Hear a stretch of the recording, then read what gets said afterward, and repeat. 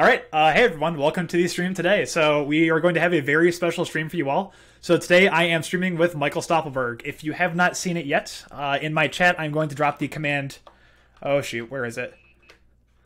Uh, multi. So, if you go to multi, we have a multi stream link, and you should be able to hear both Michael and I, and you'll be able to view both of our streams. So, uh, Michael, go ahead and introduce yourself a little bit.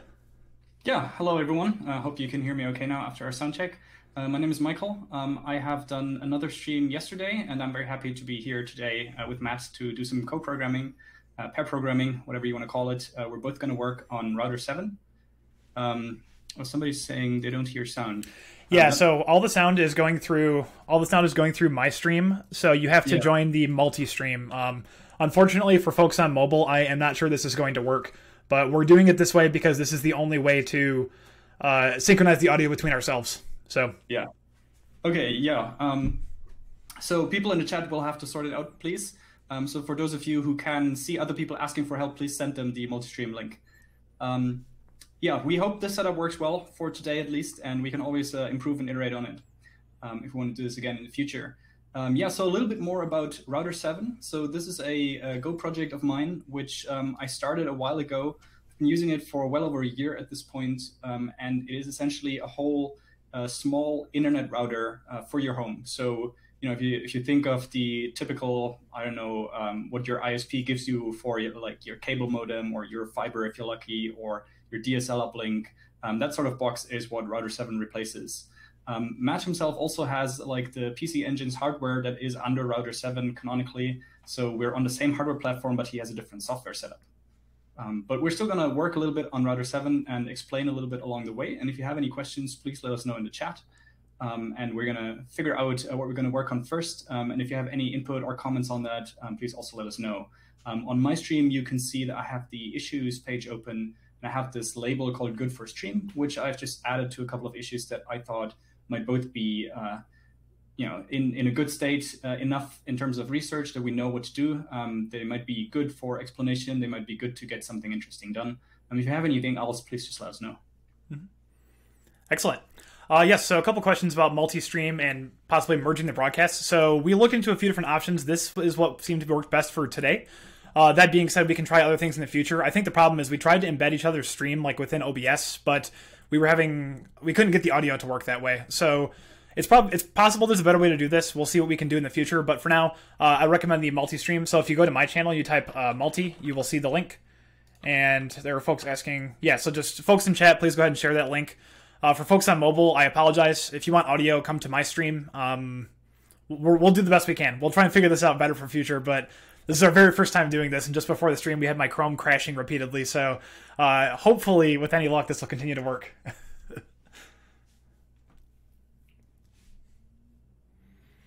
All right, very cool. So, Michael, do we want to get started on the DNS search list stuff? Maybe that'd be very easy. Oh yeah, for sure. Um, let me pull this up here. Okay, um, so I have actually uh, referenced the RFC section uh, because I wasn't aware of DNSSL actually for the longest time. Like I knew that in the router advertisements for IPv6 address configuration, you could set like um, the DNS servers themselves with the RDNSS option, but I didn't actually see that they had a DNSSL for the DNS server search list as well. Um, so that's here. Um, it seems like a simple enough option, right? The diagram here shows uh, we have, you know, type length, reserved lifetime, and then just the domain names of the DNS search list. I don't know in what sort of encoding. I'm sure the uh, RFC will tell us uh, using the techniques in this section. Um, maybe you already know how this works. If you've already done this. yeah, this is the this is like the horrifying like DNS label encoding, and I uh, I spent a long time one afternoon fighting GoFuzz like with crashers with Unicode handling, so this was all kinds of fun. But I think oh, yeah. I've got most of that worked out by now. Nice. So do you have like a package that will do all of the label stuff for us? Uh, yeah, so I don't actually have that split out into separate code, but the NDP package actually has the DNS search list option, which will do all of this for you. So if, if you'd like, I can pull that code up and we can walk through it really quick. Yeah, sure. Okay. Windows popping up all over the place today. So if we go to options, oh, what's it called? So DNS search list. Uh, right, so I'll go ahead and make this full screen. So the DNS search list option is what we're referring to here. It has two fields. It has a lifetime, which I use as a go time duration, although I believe it's in seconds or something like that. Uh, and we also have the domain names, so you can append one or more domain names as your system's search domains. So the the encoding here uh, for every domain name, we do a little bit of magic to kind of like take the DNS label pieces according to the algorithm in RFC 1035. We do any possible puny encoding or puny coding, which would actually handle things like Unicode. So you can have, for example, like fireemoji.example.com or stuff like that. Right. Uh, we pack the bytes together. We do a little bit of padding magic. Uh, it's been quite a while since I've looked at. Uh, no audio. Yes, join multi-stream. yeah, thank you, folks in chat. Uh, please keep sharing that link. Uh, this is we're gonna do our best. This is what we came up with for today. Uh, in the future, we'll see if we can try something else. But yeah, so looking at this, basically uh, given a lifetime and some DNS search lists, we pack them into the binary format. We return this option, and there you go. Basically, your system, if it knows how to recognize DNS options within uh, IPv6 router advertisements, it will recognize this option as well as the recursive DNS servers. So I've already written this code. Um, Michael, if you have any questions or anything, I can try and go into it, but it's just been a little bit. yeah, no, it's cool. Um, I think the the um, logical next step from my end would be to pull up the router 7 source code um, locate where we would need to make changes, um, try to put it in, see if a test already detects that anything has changed, um, and then adjust the, the golden output as necessary or add a new test. But I think we do have a test already for the router advertisement. Uh, I think you actually had that on your last stream when you worked on router 7 as well. Yes, I did. Uh, so that would be under the integration RADVD test? Yeah, yeah, exactly. Yep. So this test effectively, oh, I guess I'll let Michael talk through it because it's his test. oh, it's cool. Um, why don't you try it, and I'll, I'll jump in if necessary. Um, we have a nice little validation that everything is understandable. Uh, yeah, sounds good. So basically, what this is doing is it is setting up a new network namespace and creating a VETH pair. So you can think of a VETH pair as a virtual internet, uh, internet, wow, Ethernet link. So you can think of it as a virtual wire with two points on each side, and you're actually able to bind services like clients and servers to each side and use them for sort of a, a local testing setup. This is also used with things like containers, which is pretty cool. Um, and I believe that one end of the VETH pair can be in a different namespace, which is why they're mostly used with containers. So what this effectively does is we are setting up a setting up some information within a certain network namespace. We are going to start the router 7 router advertisement daemon and actually issue an advertisement, and that would be in response to this rdisc6 command. So rdisc6 as well as ndisc6 are commands available in the ndisc6 package on Debian and Ubuntu. And basically, this is going to send a router solicitation, so indicating that an IPv6 speaking host would like access to the router advertisements uh, from any routers on the network. So when it sends this command, we will see this output come from rdisc6. So this is kind of a cool integration test that Michael has written that will dump the entire output using a stable, well-known good tool. And we can basically add a new option here and check the output and see exactly what changed. Yep, that's exactly correct. And I assume that um, in your local network, you already have the option in there. So we could even do the rdisc6 on your machine. Yep. Um, and we should see the difference in output, right?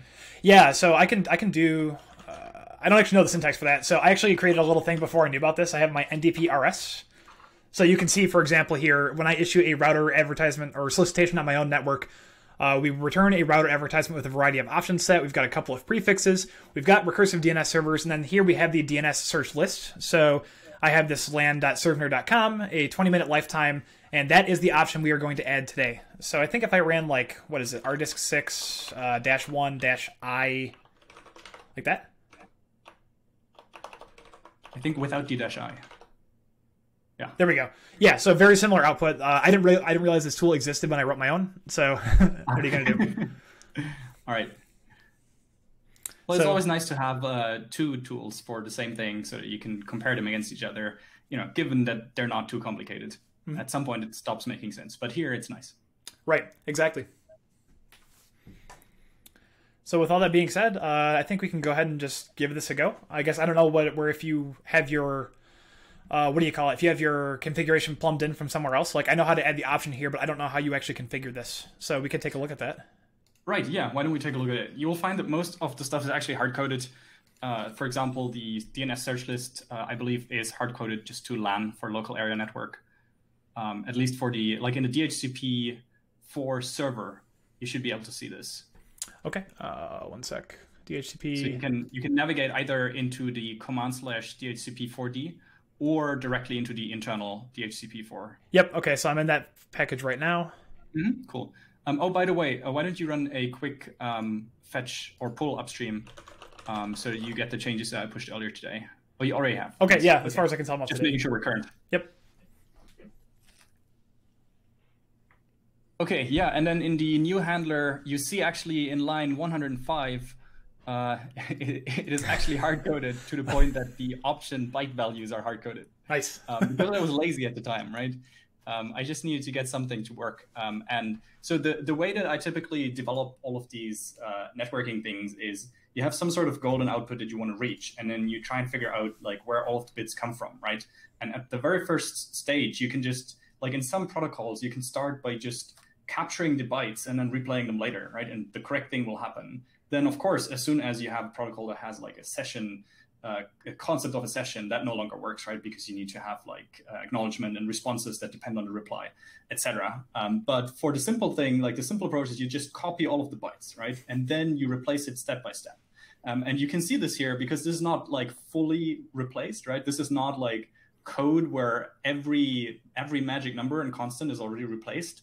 Um, but like I try to make a pragmatic trade-off uh, where I stop uh, caring, so to say, for the relevant stage of the project. And this is like a perfectly fine evolution of the project here, right? Uh, so we have a thing that is currently hard coded. We can make it a little bit nicer when we touch the feature the next time, which is now, right? Because we want the uh, domain name uh, to be not only um, put out by the DHCP4 server, but also by the router advertisement daemon. So now would be a good time to both clean up the current hard coding that we have in there and also to uh, have a canonical single source of truth for this value, right? Because currently it's just LAN and it lives in two packages if once we're done with uh, the task that we're about to do. Um, so that's not good. We want a, a, central definition of it so that if we change it, we only need to change it in one, one uh, in one place. Mm-hmm. So how do we want to do this? Would we like to try the VS Code live share again, or what would you prefer? Um, yeah, yeah, we can try this. Okay. Um, Let's give that a go. Uh, so we got this working the other day. Uh, hopefully, with any luck, it will. Okay. What is this email? Invite by email. Yeah, I don't really want to send you an email though, because it's not really going to help.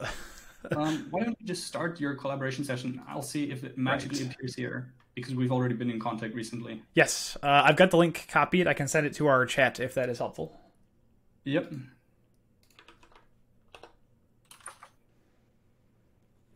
Uh, VS Code Live Share is pretty good. Doesn't GitHub work? GitHub, as in like the GitHub username? Uh, I guess I'm not sure what you mean. Uh, but yes, I mean, VS Code Live Share is pretty good. It, it doesn't do like live collaboration on on stream, right? Uh, GitHub or did that work? Let's see here. Okay, so I think this is how this worked, right? Yeah. Yeah, I believe so.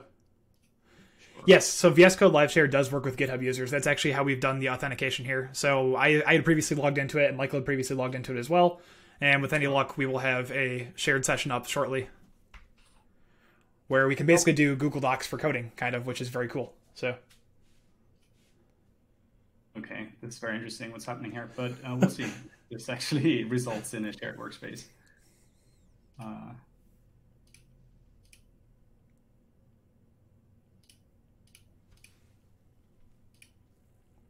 Uh, if any folks have any questions, you know, feel free to drop them in the chat. So we are reading both chats. We will try our best to pay attention and answer questions. Uh, that being said, since we're talking to each other, things are going to be a little bit different today. We might not get to your question immediately, but we will do our best. Oh, I think I'll need to like sign in again. do you want to do your uh, password hiding input and stuff, or? Don't think it's strictly necessary. Okay. Let's see.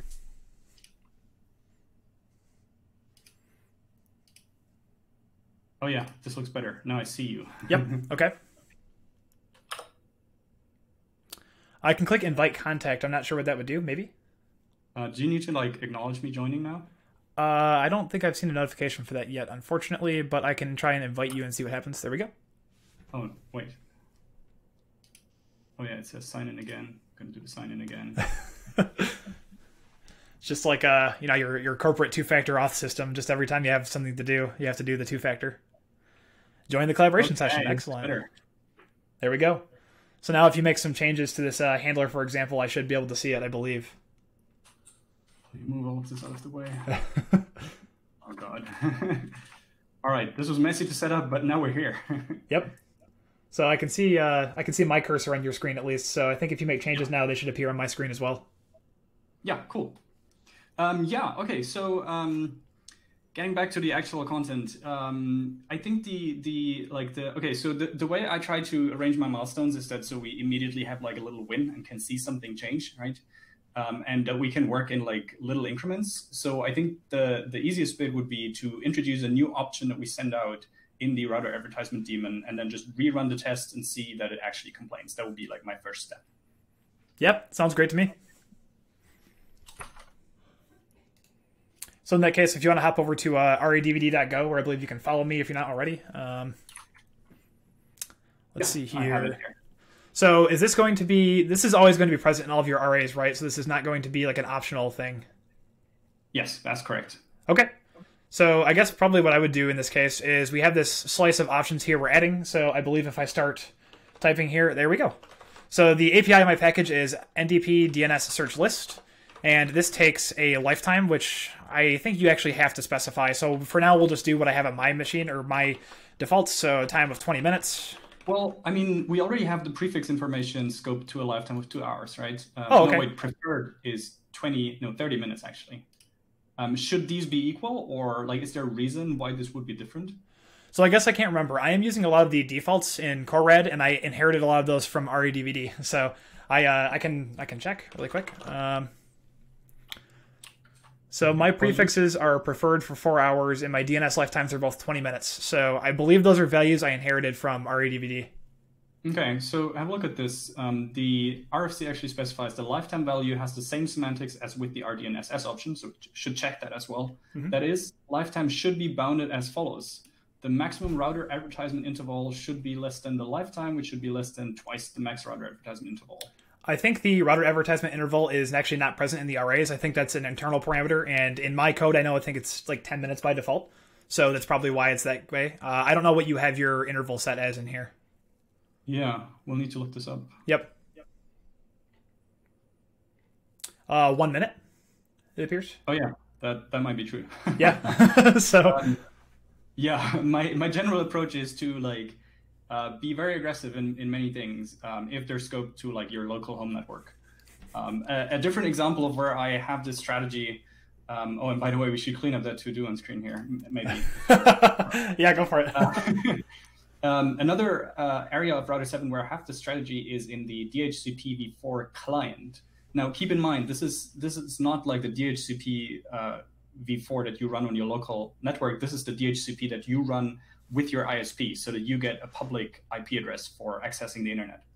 And on that particular path, um, what I'm doing is uh, I'm keeping the DHCP leases that I get uh, even once they're invalid. Like I don't ever expire them, right?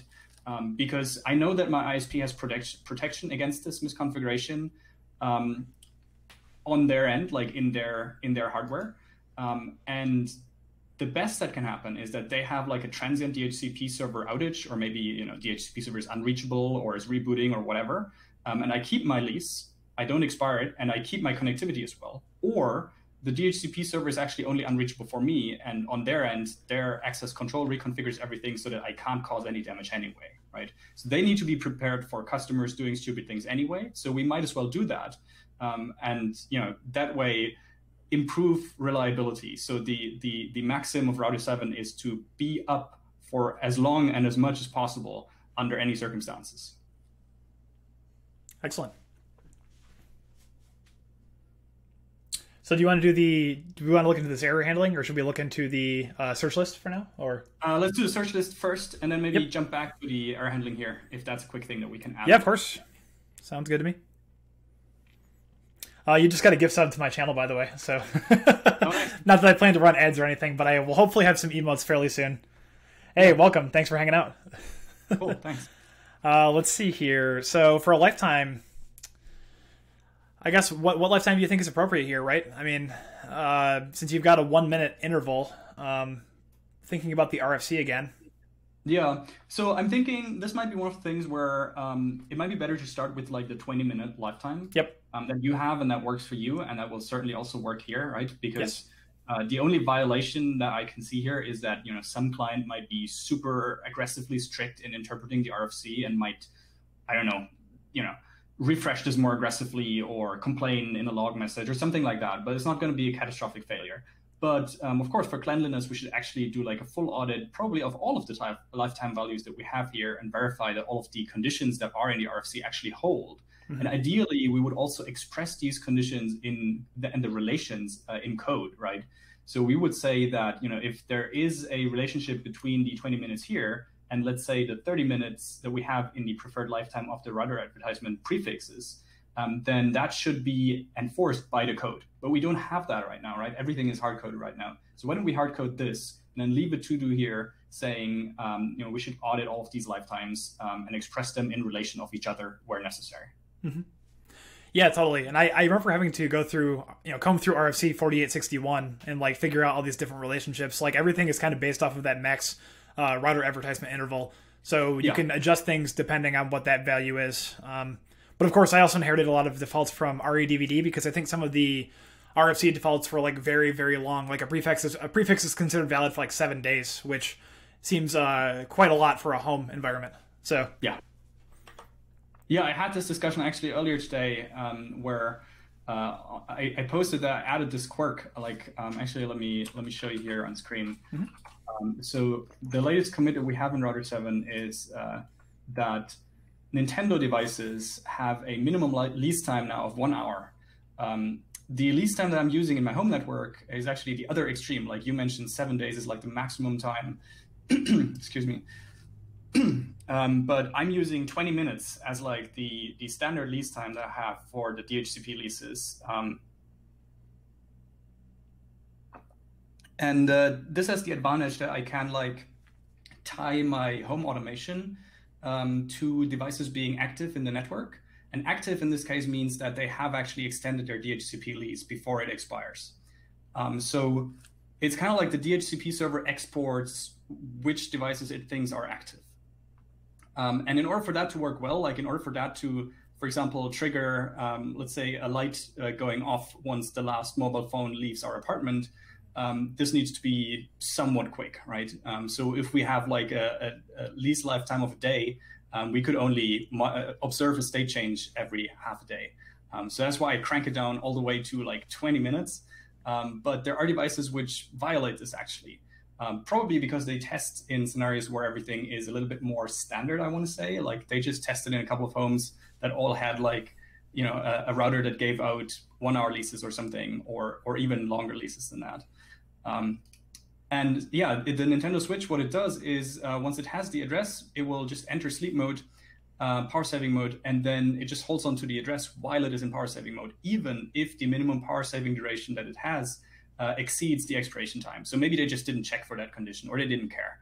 Um, so yeah, effectively, this resulted in a MacBook not being able to come onto the network um, because it was using, it was getting assigned the IP address that the DHCP server thought was already released, but the Nintendo Switch still had it. Um, so now I just have like this um, MAC address filter in here, and uh, the all of the Nintendo MAC address prefixes, which are actually quite a number. Um, and whenever like the so this is so that I can keep the lease time at the 20 minutes, um, and only the Nintendo devices will have the higher lease time. So I consider this a quirk. Um, we'll see how long uh, I can uphold this um, until the point when I eventually switch to like one hour leases or something if there's too much incompatibility that I observe in the wild. But this is the first one that I've seen so far. That's pretty wild, actually. So I actually have a I have a switch as well, but I think I'm using the uh, ISC DHCP defaults, which I think is probably one day at the moment. I would like to switch to uh, something else, something Go, you know, memory safe, etc. There is the CoreDHCP project, which is pretty cool. Uh, that is being worked on by a couple of folks who have done a lot of DHCP things in Go. So here's hoping, you know. Uh, but that being said, maybe I could tear out, or maybe parts of the uh, the router seven DHCP daemon could be useful for me as well, which would be pretty cool. Yeah, I mean it's pretty minimal. Um, you're gonna see um, if we're gonna work on one of the other items uh, that I have uh, listed in the label. Um, but yeah, why don't we actually go back and actually get the search searchlets in there? Of course, yeah. Uh, one sec, got a couple things in the chat. Uh, had to buy a new router years ago because both the router and my ISP were being strict in V6 RAs with two different interpretations of a single sentence. Yikes, that's uh, that's no fun. Yeah, um, there is the the saying or the motto that uh, you should be strict in what you send out and liberal in what you accept uh, whenever you deal with RFCs, and I think that's a good approach. And you know, if both of the parties would have used it in your scenario, then uh, you wouldn't have had to buy a new router. Mm-hmm.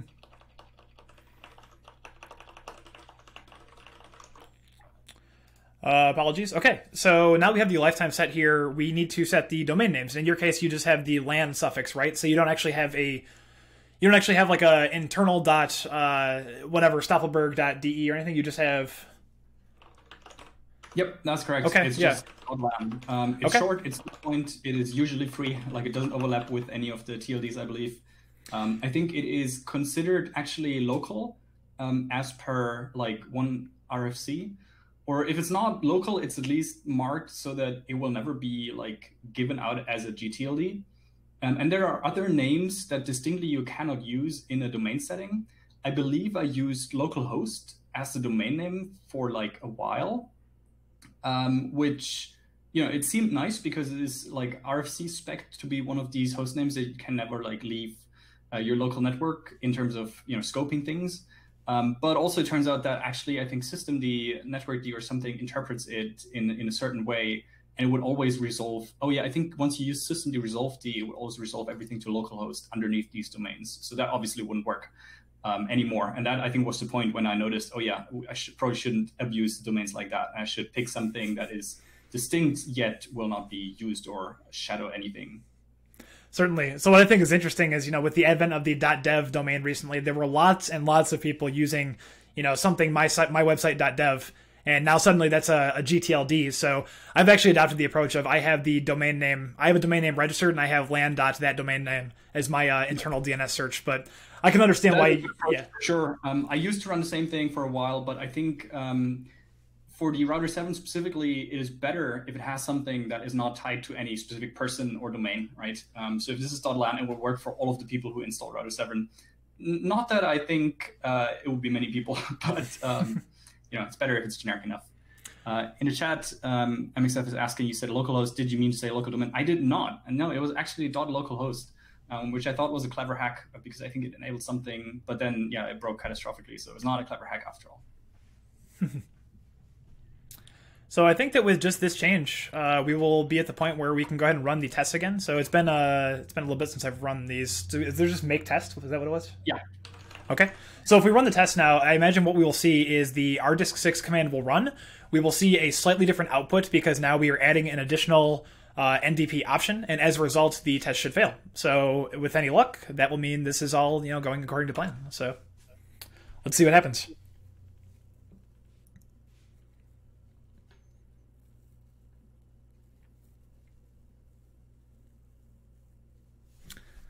Oh, sudo, huh? You're gonna you're gonna wreck my machine? I'm kidding. For All sure. right, here we go. Yep, All my development setups uh, set Yeah. up so that they uh, destroy my machine. thrashing thrashing my hard drive right now or my uh, SSD. Now I'm not going to pull a, an NVIDIA or Steam on you yeah, right. today. Uh, oh shoot, I don't have Byobu open, do I? Okay, uh, I guess I'll have to do that. But where is it? Yeah, there we go. Okay. See, check it. So we will actually notice here that the rdisc6 command now sees this DNS search list option as missing. So this did exactly what we intended. So now we are advertising a DNS search list with a lifetime of 1200 seconds, and we're good to go. Um, I think one, one thing you could try um, is I think there's a fail fast option that was added to Go test a while ago. Really? Um, if you run make test again, I think um, now that I've changed it in the makefile, which you know I hope that is effective on your checkout. I suspect it would be. Yes. Did Yeah, you did you save the Um, file? yeah. Why don't you give it a try and see if it fails with like the message that we care about at the very end of the output now? Sounds good.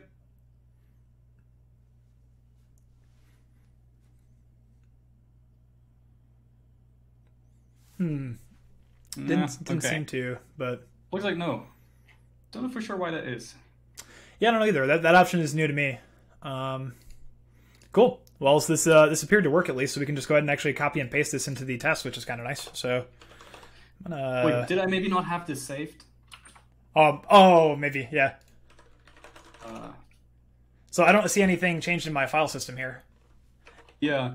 Okay, now Oh, it's changed. Oh yeah, let's try it now and see if that was Yep. my mistake. So I have my Emacs set up so that whenever I do a compile, it saves all of the files. So I never consciously save anything, and that just bit me now. Yeah, totally. I tend to just uh still doesn't look no, like it worked unfortunately, but Yep, Okay, well, fair thing. enough. Um, Yep. One thing that um, I'm in the habit of is that um, you know whenever I'm working on a specific test, um, whoops, I will make it so that I just run this particular one test. Uh, so this would be integration router advertisement, I think. yep. Uh, can you give that a shot?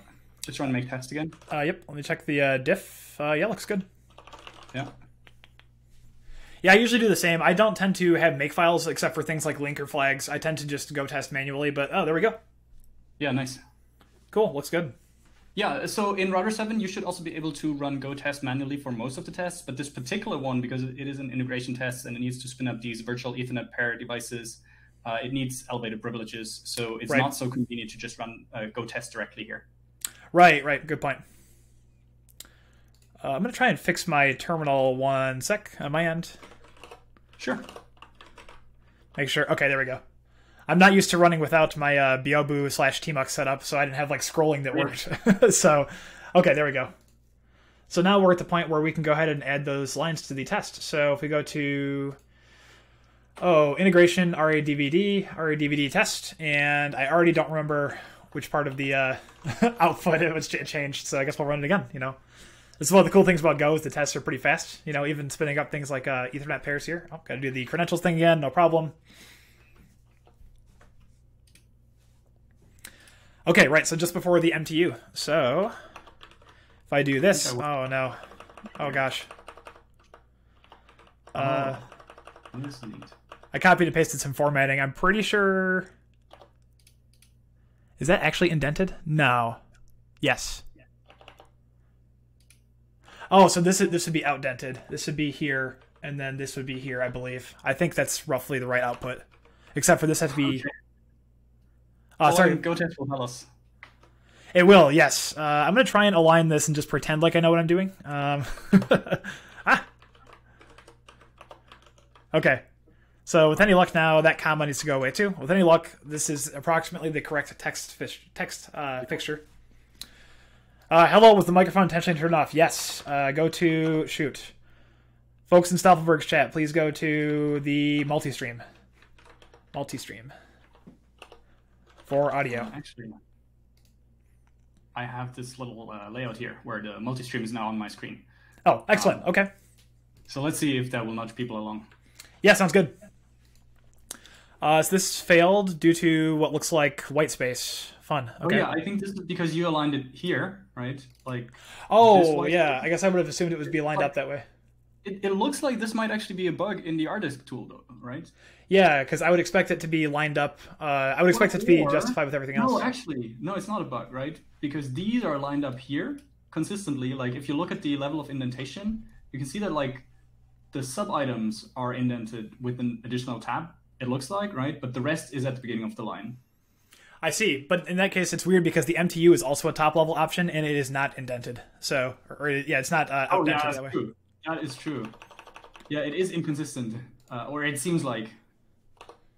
So let's try this. I expected this would work, assuming we got our white space roughly right. Uh, oh, this is trailing space. Is that what that is? Oh yeah. Or it wants a trailing space. Is that really the case? Oh. Really? My editor might actually strip that, so okay.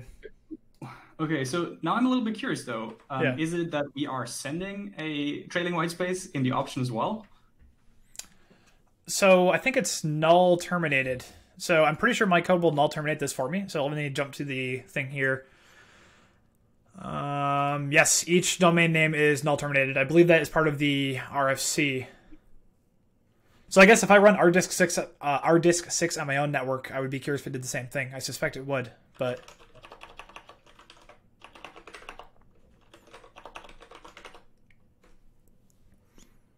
oh, of course I can't tell. Make but- it visible somehow. Uh, is there a quick way to do that in the terminal? I don't actually know. Yeah, you can. Well, so one like uh, very coarse grained way is to just pipe it through hexdump or HD. Yeah, so if we did if we did hex dump, it'd be uh, there we go. Um, Let's see here. So DNS search list.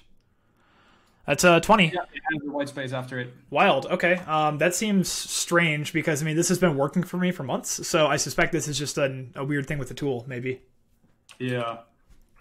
Um, okay. I think, like, okay, while you while you continue with uh, actually sending this as a pull request, why don't I have Yep. a quick look here? I think it's in the ndisc package. Yeah, it's ndisc six, or maybe the package is called rdisc six. I don't exactly remember. Uh, okay, test passed. So I'll go ahead and issue that pull request. Uh, I'm gonna have to log into GitHub. So things are things are a little crazy today. We uh, right before the stream we were having an issue where my Chrome was crashing every time I tried to share my screen. So that was uh, very fun. So give me just a moment here. I'm gonna fix my GitHub auth and everything, and then we will send our first pull request of the day. Very cool.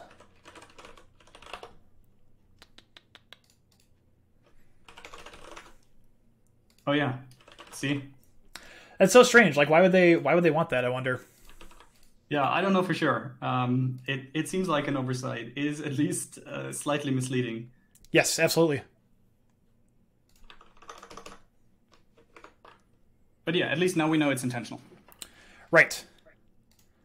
Okay, so we're back over here. Uh, I've got GitHub up and running, so let's go back to here and let's issue a pull request. Sweet. Yeah, that. You know, it's so funny. The uh, the red the red highlight here in the diff makes me uh, makes me sad, right? But Is it because they're trying to join the list?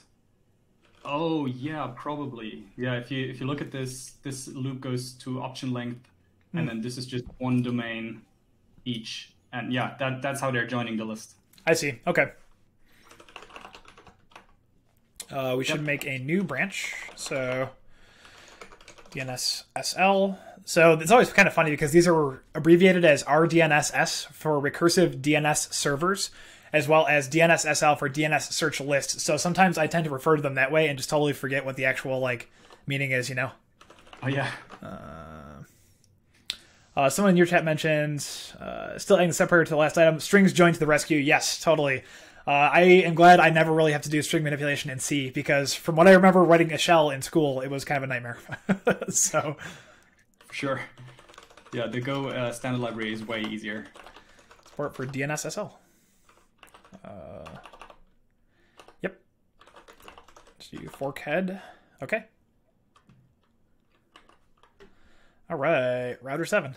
How convenient that uh, Filippo started and gave me a nice little link. okay. Um, so this is DNS search list of LAN with a lifetime of 1200 seconds, and that is that. Um, actually, did we add the to do that we wanted to add? No, we did not. We can do that. Yeah. So you want a to do here for the hard coding or the lifetime or both? Both actually, yeah. Um, why don't I actually add these in here? Go for it. Uh, so really quick in the chat, started having the same issue with Chrome when sharing my screen since last week. Yeah, exactly. So the Chrome from two weeks ago works just fine. So I actually installed the older Debian package so we can share on a video call locally and be more in sync. So I have no idea what the issue is, but Chrome on AMD 64, uh, all kinds of fun, right? So thanks, Michael, for uh, saving me today before the stream. uh, yeah, that uh, that text looks good to me. Cool. Are you ready for me to commit this? Yes. Okay. Should we do the uh what's I don't know what the tag is, like the co-authored by or something? Do you do you care about anything like that? Eh, I don't care. Okay. Internal. That's And- what I really like about the Linux ecosystem. Find the bugs and the patch and fix it. Yes, you're correct. Yeah, totally. Like it's so strange that that would be the case. Like I never would have even imagined that tool had a the trailing space. You know, it's trailing spaces tend to lead me to think that there's some bug somewhere, right? So Yeah, yeah. Uh, in this case, it's just an imperfection. Like I can see why they did it this way, but totally. yeah, Well, it's one of those things you could just check for like the loop counter, like if len equals zero or if len equals one, skip it. But no big deal. but it's an extra line, man. Yeah. Yeah, right. You gotta can't uh can't have any extra lines in your output, right? uh hello Twitch chat. Uh, hey, what keyboard do you use? So, as it turns out, Michael and I both actually use Kinesis Advantages. So, I have the Kinesis Advantage 2. I believe he has a very cool, heavily modified Kinesis Advantage 1. So, he can talk about that.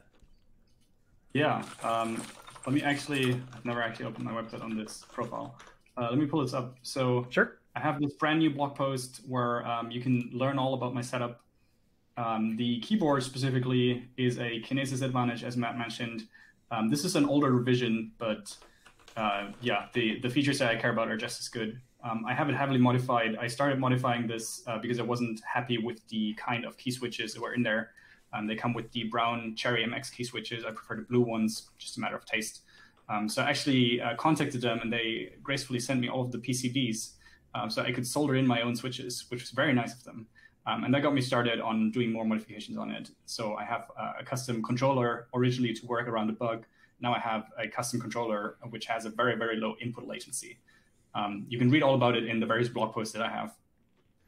Yeah, that's super cool. So I'm still running a stock Kinesis Advantage too, but he's made me quite jealous. So for example, mine does not have a USB hub, which is really annoying. So oh yeah.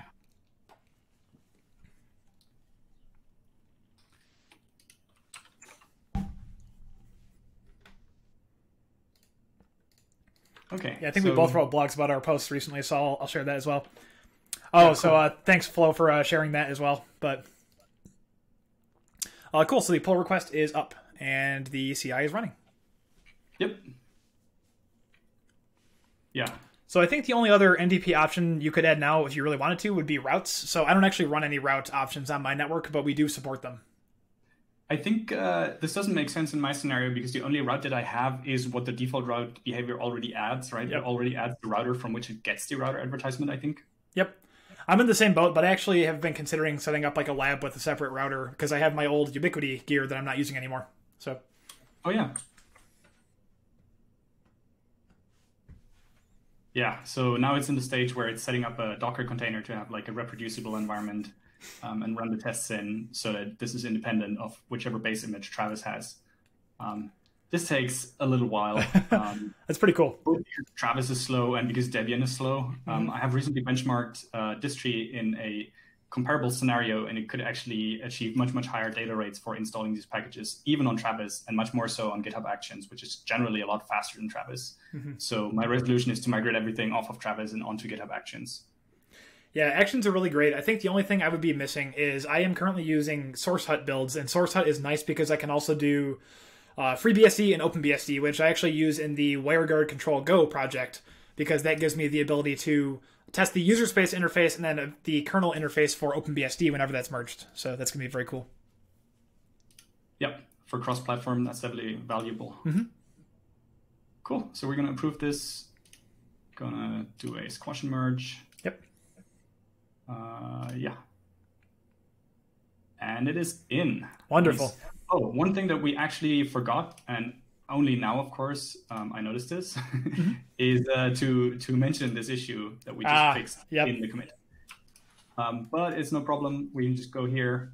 Um, we can just uh, copy the commit ID here and say fixed with commit, and then this whole thing. You can say close and comment. Um, it actually links this now and mm-hmm. references it. This is not entirely as nice as the uh, if you reference the issue, but it's good enough. Yeah, totally. And it's nice that it shortens the hash into less of a, uh, a monstrosity, you know? Yeah, for sure. Very cool. Cool. So this was the uh, this was the easy issue for today. So now we're going to get into the weeds a little bit, right? Yeah. Um, this was the warm up, um, so that we could all you know talk a little bit about the project, um, and you all see how the contribution process works. Mm-hmm. Um, we run the tests, our, our setup is good, et cetera, et cetera. Cool. Um, so let's see, what, what else do we have? Um, so one thing that I added very recently, just this morning, is native DynDNS support. Um, I'm just going to explain all three of them, and then we're going to talk more about which one we want to tackle. Mm-hmm. Uh, so for DynDNS, um, the, uh, the the situation is that the IPv4 address that I get from my ISP is not static. Um, I could pay more money to get one, but I don't want to support IPv4 like that. Yeah. Um, so I just have like a, a, DNS record that points to my current IPv4 address, and that is good enough. And it changes rarely, right? Because as long as my router is online, it has the same address. But so effectively, like I don't know, maybe you know once a year or once once per half a year or so, it changes.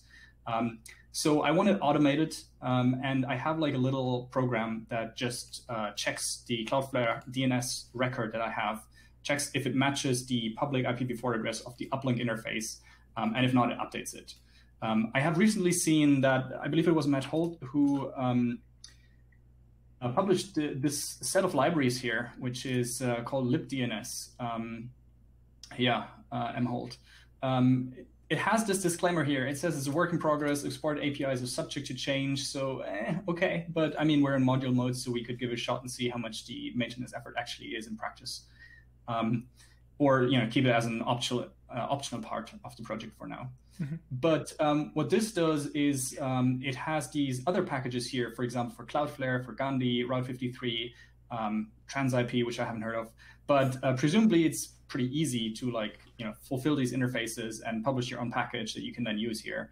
So instead of um, like, so this is a nice building block for a DynDNS feature, right? Because instead of having to implement all of these various providers for ourselves, we could just use this and then very easily get like a reasonably configurable DynDNS support.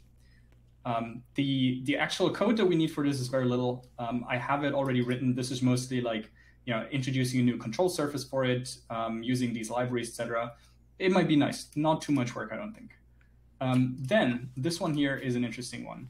So this uh, ties back to the incident that I mentioned earlier, where I was telling you about the quirk um, that I added for the Nintendo devices, which uh, wouldn't respect the lease lifetime correctly.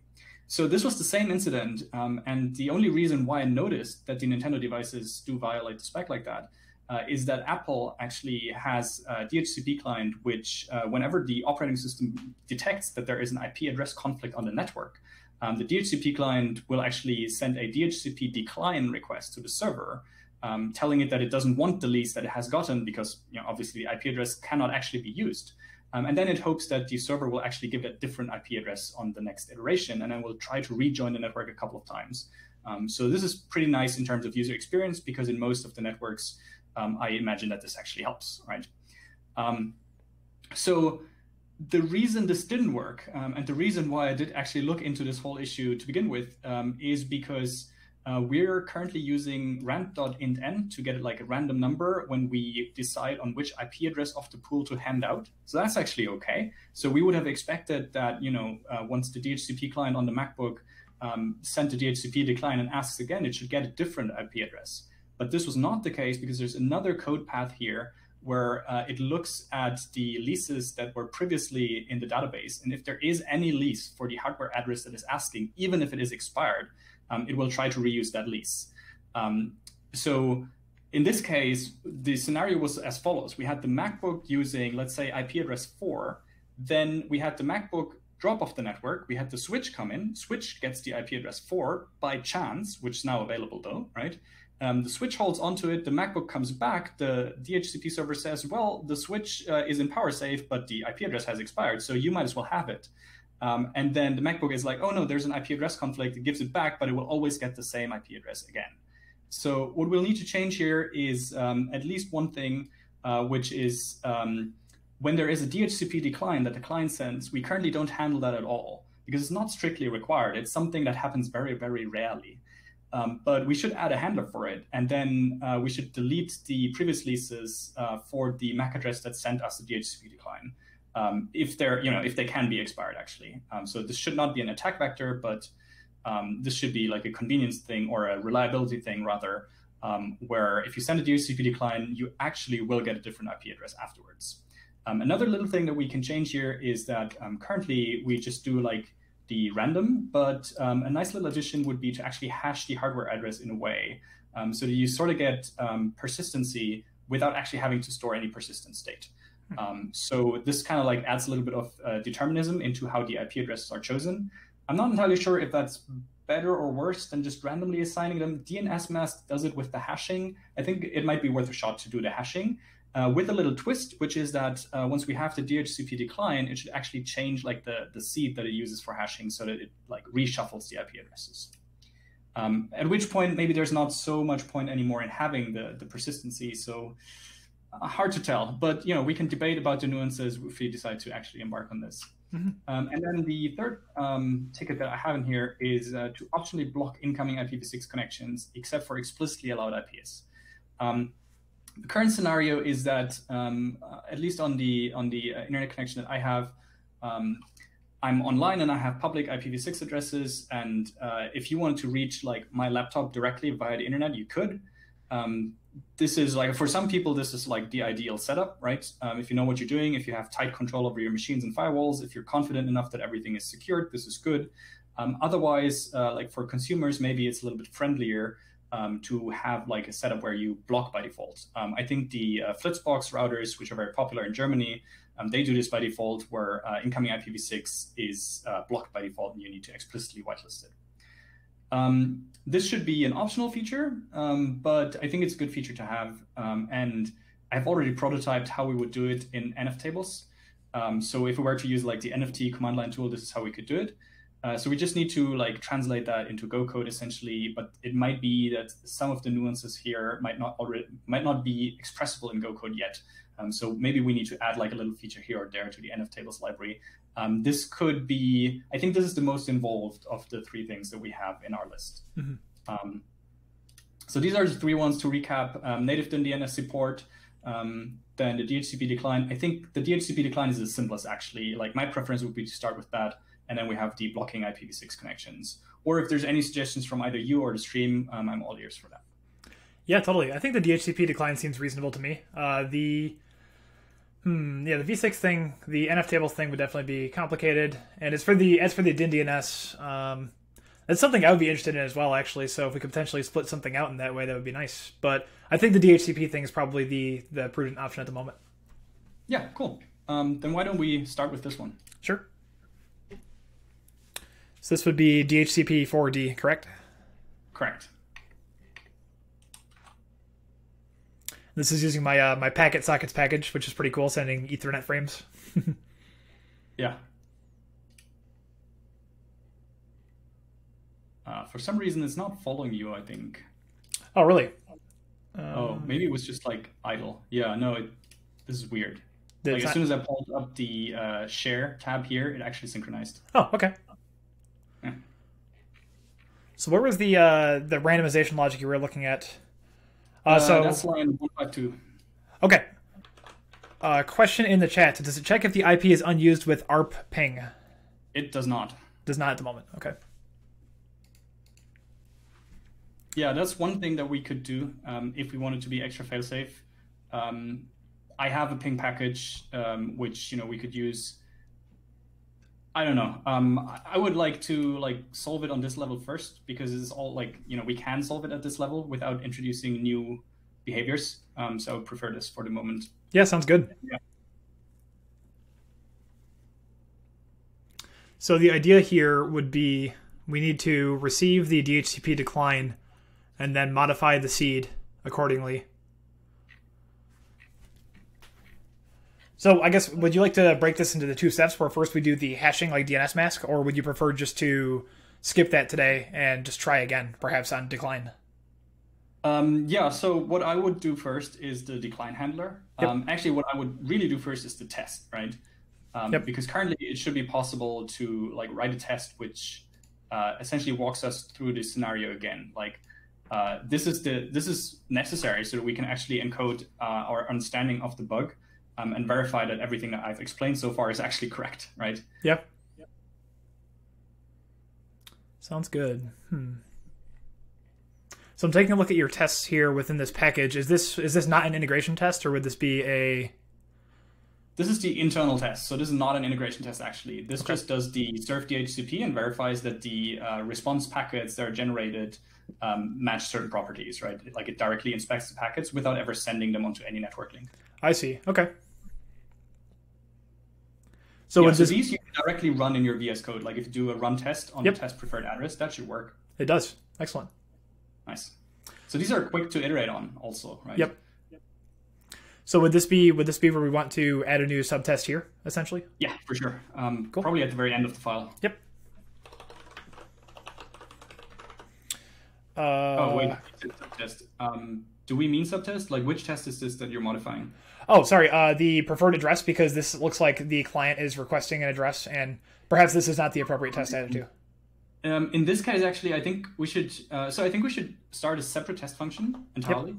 Um, also mention the bug in there, right? So that like you know nobody ever accidentally um, after the fact goes there and refactors the test to do something subtly different. Um, so you know I want to make it clear this is like replaying an exact scenario of a bug And I think in this case, it was actually like the client was not actually requesting any IP address, right? Like the client intentionally, like it was in the client's interest to get a new IP address that it didn't have before. So it would not request a specific IP address. So that would not be the correct test mm. function. Right. Okay. Because by request, you mean like they're requesting a specific address, not like a DHCP request in general, or like a DHCP discover.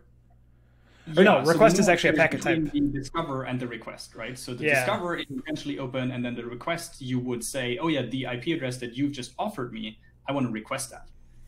Right. Right. Yeah, I worked on DHCP about I think it's been about a year and a half, so I'm a little rusty, but hmm. yeah. So do you want to add this to the end of the file, perhaps? Yep. So it looks like we roughly want this test handler code as well, because this is going to spin up your internal uh, exactly. infrastructure. Uh, yep. Let's see here. Uh, so perhaps test client to client, right? Yep. Uh, okay. So now we want to take a look at the request handling code. So serve DHCP, I assume. So now we have. So you're handling discovers, you're handling requests, and that's it. So. Yep. Do you want to? So, uh, the, the way I would start for this test is to not actually look at the handler yet, right? Because we know the handler works uh, for all of the parts that we need to get done until we can actually have the test fail the first time, right? Mm-hmm. Um, so the way I would start is I would go back to the test function and write a couple of to-dos that roughly outline the milestones that we want to reach in this test, right? Right. Let me pull up right. the GitHub issue in another browser really quick, just so I can take yeah. a look.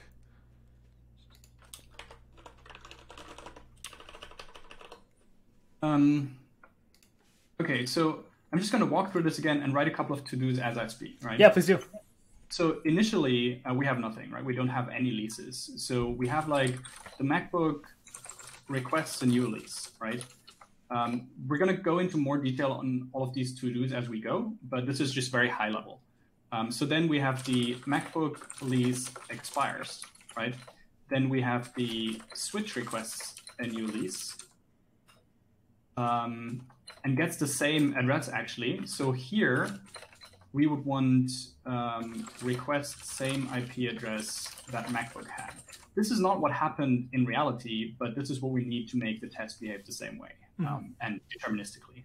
Because in reality, we just had like the random uh, function spit out the same IP address. Um, so then the switch requests a new lease, uh, switch lease expires, MacBook comes back, um, and then we want to verify gets a different IP address after decline, after DHCP decline. Um, so here, the expectation is that we will offer the same address, right? Um, even though the MacBook doesn't, well, it would actually ask for the same IP address initially, but we want, so, okay, so we also want this in a loop um, with at least two iterations. Um, so that we like initially it will ask for the same IP address, then it will uh, get it, it will verif- it will say, oh yeah, I can't use it, and then it will send a decline, and then the next time it will not ask for a specific address again. Um, but our server right now will still return a specific address. Mm-hmm. Um, and then the the test case here is that uh, essentially invert the the expectation, right? So to make the test pass, um, by verifying that the MacBook got a different IP address post decline, and that's what should fail. Mm-hmm. Um, it just jumps around a lot. Yeah, so this is the rough story. Does that make sense so far? I think so. I think you're gonna have to show me a little bit of like the test infrastructure you have here, because I know I think I saw like the request function at first. So what I imagine here is we're going to uh, I guess we can do this in like kind of a serial way. We don't really need like Go routines like spinning up long running processes, right? Or... Exactly. This is going to be very serial. Um, should be easy to test. Um, okay. So we have helper here, which uh, is going to construct a discover packet. I see. Okay. Uh, we can just call the serve DHCP on our handler. Um, we need to pass in the message type again here, mm-hmm. Um, and then the response that we get, we can verify it, right? And I think like we already have a test, I believe, uh, which should verify the. Sorry, if you jump around, I can't jump around anymore. Oh, sorry. Yeah, I wasn't sure if you were still following me. Yep. your thing. Yep. Um, so the test request expired. I think. Yeah. See, so we already have like a relatively similar structure here where we deal with um, why don't we get two computers at least, um, and then verify that they expire after a certain time. Sure. So we're just going to copy this and then going to retrofit it onto the to-dos that we've written here. Are you still following my window, or can I scroll down? Uh, I, I, I think I am, but uh, if you want to take over, feel free. Oh no, I just I can't see the code right now with, in my own browser, but Oh, um, I'm going to say unfollow participant. yeah, because we're working on the same file anyway. So Yeah. okay, sounds good. Yep. Okay, um, so we can see here that we have the hardware addresses um, of you know two laptops, XPS Yes. and MBP. MBP being the MacBook Pro. Um, these are just you know one, two, three, four, five, six. Yeah, it doesn't actually matter. Um, and then we have in the handler that we're uh, getting from the test handler here, we have a time now function that we can use to override whatever time the handler thinks it is right now, so that we don't have dependencies on the local system. And later on, we're just going to say, oh yeah, and now fast forward three hours, at which point the um, lease will have expired. Excellent. Okay, um, so let's see. So we have the um, MacBook requests a new lease Yep. So this is actually roughly the same. here. Yeah, we have that already. So we can just, we probably can just use that. So there is no discover here. So this is assuming that the MacBook is already aware of the DHCP server. Yeah, let's see. So this does a request. Oh yeah, this does a request for this specific address, Right. Yeah. which I think that's okay. This is not the part that we're interested in testing. Okay. So we don't need to worry about the discover flow at all. We're just strictly talking about request and uh, For decline. now. Yes. Uh, later on, we're gonna actually also do a discover. Okay.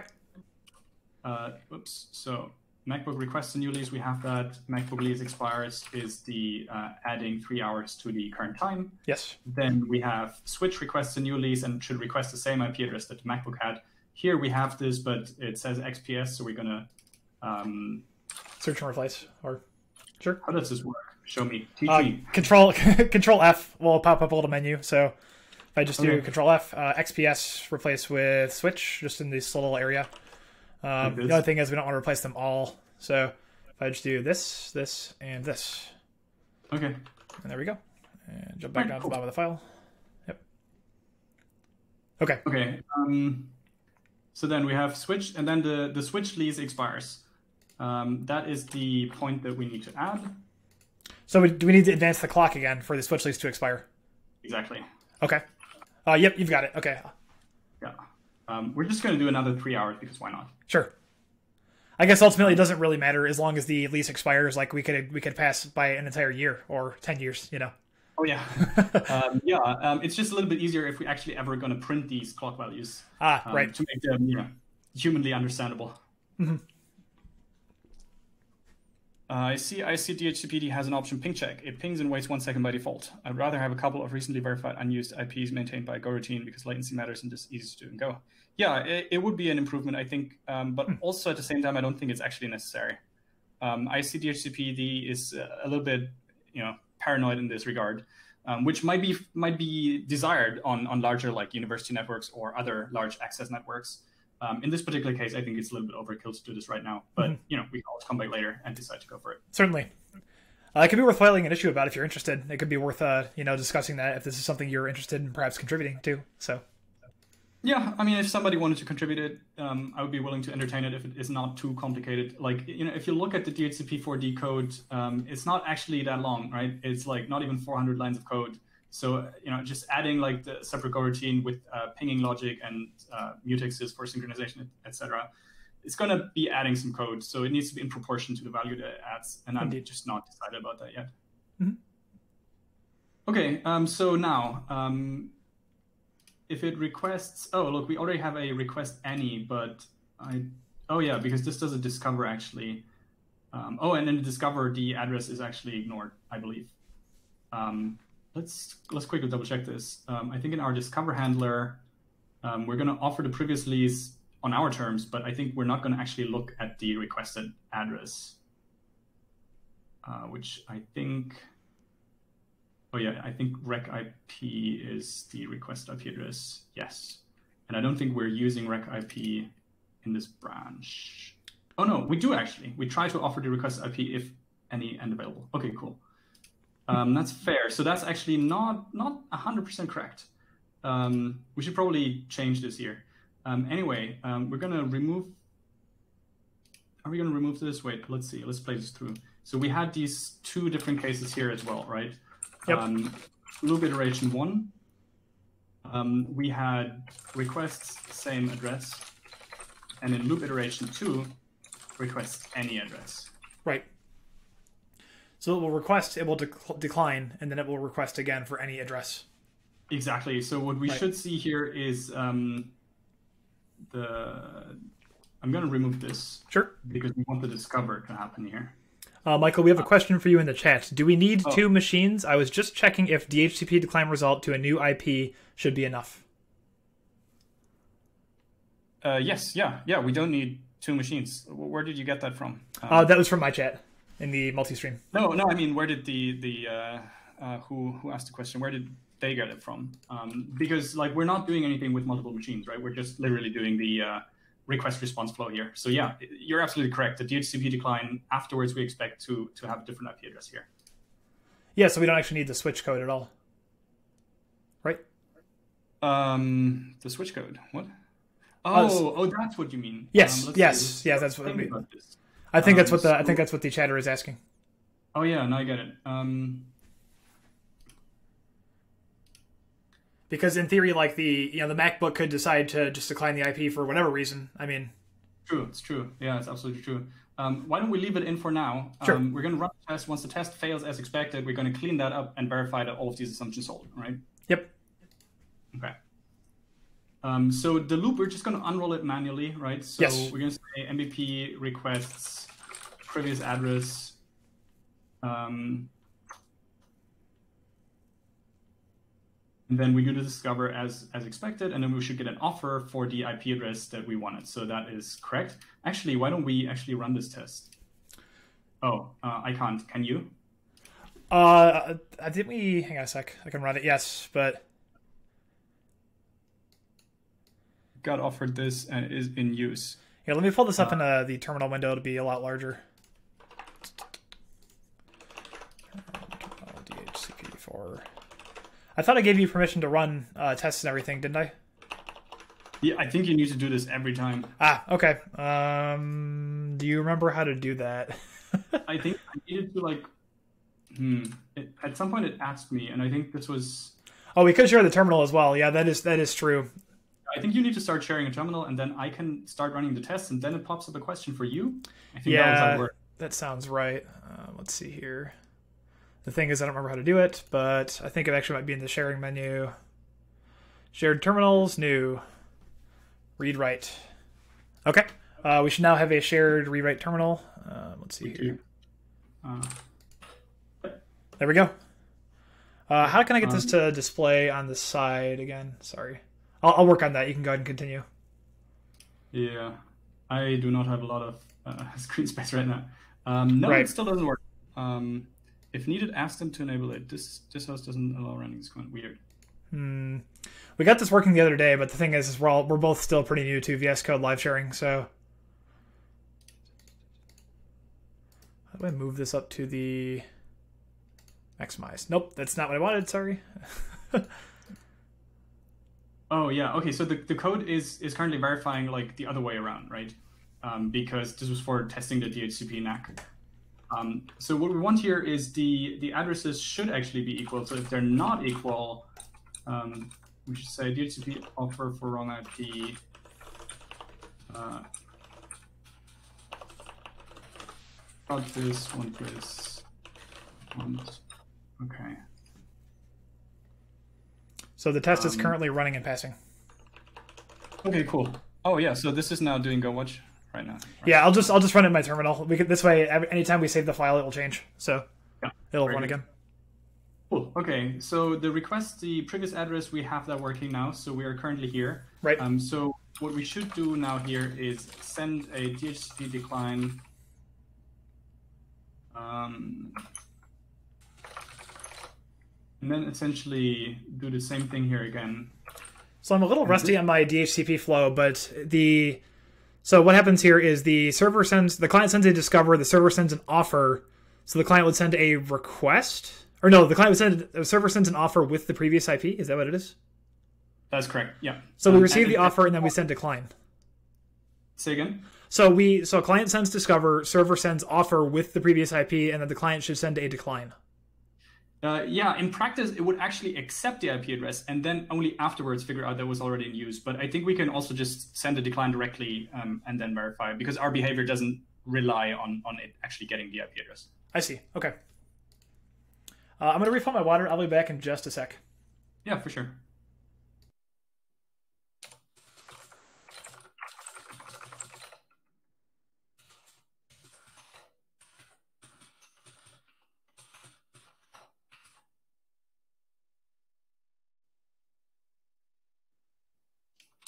Unexpected message type. Hmm. Uh, we're gonna leave it like this for now. Let's see. This fails. Return unexpected address. Yeah, because it's still handing out the same IP address.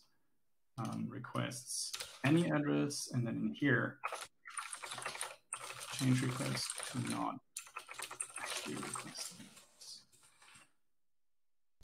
Okay, I'm back. Um, And the expectation here is that we will get a different IP address. So the offer returned. Let's see here. Okay, so now we have the test failing, right? And I think we should be able to get it to pass. Um, wait, we also need to add a DHCP decline, but then the test should still fail, and then we get it to pass by actually implementing the DHCP decline. Right, because there's no handler for decline at the moment. That's correct, yeah. Uh, but there's also no client code to send a decline yet, so uh, we'll also need to do that. Um, so if we go to the request, um, this, so I, I added these little helper functions here to construct the packets because it was uh, being duplicated all over. Yeah. But um, we will need to uh, request, uh, or um, maybe we'll need to like construct a new packet type here. Oh, as far as the uh, decline goes, right? Um, yes, exactly. Uh, so I think we, we should be able to maybe express this. So if we do a func decline, Mhm. um, it doesn't have like a specific address that it includes. What does this do if we don't have address? Oh, it would just be like all zero bytes. That should be okay actually. So this is the krolaw DHCP. Okay, I've used this before. It's been a long time, but let me pull up the API docs too.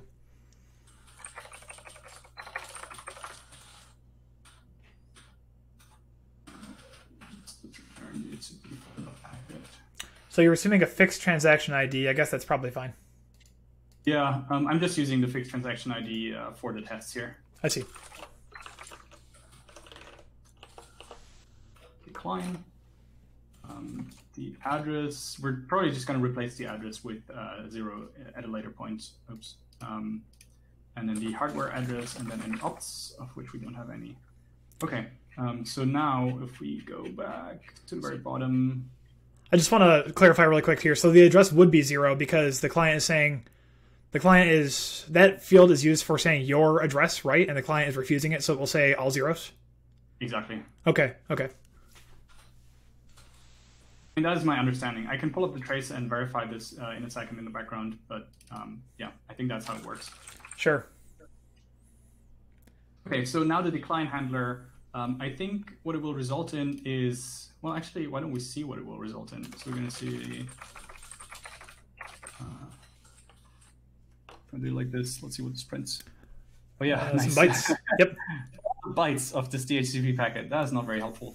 Um, Yeah. And they're in I decimal, no less. Oh yeah, I had this helper for message type. Uh, we're going to print this instead. Um, what's the shortcut for scroll to the very bottom of this file? uh, I think I maybe I usually just use page down. Maybe end will work as well. Uh, nope. Yeah, I tried this. It doesn't work for some reason. I wonder if there's like the Vim key bindings, like the capital G or whatever. It's been years since I've done that, but Yeah, I don't know. I don't have that extension installed though. Okay, so we're just going to print the message type here. Yep. Offer. So, so a decline results in an off. Oh no, wait. This is because we we didn't change. We were the sending, yeah, Oh, panic. Wow. Oh, Nice. fun. Okay. Um, line thirty-one. Thirty-one. Um, in So that would be the test helper we just created, possibly, right? So Oh, line the message type on nil. I think that is the problem. uh, if the response is Yes, no, yes, specify the message type option as well. DHCP decline was not answered. Ah, nice. Okay, so that now matches our understanding, right? Um, okay, so now we have this uh, switch statement here in the DHCP server, and what we can just do Right. is uh, we'll just add like a new branch here, say case dhcp4.decline. Uh, if this so it indents correctly. Mhm. Um, and then we're just gonna um, use this here, construct reply packet. Uh, I'm gonna see how far we come. Actually, I don't even know if it needs to be uh, acknowledged, the DHCP declines. So why don't we um, why don't we actually pull up the RFC DHCP4 RFC this one. Um, or is it a newer version? It's a very old RFC. I'm sure there is a. um, Sometimes if I'm cheating, I'll look at Wikipedia really quick and just see if there's a like a diagram. You know. Yeah, let's see. The server receives the DHCP decline message. The client has discovered through some other means that the suggested network address is already in use. It's precisely what's happening here. Indeed. The server must mark the network address as not available and should notify the local system administrator of a possible configuration problem. But it doesn't say that it needs to actually acknowledge the message in any way. Right. Uh, so this actually ties in nicely with a question from the chat. So, is there a maximum number of DHCP declines from a client? A server should mark an IP as unavailable if it receives a decline. So, if there are too many declines, there will be a problem, right?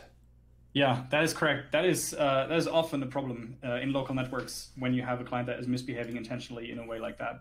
Um, you have similar problems with, uh, I believe, IPv6 um, neighbor discovery, where you can just always, when somebody, when some new device says, "I have this new IP address. Does anybody else have this? Like, is it already in use?" You can always just say yes, and then you will not be able to like get a new IP address on your network. Mhm. Uh, so often the, the trick is to add like some sort of rate limit here, um, some sort of, of anti-abuse mechanism. Uh, for this particular project, we have the luxury that is uh, running in homes where the devices are trusted, or if the devices are misbehaving, uh, we have people with physical power over them and they can make them behave. that's Uh, you know, what that's what hammers are for, right?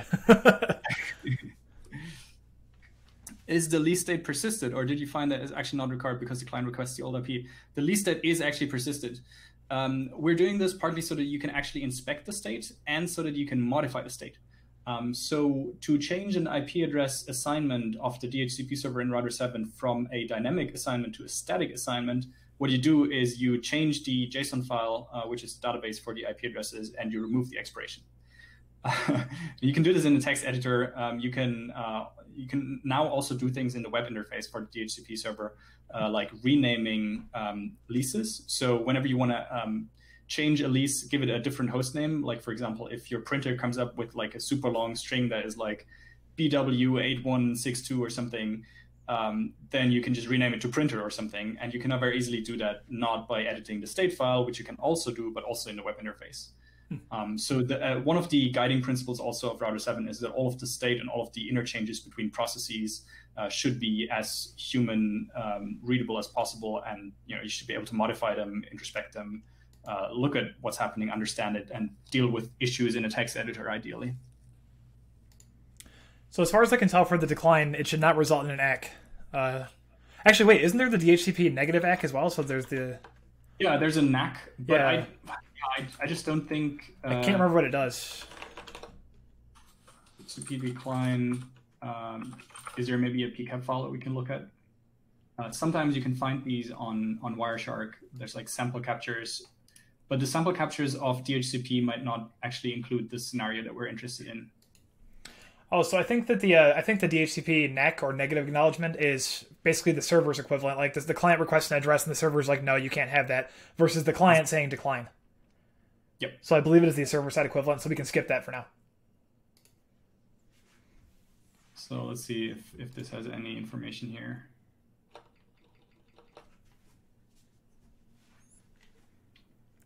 Yeah, I think this might be entirely informational. So, Yep. I mean, in that case, um, we should change our test to not actually. Um, we should actually verify that. There was no answer. So if there if there was an answer at all, right. So then in the decline, we will actually not reply with the packet at all. We will return nil. Exactly. Right, so I'm on the code over there, so I'll change that to nil. So Cool. decline, there's no.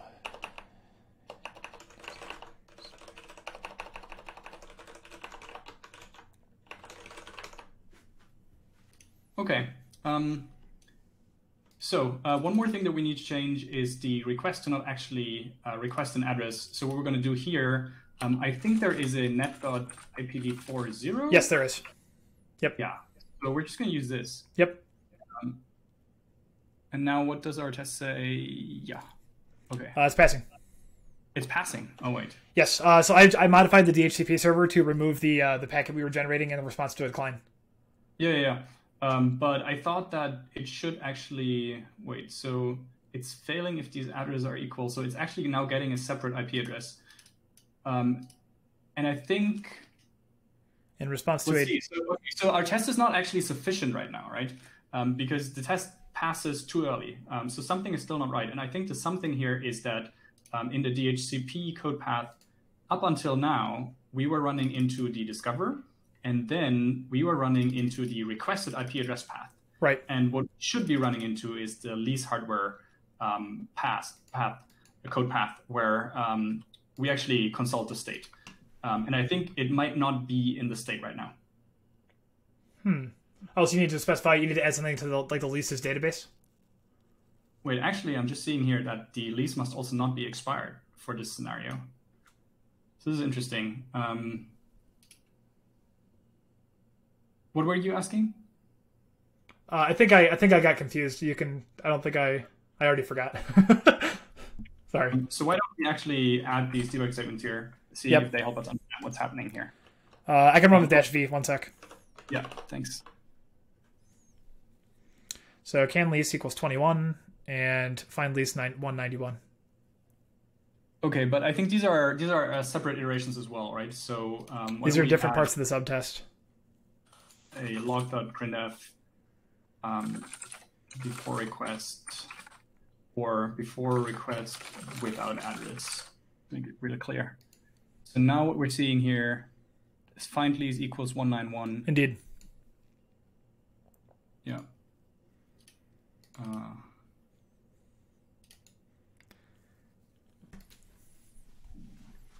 okay, so now I'm wondering a little bit. Um, okay, let, let me do one thing. Um, let me pull up the packet capture in the Yep. background. Sounds Um, good. sorry, I don't show this on screen. No, that's fair. Uh, like this contains all of the addresses uh, internal to my network. Um, okay, so we have the um, discover offer request act decline, and then in the next discover. Oh no! Wait, see, this is the wrong file. You have the full context here.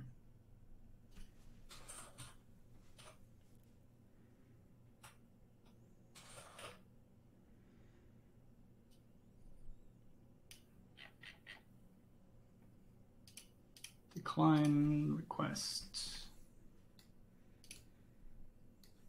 Uh,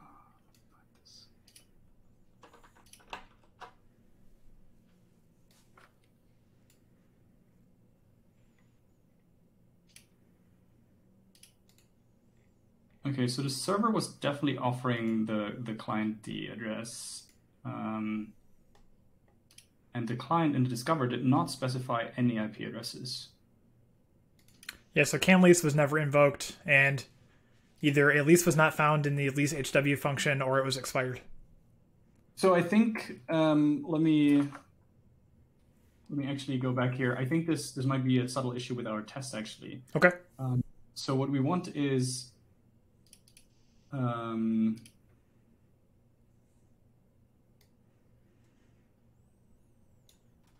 the switch lease expired. Oh, yeah. I think this might be um, our logical mistake because here all of the leases expired. Correct. We only one of the leases to expire.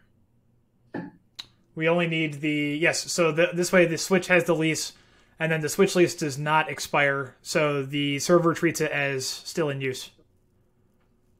Right? And, Yeah, then, so- and then the MacBook will try and request it. have an active lease in the database here, right?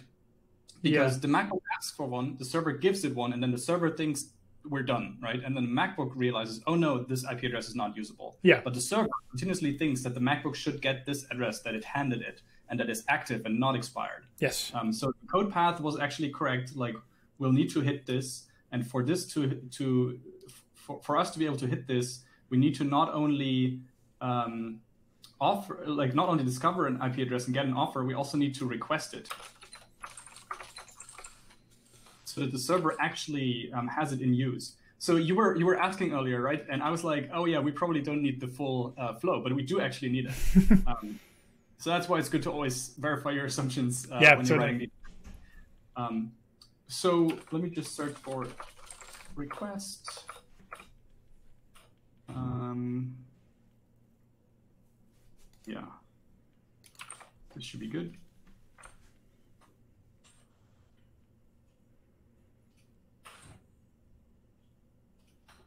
So So discover and then a request. you want to get an ACK. Oh, so the hmm. So would the the MacBook would send a request and then a decline. It would not skip from dis- discover to decline. Exactly. Oh, okay. I see. I wasn't sure how the decline flow worked. I see. Uh, line 552. Okay, you got it. Okay, what's it saying now? Oh, sorry. Uh, something about syntax error. Uh, we're good. Okay. Uh, leases hardware equals 21. Yeah, this this I think is exactly what we want, right? So let's I believe so, um, yes. Yeah, now it goes into the leases HW, um, and it says, oh yeah, you should just get the same IP address again. Yeah. So Yes. now we have failing the precise way that we want it to fail. Precisely. Because the server still believes that it belongs to the MacBook, or the server thinks the MacBook can take it. Yeah. Yeah. So this to do is where we are now. Um, change request not actually request an address. We have done this with the net.IPv4zero. Uh, this log line can go. Uh, so now I think the, the test is okay. Um, we can simplify this later by removing the switch, um, as people have noted on the chat. I'm going to add to do remove switch device entirely. Yeah. Actually, we should probably do this now, um, because now is the time when we have the test failing, and we know that it's failing legitimately, so to say. Yeah, that's true. Um, so switch grabs the same address. That's okay. If we just remove this, should still fail the same way. Yeah. Unexpected address 192.168. Uh, yeah, exactly. Right. Um, so we can remove the switch here. We can make this a little bit simpler. Just um, Yeah, we can actually remove the whole map uh, shortly, but exactly. Yep.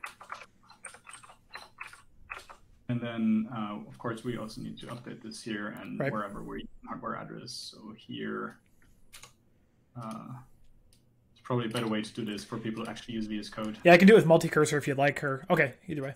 Yeah, but there's just one left, so Yep, no problem.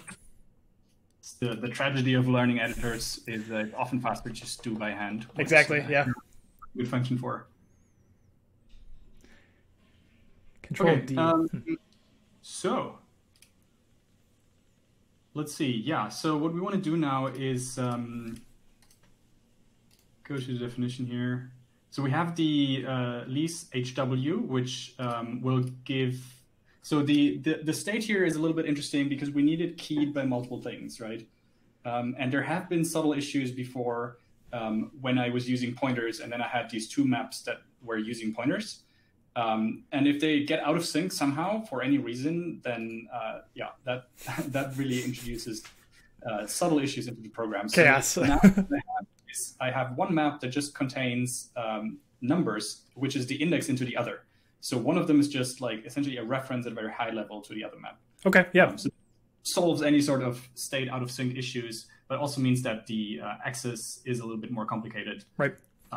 But yeah, not not too bad. Um, so let's see. Um, I think what we want to do is essentially there's like set leases. Let's look at how the DHCP server actually does it when you do a request. Sure. Um, so here is uh, where we persist a new lease. Um, and I think, I think what should actually be, um... okay, so I think it should be good enough if upon a DHCP decline, we just expire all of the leases that are assigned to the hardware address that the decline came from. That should be enough to make the code work because uh, in the offer code path here, um, you can see that it not only checks the lease's hardware, but it also checks if the lease is expired. Mhm. And the problem here is that the MacBook uh, lease is still active, Right. actually, even though it's not usable. So if it expires quickly upon DHCP decline, um, that should be a way to trigger a new IP address to uh, to be put out. Right. So the client's telling us for whatever condition it find for whatever reason it finds this unsatisfactory. So for the time being, we return it to the pool. We don't put it in like a temporary like uh, blacklist. Uh, correct. Yeah. Yeah. Right. No blacklisting. Um, I think it is good enough to just say, okay, if, if you say you're unhappy, we're going to give up all of our state for you, and you'll start over. Yep. Uh, which will result in a new random IP address. Yep. Sounds good to me. Cool. Um, so what we're going to do here is um, we're going to do the copy this here. Um, lease hardware, and if that is actually we're to make the other way around. Uh, if there is no state, we're just going to return because there's nothing to update. Yeah. So if you decline, but there was no state, we don't care. Like it just means that nothing. It's no op. Actually. Um, oh, and that should actually go. Well, we're going to leave it here for now. We can find a better place for it later. Um, so, if we go in here, what we want to do, I think, is the. Um, so what we get is the lease, and I think in the lease, yeah, we have the num, and that is like the index um, for leases IP, and leases HW is just a reference, so we don't even need to update leases HW. In fact, the lease that we get is already a pointer, so I think we can just directly change its expiration, um, change the expiry here. Right within the map. Yeah. Um, so, let's see real quick. So I think we need to do this strictly speaking under mutex because we can't just you know uh, can't just change uh, a field here Yeah. without protection. Right. Uh, we're gonna need to introduce like a little helper here, um, and that's probably also a good actually. Okay. Oh, you want to factor out this uh, lease manipulation Yeah, code? this is a good place for you in a second to uh, make VS Code really shine and show me how to factor this out perfectly. uh, yeah, we'll, we'll we'll see about that part, but All right. Um, so expiry, we can just say time.now, right?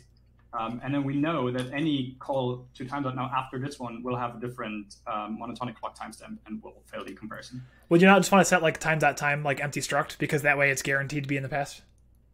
We could, but this way you also know when the expiration happened, right? Like if you're going to look at the state database, you're going to see, oh, up until here is when it was valid, and then you can cross correlate that with the DHCP decline packet that you might see in your capture. I see. Okay. Okay, so I think now we're at the stage where I would want this code in a separate function. Right. Is there like a refactoring thing that you know of in VS Code? Uh, so I can just I don't know. I would just type it out with a little snippet here probably. So Uh-huh. what's the type here? So the type is the handler. Uh, yeah. So h handler uh, exported, and then this would be oh expire lease or Yeah, yeah, why not? and would this Um, require the lock to be called? Yeah, uh, let, let's say expire lease for now, um, and the parameter that it should get is the hardware address, Um, HW address. that's okay. That's the convention you like. Sure. Exactly. Yep. So yeah, I don't have any fancy refactoring other than that, but we can just copy and paste that code in there. so now, would this be so? Would this code want to invoke the lock itself, or would it require the caller to have the lock beforehand? This should do it itself, I think. I think we- I think it's probably cleaner to get the locks out of the handler itself if we can. Exactly. Yeah. Um, so let me just uh, cut this here, paste it here. Yep. Uh, and then here we're just going to say expire lease HW adder, which I think is in scope from earlier. Should this return anything? Like, do we care about this returning perhaps the expiration time that was set, or No, I don't think so. Um, what we do want to have is um, uh, what we do want to have is a little debug message here, though. Um, Yep. Right. This is like strictly speaking a little layering violation, right? Because we have the DHCP decline in here. That's what I was going to ask. Yeah. So if we factor this out, I assume we're going to use it in more than one place, right? Yeah, why don't we actually use a little boolean here, which just returns whether it did expire something. Then Yep. we can make reactive.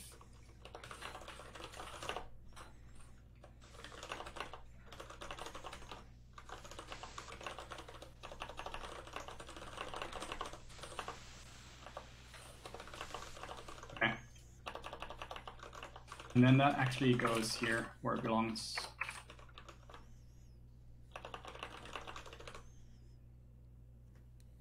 Yep. Yeah, cool. Um, so how's our test doing? Uh, let's see here. Uh, I've run it a little bit. Oh, looks like it hung for a while. Okay, there we go. So syntax Oh, error is 357. So HW error. Where's that coming to scope? Is that from the packet? It might be that it's not actually in scope. Let me see. Right. So it's coming Or, from. or- oh no, it is in scope, but it is a string. Should it be a string? Wait, what's the error message? Cannot use HR type string. Yeah. Oh, So- um, yeah, I think this is just. Oh, it is a string. It's not a Mac. Right. Okay. Yep. Yeah, yeah, you'll need to change that. Indeed. Uh, okay. Uh, looks like right now the test is hung. So if I sig quit and Is it, is it really hung or is it passing? uh, no, it was hung for five seconds. Okay. So I know these tests take less than a second to run, right? So let's see here. Yeah. Oh, is it? Do we have an issue here with our leases? Uh, with our um? Oh, I think Locks. Did we lock in multiple places? double lock. Um, Yes. Because lease HW also returns this. So This would be at least We'll HW locked to- now, or we'll need to copy this um, or refactor it so that lease HW can be called underlock. Uh, has like a little helper, but this Correct. is not much. So what we can just do here is um, we just inline this essentially, right? And then we say to do. um, if this is not okay, return false as well. And if l dot hardware adder turns out to no longer be the hardware address, return false as well. And then that that is that should work. Okay. Um, let's see. Can you run tests again? Yep. I think it's actually working. Okay, test pass. Yeah. Okay. Uh, yeah. So going back to our test code now. Yeah. Yeah. Well, I think I think that is it. I think that is our fix. Yeah. Uh, MacBook sends a request, and it will get an address that is not equal to the one it had before. Exactly. Yep. Yep. Perfect. Yeah. Cool. Um, that should be it. Do you want to commit it? Uh, yeah, certainly. Do we care about testing any of these other cases? Not really. Um, oh, one thing that we do care about is um, running all the tests again. So if you could just Yes. do another make test. Yep, you got it.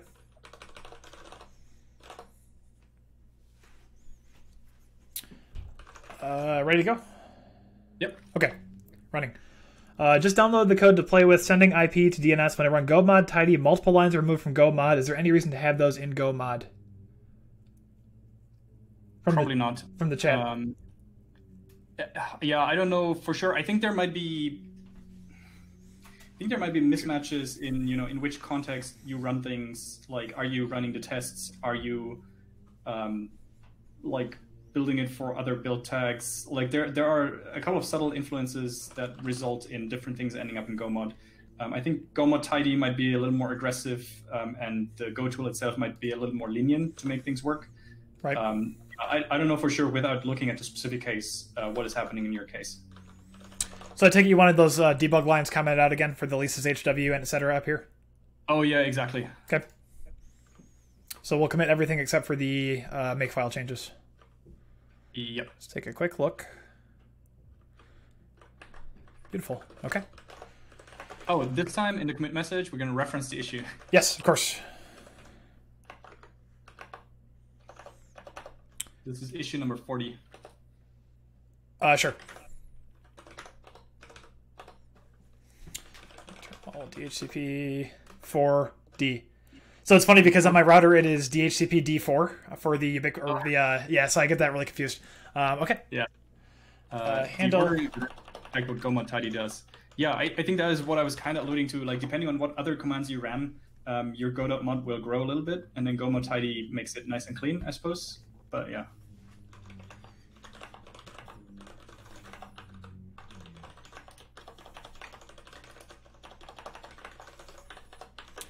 Fixes. Uh, what's the issue number? Sorry.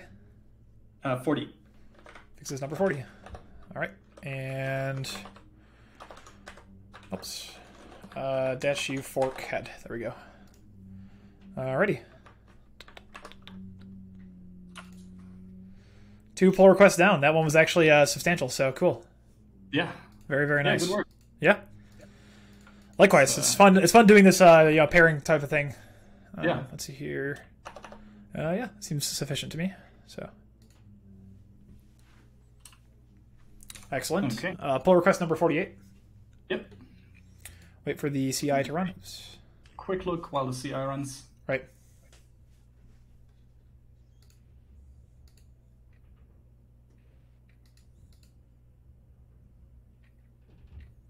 Yep. Looks like we didn't mess anything up in committing. Um, if the CI passes, then we should be good to merge. Yep. Sounds good. Okay. Very cool. Click on the. Uh, yeah. Any more questions from the chat or etc. I see we've got a we've got a good number of folks following along. Thank you for joining us today. Appreciate it. Uh, what keyboard do I use? I also use the Kinesis Advantage, but I use the Advantage2. So it is a nice split ergonomic keyboard, very fun. It's the kind of thing where you will never really, uh, you think you'll never get used to it. It takes a couple of weeks, but it is well worth the trouble. So, where is it? Yeah, maybe if somebody could post this into both of the chats um, so that it's here again. The just a link to my latest blog post. Ta-da! Yep. Spec, yeah, nice. Uh, that should be a thing for the Uh, blog. specs. I think Taryn, yeah, Taryn edited that command in my channel. Sweet. Specs. Um, can you make specs also print the link to my post as well, in case people are curious? Uh, yeah. Uh, let's see here. So, is that commands edit, Taryn? Um, I don't actually remember. I can pull up Nightbot manually, but perhaps you'll be faster than me.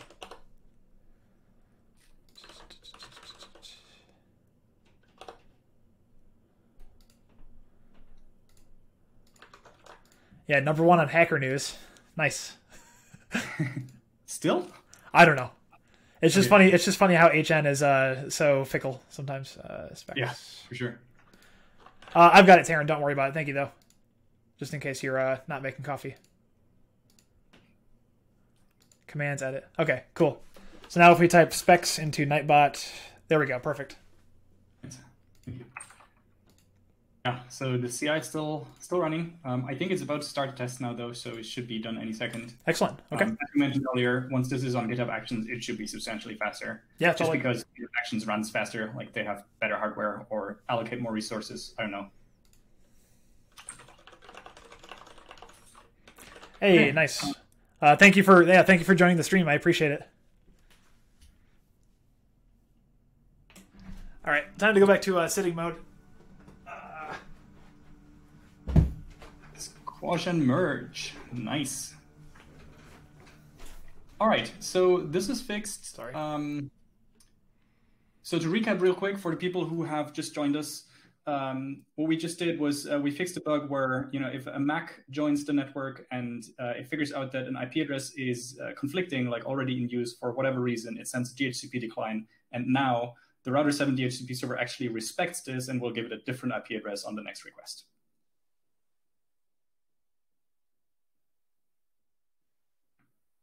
Yep. No, the the person's correct. Um, the uh, Kinesis comes by default with the brown cherry MX key switches. Cool. Yeah, I was gonna say they don't sound loud enough to be blues, but I couldn't remember if they were reds or browns. But Yeah. Okay, cool. Um, so let's go back. Um, we are churning through these. So now we only have the native DynDNS support and the uh, blocking incoming IPv6 left. I think uh, DynDNS would be worth tackling Yeah, yeah. because Um, the uh, the NF table stuff might take us a good amount of time and potentially some splunking. Yeah, you wanted to do three hours, I think, roughly. Uh, so I think this this fits well. The uh, blocking might be uh, a little bit too involved now. Yeah, totally. Cool. Um, I wonder if there's a way to use your viewers in a stream like this, right? Some GitHub project with PRs. Yeah, yeah, maybe. Um, Maybe uh, it it might be hard to get all of the viewers up to speed on you know the the minimum requirements for contributing to any project really though. But if you wanted to do it in like sort of a uh, multi multi stream thing where you know the first stream is uh, get to grips with the project, set up everything up, uh, and the next one is actually tackling some smaller issues, I think that could work. Mhm. Okay. Um, so um, yeah, this is this is relatively easy to do and relatively easy to test, um, and we can actually have this uh, live largely, you know, outside of of uh, of the Router Seven main repository. Like this could start out as a separate package, Yeah. um, and then you know eventually be moved in the correct place, whatever the correct place is, or we could decide we'll make it a proper subcommand um, in the Router Seven package to begin with. Um, either way is probably fine. Um, I don't think there's going to be too much too much uh, churn and too much change actually. So I don't think we necessarily need to start in a separate repository. Yeah, sounds So good. We're just, just going to develop it in the Router Seven repository for for uh, making it easier right now. Sure, sounds good. Uh, feel free to get the uh, folder structure going. I'm just taking a look at this libdns documentation really quick to see what the uh, what's going on here. Mhm. So you said you use uh, Cloudflare as your provider. Exactly. Okay, is there a provider for them already? Yep. There is a Cloudflare package here. Excellent. Um, one thing that I don't know is what the testing story is for libdns. Like if there's already a test helper package or something like this. Yeah, well, it looks like these are all interfaces, so it should be pretty easy. But I don't, yeah, I don't know for sure either. Yeah, libdns like the the main package is really just the interfaces. I think. Yes. And I don't see anything with test in its name. No, me either. There's actually uh, no tests in the Cloudflare stuff either. Oh yeah. That's okay. You know, project getting off the ground, but yeah. Yeah. Let's see if we can find anything that already imports it. Caddy TLS. Well, that's- not a big surprise. Yeah. Um, and Caddy Dynamic DNS. Let's see what Caddy Dynamic DNS does.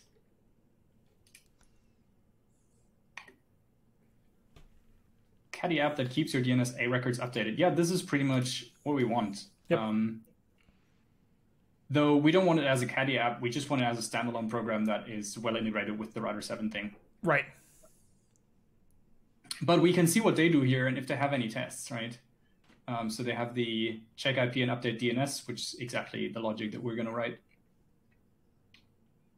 Uh, IP source, no tests either here. Oof. Yeah, okay. Um, so assume it just works. Yeah. Um, I mean, I take it. I take it that the Cloudflare package probably that's being imported here is doing a lot of the work. Uh, no, actually, okay, it's not. There is no Cloudflare package. It's all in here. Oh, okay. yeah. So I think the, the first step would actually be to like write a little test around this, right? Yeah. You know, it's kind of funny because like I, uh, I I tend to find that until I find kind of the, the shape of the API I'm looking for, that I have a hard time writing tests first. But it's interesting to see the way you work. You know. Yeah, yeah, for sure. Um, yeah, I mean, yeah, we'll we'll do it together and see what works, right? Sounds Um, good. I just want to have a test first um, because also, you know, if, if you write the test first, it also influences the way you write the API, right? Um, if you need That's it to be testable from the very beginning, then you can't make the mistake of having it not testable somehow. Right. Okay. Um, let's see. Uh, let me open up the file tree here. Um, so what we want to do is okay. So the the general structure, which you know um, you might be well familiar with, but I'm just going to explain it for the for the stream. Of course. Um, is we have this CMD subdirectory here, uh, which stands for command.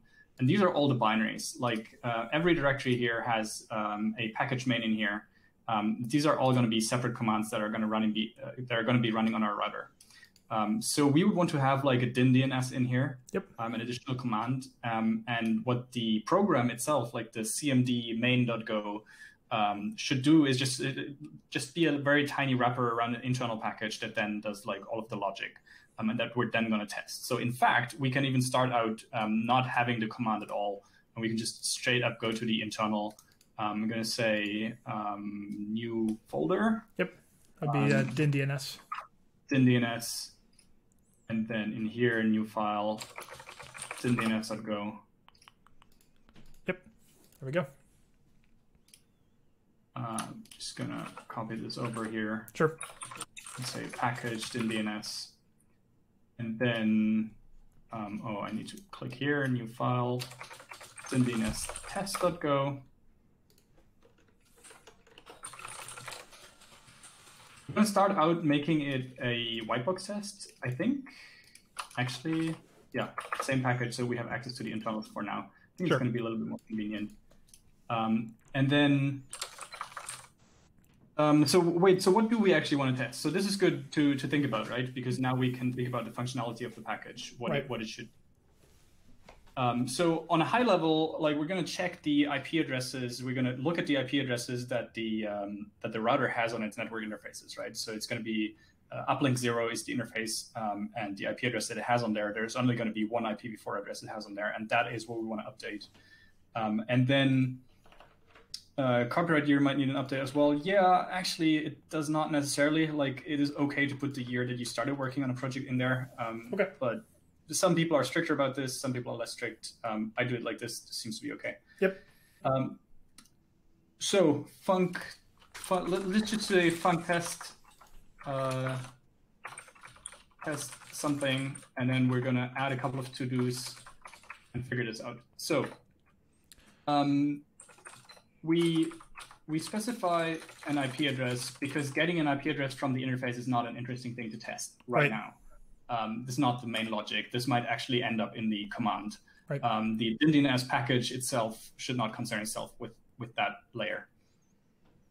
Um, so we specify an IP address. Um, we want to verify that it is being updated correctly. And that actually, I think this brings us to why this package doesn't already have like a test util. Um, because, you know, I think we almost might have to assume that it works, right? Because this is talking to, for example, Cloudflare. Um, and if their API misbehaves, like we can't tell. Right. So I think if we wanted to, for example, test that it sends a well-formed Cloudflare request, we would need to actually do this in the Cloudflare libDNS package. So this is not for us to test, right? Um, this is both not the right place and also like, yeah, it would be brittle. It wouldn't be worth it. So I think within Um, this package, we're going to be just using the libDNS interface types. Then your main would actually wire in the Cloudflare specific bits, right? Exactly. Um, so what we would test here is that the libDNS interface Right. is called with the correct parameters. Right. Um, yeah. So let's let's um, verify that libDNS is called correctly.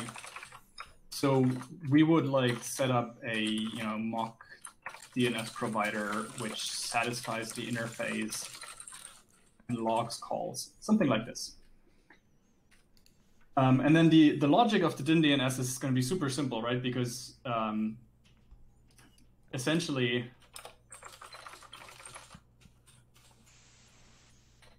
um, there's probably going to be like a provider of sorts. The interface will need to figure out which one it is.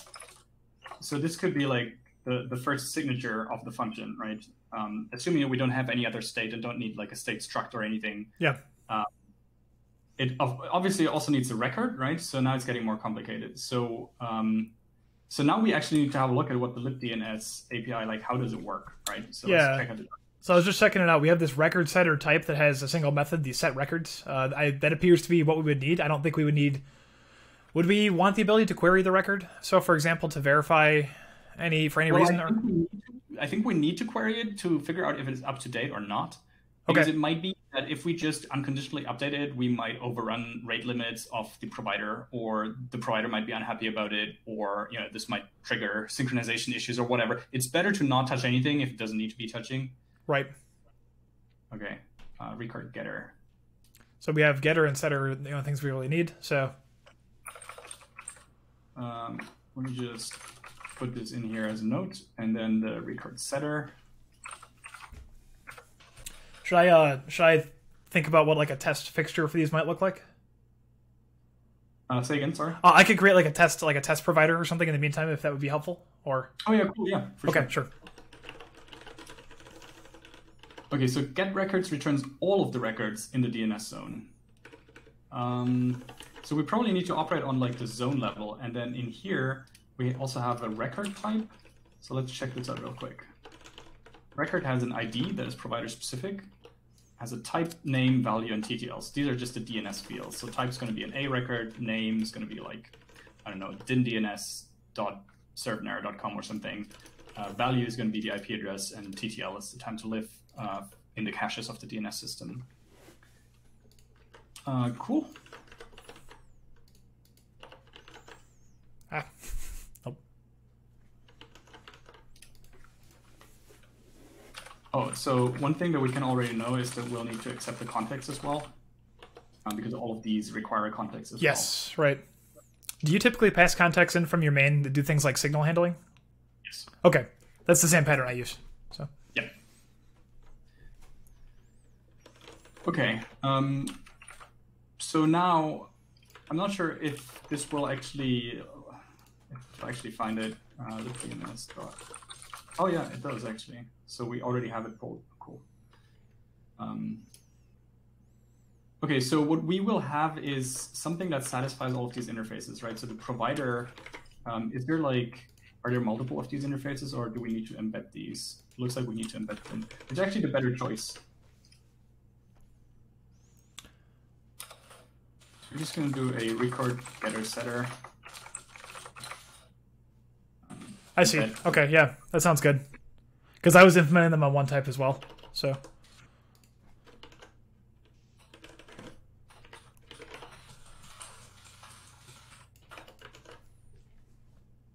Um, how will the IP change be captured?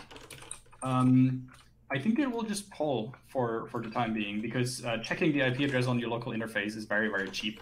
Um, so you can just do that every minute or so, um, and then just do something if the state on the server end changes. Um, in addition to this, on router 7, there are actually signals uh, for notification. So, for example, the netconfig has like a list of processes that it should notify whenever the network configuration changes.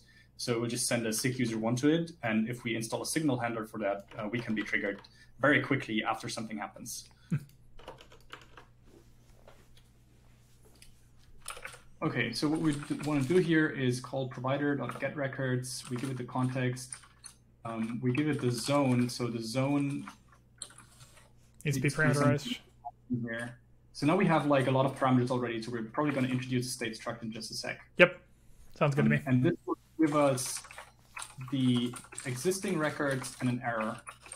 So if we get an error, we'll just return it for now.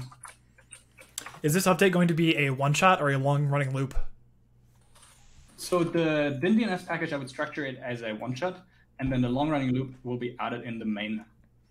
Okay, sure. And because that makes it so much easier to test, right? Yeah, I can see I can see arguments for both approaches. Like sometimes if you want to handle things like back off and retry, it's easier to put it in the package. But alternatively, if you just want to do something very simple every ten minutes or something, then this is the easy way. Yeah. Okay, and then we have set records, which will also take a zone, and then just the records. Um, so these would probably only be the ones that we actually want to have updated. Um, let's double check by reading the description here. Yep. Updates to zones so that records described in the input are reflected in the output. May create or overwrite records, or depending on the record type, delete records. Oh, um, to maintain parity with the input. Oh. Oh.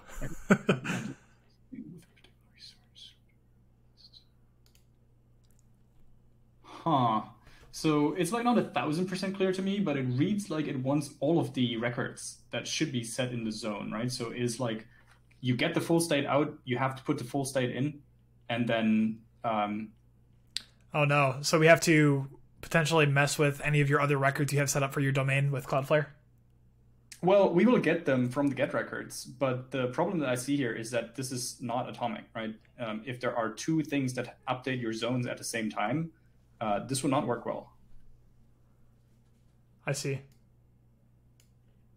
I mean, it's probably fine for, for this particular use case, but it's not like a great design, I think. Um, however, it might be that this is a necessary compromise, right? Uh, it might be that many of the providers don't actually support uh, more finely granular updates. Yeah. Um, it's just a Sublime color scheme. I think that is the VS Code default color scheme. Yeah, it is. It is on yours. Yeah. I've got um, mine changed slightly, but yours is. That's true. It says it wants to reflect the input in the output. Yes.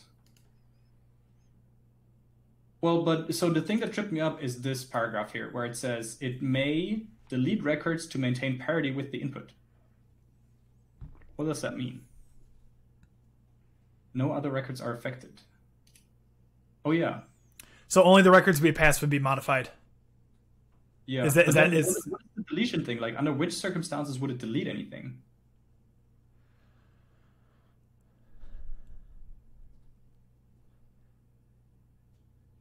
That's a good point because if you pass a record that's not in there, it would just assume I would assume that the provider would ignore it Exactly. or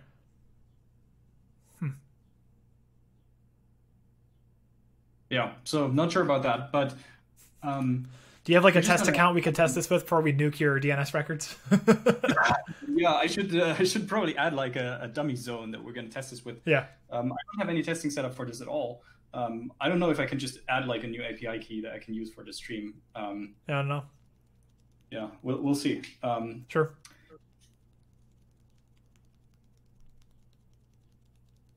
yeah. Okay. Um, so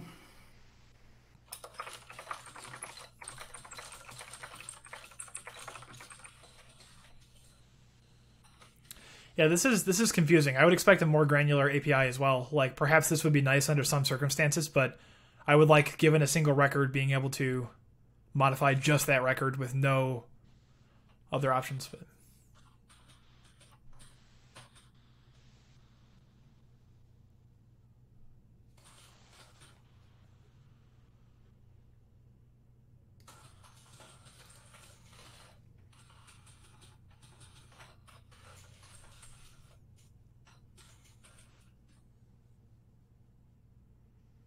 okay. Um, I can do updated an alias for existing for now. We're going to change it later, Mhm. and then the new records.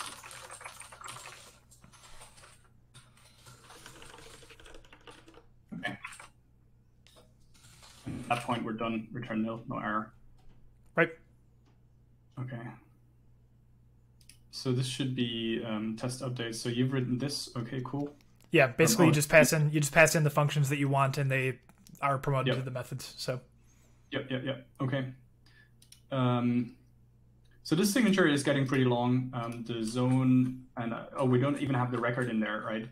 Um, so yeah, we'll we'll need to definitely refactor this, but I think we're just going to go with it and just uh, refactor it once we know better how the API actually works. right. So just going to do a context of background here. Um, in fact, do a context with cancel, defer to cancellation, so that if anything keeps running um, after the test finishes, it will be shut down cleanly here. Yes. Not that it's important in this particular case, but it's nice to get in the habit of doing it. So we're assuming here that the provider will handle the context appropriately. Yes, um, that is actually a documented fact um, in the uh, record getter. Implementations must honor context cancellation and be safe for concurrent use. I And see. This is a blurb that you can find in all of these interfaces. I see. Do we need to worry about that for our tests? Or I mean, we're not going to be testing this concurrently, are we? No. Okay. Um, so the zone. Um, I don't know, something like this. This is not going to be a zone though. Um, I think we'll need to like, like it would need to be an actual domain, right? We I think so, like a top level top level zone, yeah. I suppose what we could do is uh, we could use an IPv6. Um, what's it called? The reverse lookup zones. Um, Uh Because pointer pointer record? Yeah, exactly. Um, because I think I have one delegated for my slash 48. So if I just Oh, one nice. slash 64, that might work. Yeah.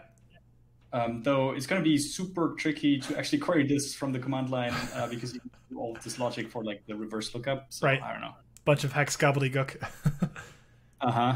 It looks like the implementation update slash create records and do not delete any, but I think the docs need an update. Yeah, yeah, it sounds like. Yeah, I I mean, would it agree. certainly all of us, and nobody on the stream, uh, on, the, on the chat, could also give like an, a clear, authoritative answer. So I think yes, at the very least, the docs need updating.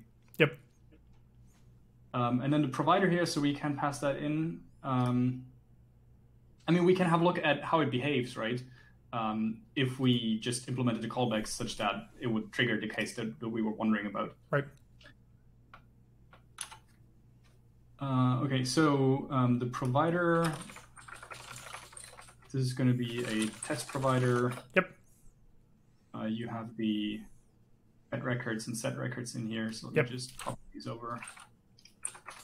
This is a func. Uh, okay.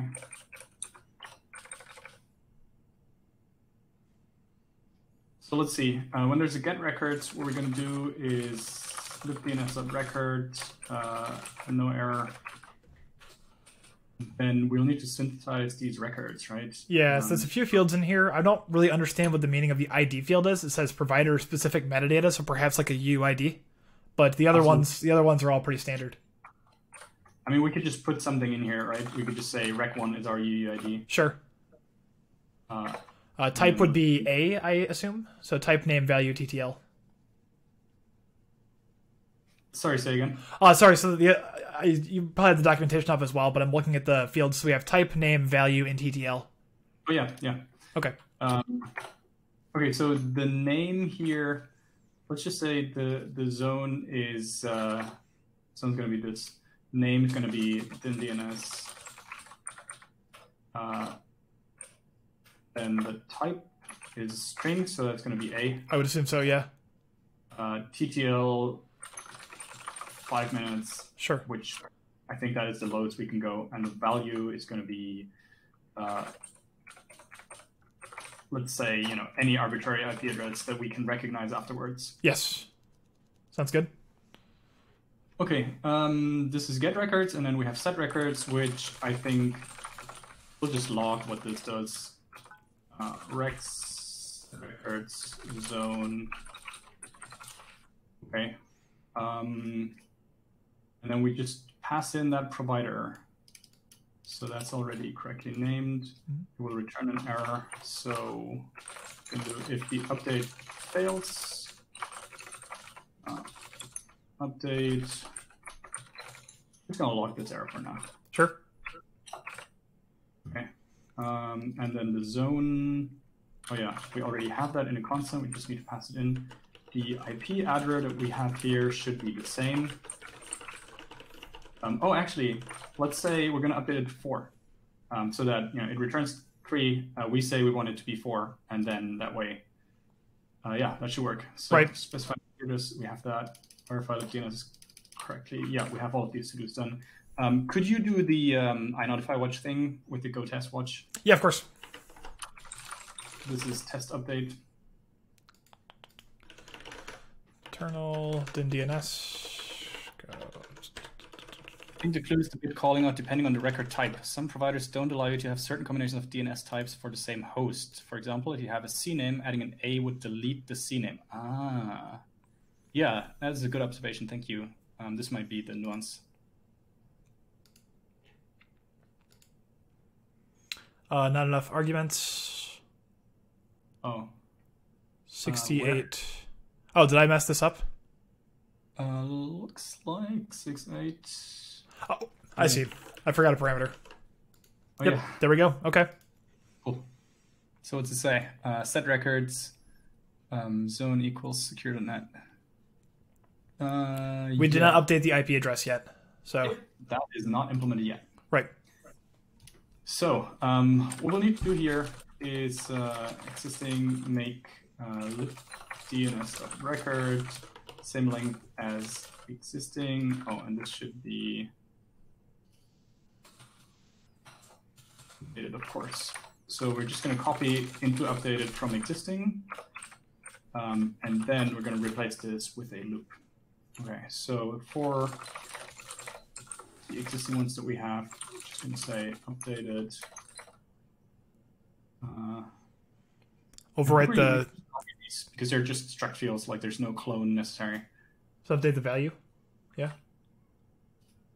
Yeah, and I think this is going to be yeah. So this is not a pointer type. So this is going to be a struct copy. So we are actually able to just say uh, rec.value equals IP header if we locate the correct record. Yes. Continue if this is not the desired record.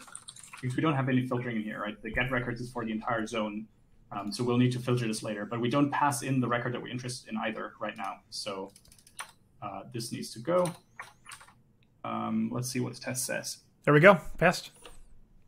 Uh, yeah, I mean, yeah, it, it passes because it only logs, right? But what we can see is the uh, 127.004. Right, that's what I meant. Right, yeah. Being updated. Um, so that's good. Um, what we can now test is uh, the scenario that we were uh, confused about earlier, right? So what happens if we do uh, unrelated? Yep. And we're going to say it modifies both. If the record dot name is not equals, then DNS secure net. Continue.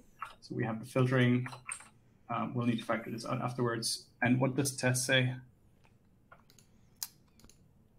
Um, we're only we're not we're not Oh. putting we need to put the the record back into the uh the slice Yeah, for setting need- right Update it. Um, so let's make this like so for simplicity. So the unrelated is still in there, unmodified. Um, no, I actually can't read this. Can you scroll a little bit? Like Yep. add a couple lines? Yep. Yeah, okay. Yeah, so unrelated is in there with the correct IP address. The other one is updated. That is good. API tokens are scopable to zones. LibDNS even recommends it. Uh, for Cloudflare. okay. That is Yeah, I, I don't know for sure what that is in reference to, but um, yeah, scoping the API token to a zone, definitely a good idea. Um, oh yeah, if I did that and added a zone that we don't care about, um, we can verify the test- behaviors. but I don't think I can easily add a zone. That was the problem, right? Because I don't have a domain lying around that I don't need to use. Right.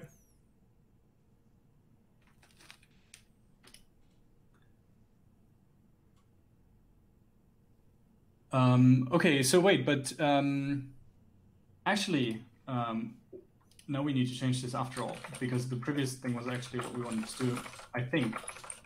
Because now we, so we currently get the set records uh, in our callback for all of the records, right? But what we wanted is um, to only add it if it needs to be modified, so that um, I declare but not used. Yeah, for sure. Yep. So now we're only Yeah, so passing in. now the record should only contain the one that we care about. Um, It's only contain the un, it's only contains the uh, unrelated right now. I think we inverted the logic there. Oops. Yeah, you're right. Yeah. Is that better? Yeah. Yes. Yeah, it was just hidden behind your camera. So sorry. Oh yeah, yeah. That's the problem with the camera in this spot. But hmm Uh, yeah. So this is test update. Um, we could add another test that verifies that uh, if there's nothing to update, no set like the set records call is either skipped invoked. entirely, um, or at least with like a len of rex of zero. right. Um, I don't know if it's better to skip it entirely. Maybe um, I don't know if the providers have tested their code under the assumption that you give them an, an empty rex slice. I think it's probably best to skip it entirely just to save the network round trip, honestly. But and the API call in case your limits are low and you're we know our IP address is uh, v4? Depending on the answer, we also need to check type A or AAA. Uh, that is correct. Um, yeah, the IP address is v4 only here because for IPv6, um, it is more common to have a static network.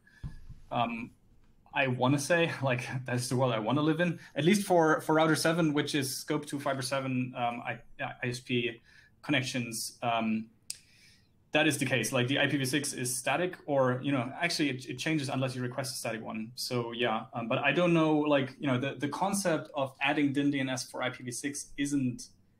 It's not so easy, right? Because uh, the problem is that uh, you have an entire network that has that has been updated, right? So you would essentially need to like renumber all of these um, addresses that are within the network, Right. which is like considerably more complex than just having a single IPv4 DynDNS record. So I think for this stream, at least, we're going to start with IPv4 only, and then later on, if there is a need to actually update this, um, you know, if there are people who want to have an updated record but not a static address for some reason, which you know is, is a combination that doesn't appeal to me, but we can always add it later. Yeah, it's unfortunate. So when I swapped my uh, modem out, actually, Charter gave me a new slash 56, so I had to renumber my DNS records, which was annoying. So I guess Yeah. the solution there would be to give a prefix length, lop off that length, and then put in a new one. But it's uh, it doesn't need to happen today, of course. Yeah. Um, can you not also get a static IPv6 net? Uh, no, I'm on the residential plan, so Okay. it's uh, it's pretty silly. Like I, I thought it was static because it had not changed in a very long time, but it turns out it is. So Yeah. What jobs are configured in your CI/CD? Um, essentially, make test. Um, I don't think it's much more. We can open it up real quick. Let me just uh, finish the thought in this to do here. Um, add a test to verify set records is not called when no updates are necessary. I'm gonna grab water one more time. I'll be back. Yep. Okay, so this is the .travis.yaml. Um, so you can see that it has a couple of things. It checks whether the files are syntactically correct, so whether they can be parsed by gofmt. Then it checks whether there would be any changes if you do a gofmt. So it checks that the formatting of the files is correct. Um, it does a go vet. Um, currently, we ignore the result of the go vet because there are still a couple of vet errors. I think no, I think actually um, Matt might have fixed them in his last uh, stream where he was working on Router Seven. So maybe we can actually enable this now. That would be cool. Um, then we um, the, Travis containers that we're running and have IPv6 disabled by default. So we're turning that off and we enable IPv6. Then we're going to build all of the code. We're going to uh, do a Go test with the race detector enabled in all of the internal tests and then uh, we start the Docker build so that we get like the full environment uh, in which we can actually run our um, make test like integration tests, um, which is what is happening here. They're being run under Docker um, dash v, so we get the verbose output. Yeah, that is that is all we have. Um, yeah, as I mentioned earlier, we should move this to GitHub Actions at some point, but for now it is on Travis. Does that answer the question, or uh, do you want like a different nuance or detail here?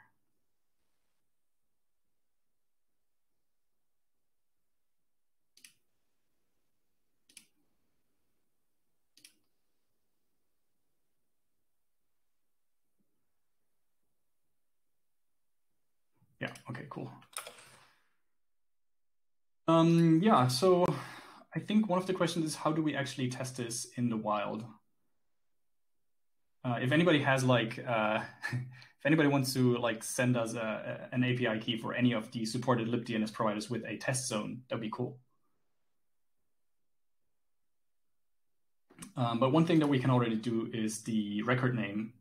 Uh, so zone string record name and IP address. So we're just going to say record value instead of IP address.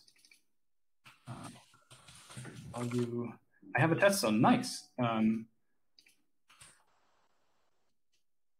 I don't know how to best send it to Matt, but maybe you already know.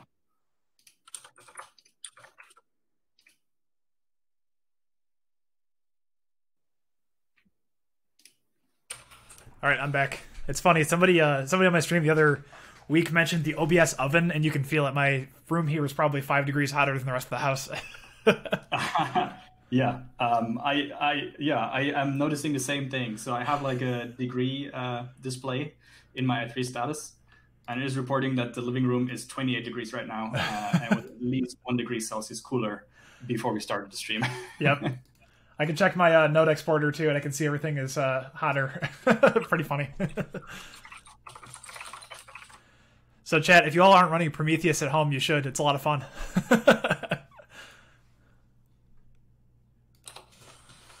okay, so I have in the meantime changed update to actually also take the record name um, and yes. rename IP address record value.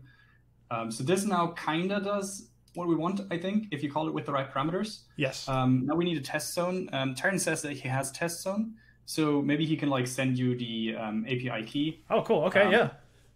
I, I don't know for sure how we would actually like configure it, but I think at this point what we want is actually the the command uh, uh, folder um, with the binary, so we can actually run this interactively on the terminal and maybe you know set some environment variables that contain the API key that we then just pick up in our code, so we don't need to share the key on screen. Yes, sounds good. Uh, Taryn, if you want to send that to me in a DM or something, I can put that on. Uh, I can put that into my environment.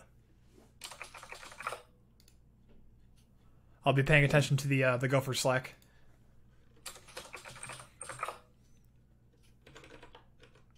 Okay. Copy this, paste here. Cool. Thank you. I appreciate it. binary bin DNS um, updates configured DNS records the current public IPv4 address network interface zero. Um, how do I actually wrap comments in VS Code? Is that a thing? Oh, I always just do it manually. I'm sure there's probably a smarter way. Okay. Uh, let's do it like this then for now. Okay, so we should have a func main here. Um, um, what we're gonna do is, I always start out with like just a logic function, uh, log.fatal Yep. error, then do func logic. Um, and so now that, you know, if we just return an error out of here, it will be logged and we don't need to add these log statements here so that we can easily refactor whatever this does. And, you know, refactor this either way, like split stuff out or put stuff in, etc. Right. As soon as you start having like multiple fatal Fs, it gets easy to leave one in in a spot it doesn't belong. Exactly. So that's why I get into the habit of only ever having one. Um, and then, you know, everything else is just like properly handled. I like the same idea, and also if you have to use something like uh, standard error or standard in, uh, you can actually pass them as readers and writers, and then parameterize that in tests. But yeah, just quite um, nice. yeah, I have done this before as well. Um, so if we do din update, so we can now see it pulled in the uh, import for the package that we just started. Right. Um, we can now see we need a context, we need a zone, we need a record name, we need a record value. Oh, the IP address is still in there. That should be removed. Um, and then we need a provider. Um, okay, and we're just gonna do like this is current. So currently, this is just the uh, it's just the one-shot version, no looping going on. Right. Actually, so let me go in here. I'm gonna find the Cloudflare provider and uh, get the uh, get that initialized. Uh, one sec. It's in the DNS test. Uh. Why did this not complain actually though? Did you not run the tests when I re- did this refactoring? Oh no, sorry. I uh, I was uh, doing something else. I can start that up though. Cool. Uh, one moment. Internal DNS. Here we go. Use rewrap to wrap comments. Cool. Okay. Um, I had hoped that you know probably VS Code has a function for this, right? Um, every other editor I've used has a function to wrap lines. Oh, okay. So it's an extension. Cool. Okay. Thank you for sharing that. I will. Uh, I'll check that out. Okay. Do we need it both if we're sharing? I suppose I need to install it too. Oh, I don't know. I mean, I, it might require re- like restarting VS Code, so I was just gonna leave it alone for this stream. I don't Oh, think. yeah, I don't think it's worth it at this point. yeah, I'm not going to do that either. Okay. um, okay, so um, this at least tests. So what we can do here now is, um, yeah, okay, cool. So let's see what we're going to do first. Um, Okay. I think at this point what we want is a couple of things should be flags, like the zone. I'm just going to add to do for like all the help text because we can write them later. Right. And we're going to do flag dot parts here, and then pass in the zone like this, and pass in the record name.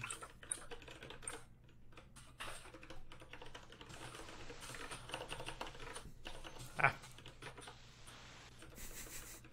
I can't spell get in to save my life here.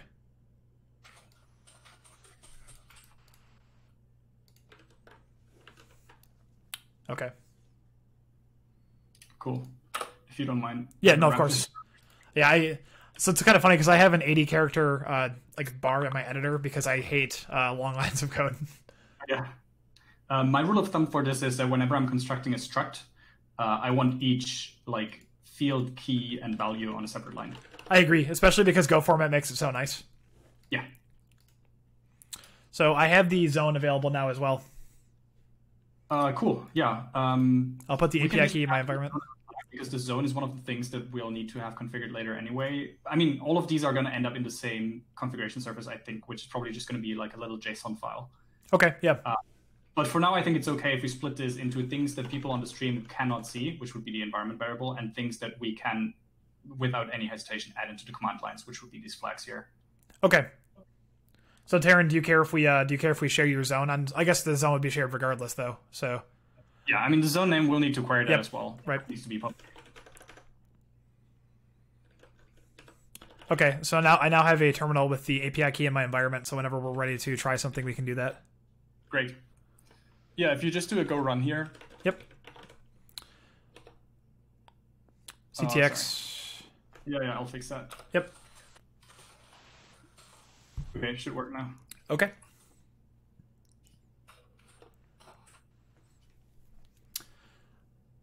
Uh, I think that yeah, I think we need to specify the zone as well. So if I run it with the zone Yes. Taryn gave me, Um, yeah, yeah, we definitely need to add both uh, the zone and the dash record flag.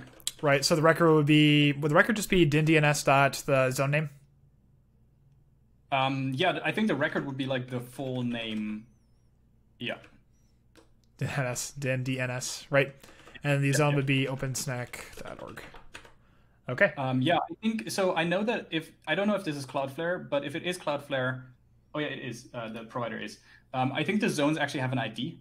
I don't know if we can use the name here, or if we're going to need to use the ID. Okay. It's a string at the Um, moment, so I was assuming just the name, but we can we can find out, right? Yeah. Uh, oh, is this one of those things where I need to do like? There we go. Yeah, or just add the file name. Right. Okay, so I think Taryn mentioned on the chat that the permissions listed in libdns readme don't work, so they're trying to figure out. To. Thank you. We appreciate it. yeah. live uh, live debugging. it's kind of funny how you, you do these things and like you think it's just going to work no problem, and it, there's always some uh, some abstraction in the way of like ACLs. yeah, I mean ACLs are in general the the stumbling block number one in many environments, right? That's very true. Yeah. Uh, One more time. So that is yeah. Don't have permission to list zones. Okay. You're gonna get a new water while you guys figure this out. Uh yeah, go for it.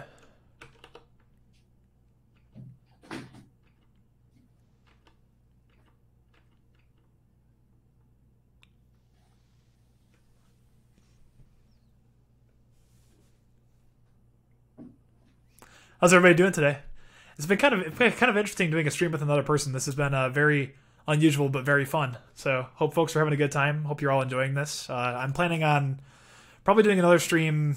I think probably not tomorrow, probably Monday. It's a holiday here in the U.S. I will probably do a stream as well. But thank you all for hanging out. We appreciate it.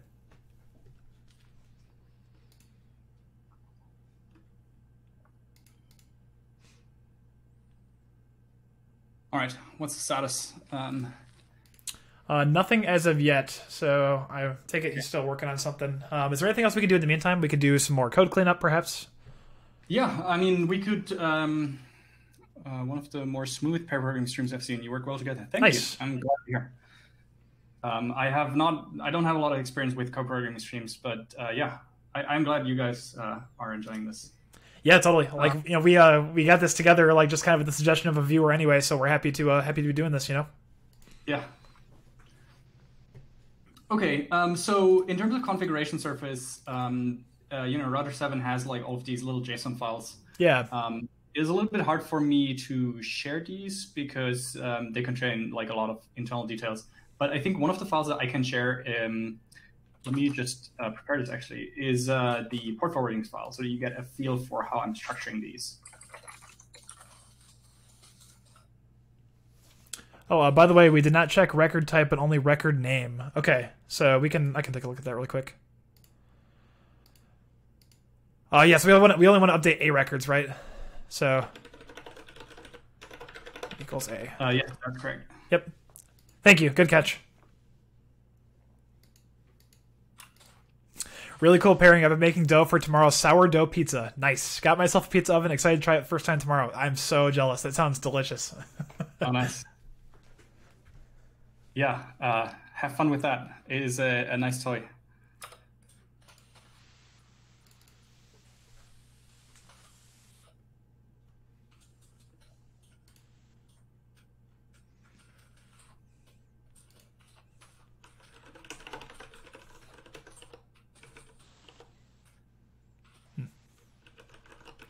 For a moment here, I was concerned this error was dumping the API key, but this is something totally different. So that's that's good.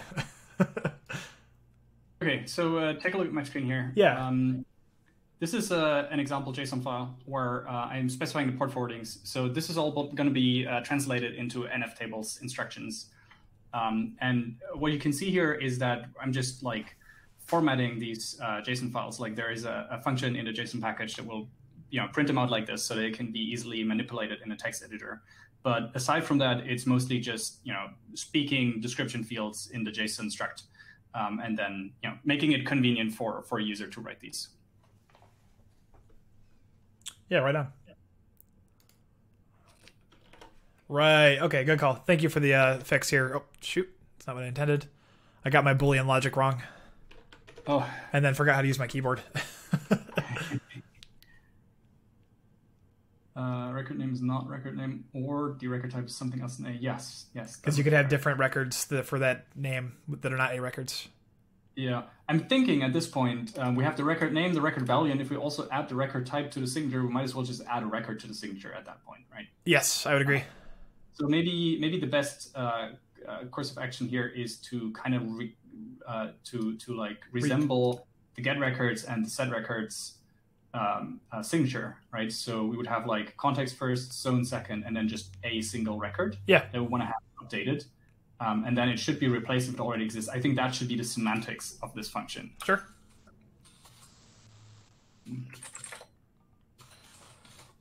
Record should be updated specify so. Okay, and then we're actually going to make it take the record. Um, this would be this just be record. Just be libdns record.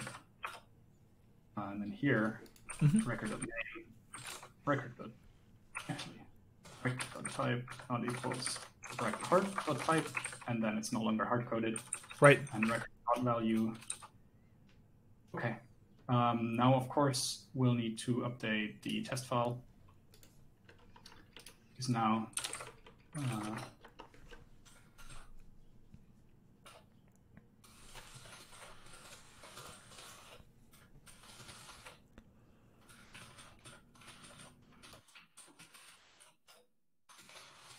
type a value 127004. Uh, one thing, yeah, the, the time, the TTL, uh, we currently hard coded, so that's that's that'll need to be configurable too, but that will happen on the JSON layer. Mhm. Uh, so in here, it should work. We need to Uh, pass it the record directly to update. Uh, so it's, Oh. it's named update, but the yeah, there you go. Oh, oops, yeah, that should be it. I use zone as type string argument to get records in 32 Parameter Oh, order. Uh, zone. Oh, zone should still be a string, right? Yep, it is. Okay. Yeah. Uh, no, it was it was it was taking over the type of libdns record because there was no parameter type uh, listed behind it. Okay. We're fixed now. Uh, just update this real quick. So, Yep, go for it. so this is where we now hardcode the type for now, Yes. and also the IP address, and we'll need to get this.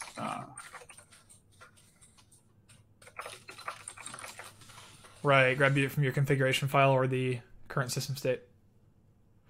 Is this something you would grab from like a configuration file, or like how does Router Seven handle this? yeah, exactly. Um, Okay. So the file that I just showed you, like uh, the port forwarding.json, Yeah. is on router 7 canonically it will be in slash perm slash port forwarding.json for the permanent data partition uh, so that's where all of the config files are uh, some of them have subdirectories like for example uh, the dhcp4d has a leases.json in the subdirectory for its state I see. um, so in DNS, I think it might just be perm dns.json because it's a small program. There's not a need for multiple configuration files. Um, so that's where I would start out. right.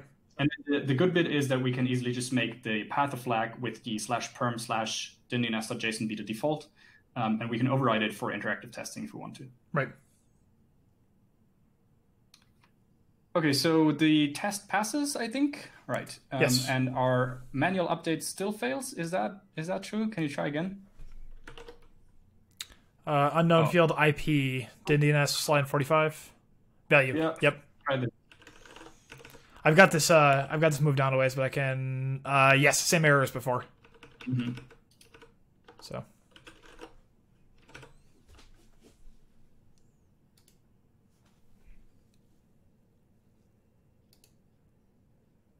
Cool. Um, one thing we can do in the meantime is, um, I think.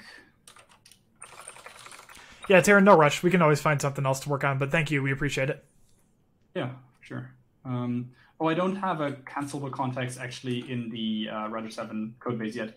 Um, don't necessarily need one either um, because there's not anything to clean up here in this program. So the, the cancellation, like the control C that you do to cancel the, the process, it doesn't need to know about it because it doesn't need to do cleanup. Yeah, all it would do is possibly cancel an in-flight HTTP request. So Yeah. for this particular thing, there's nothing really fancy going on. Yeah, exactly. So yeah, we can punt that to later Yep. when we actually.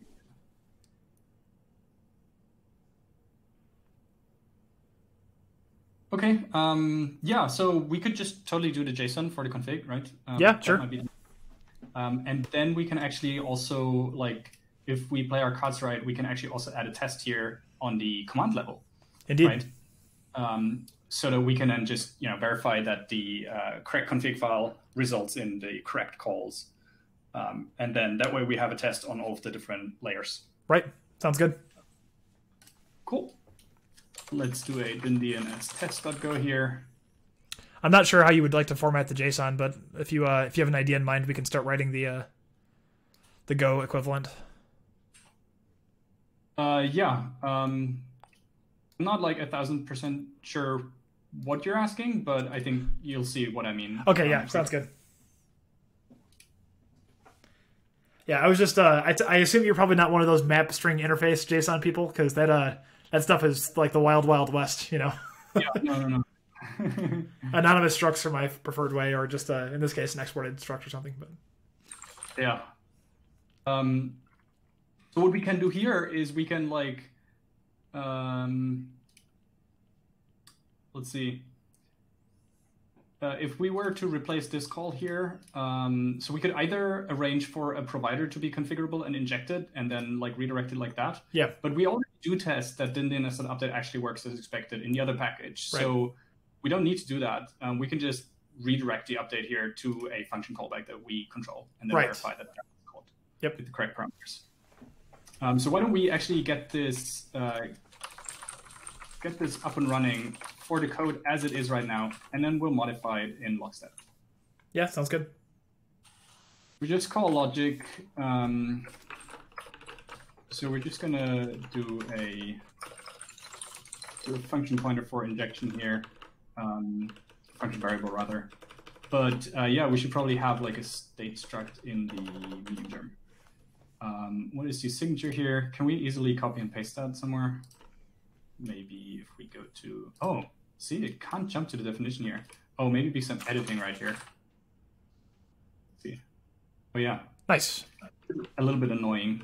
I can't do that. Yeah, if it's like a compilation error, yeah, that's a, a nuisance for sure. Yeah. Oh, and then this jump as well. It's a little bit hard to navigate with all of these tabs um, and the little screen space. Okay, um, this is a funk. Oh, actually, I don't think we need this. Uh, I don't think we need the specific type because we can just do it like this. Yep. And then we'll just place this in the test. Yep. We're gonna say update. Oh, but we need it here now. okay. So this is a get the context zone record and provider. Shadowed. In fact, the uh, provider will ignore.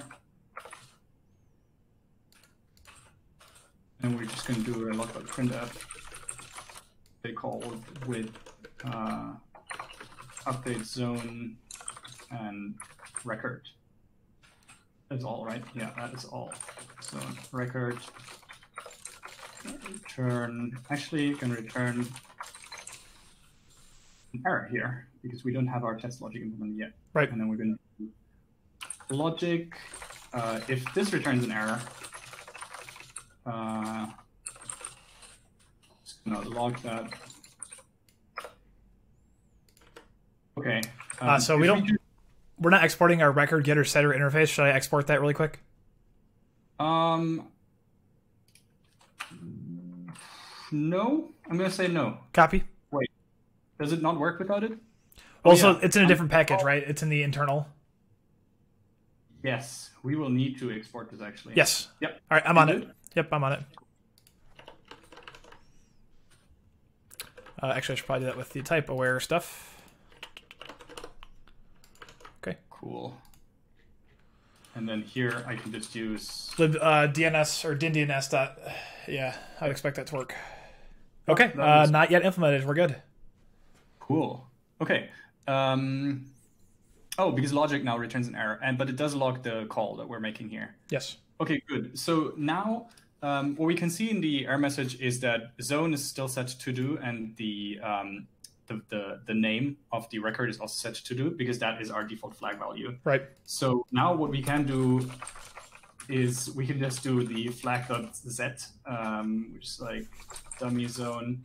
Um, so you like work? you like the flag setting stuff? No.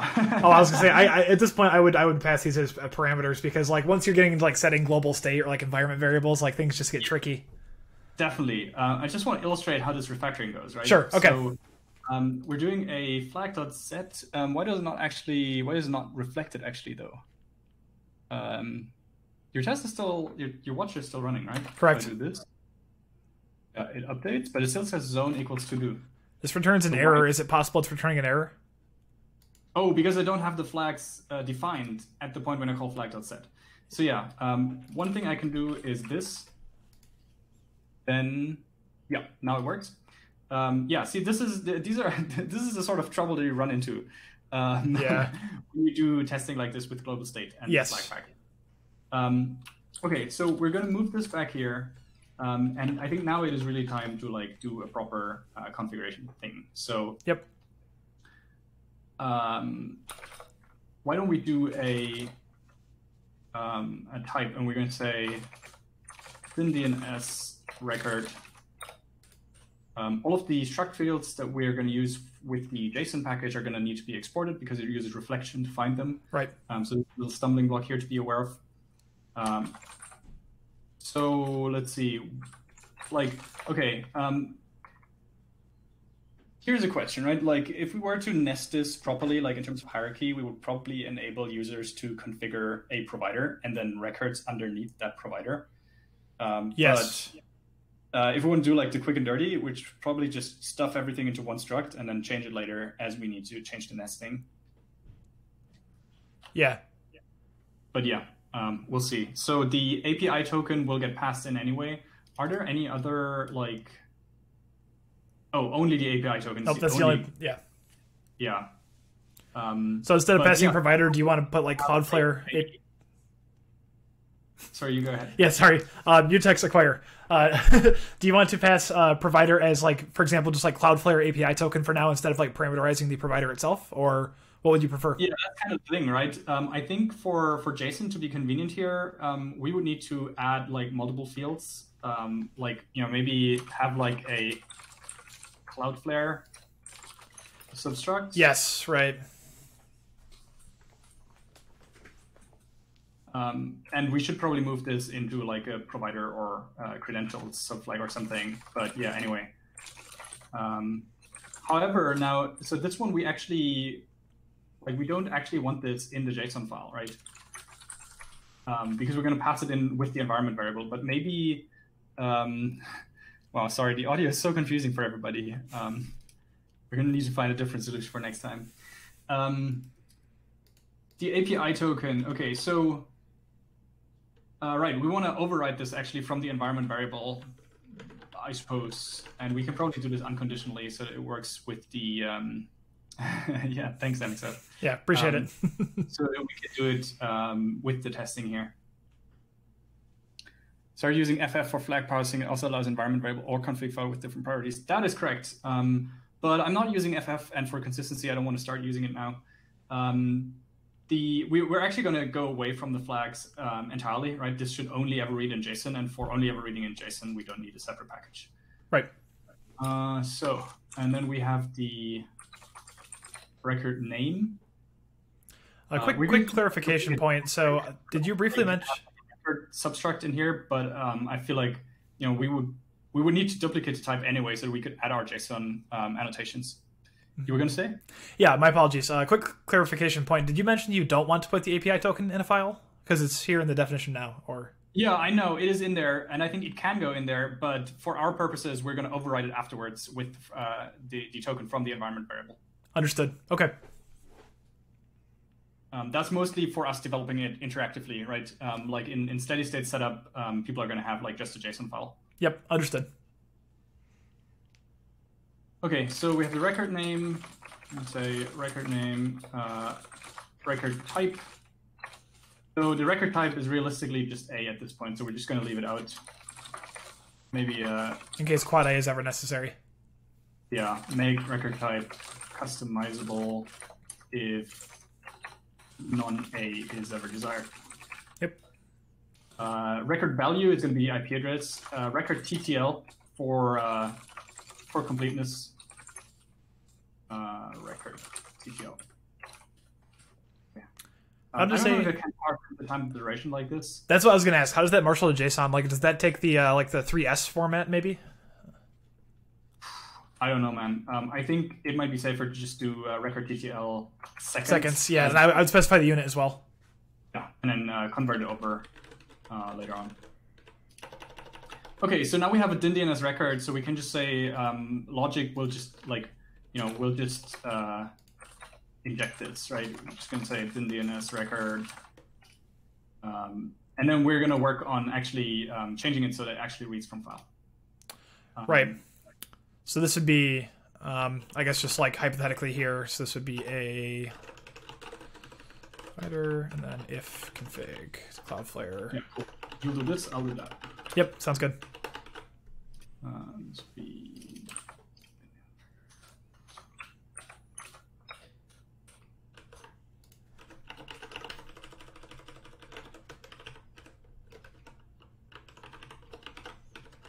Yeah, and don't don't forget um, overriding it from the environment, right?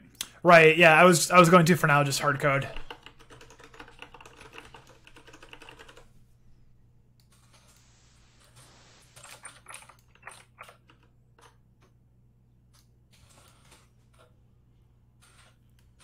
This isn't what I want now.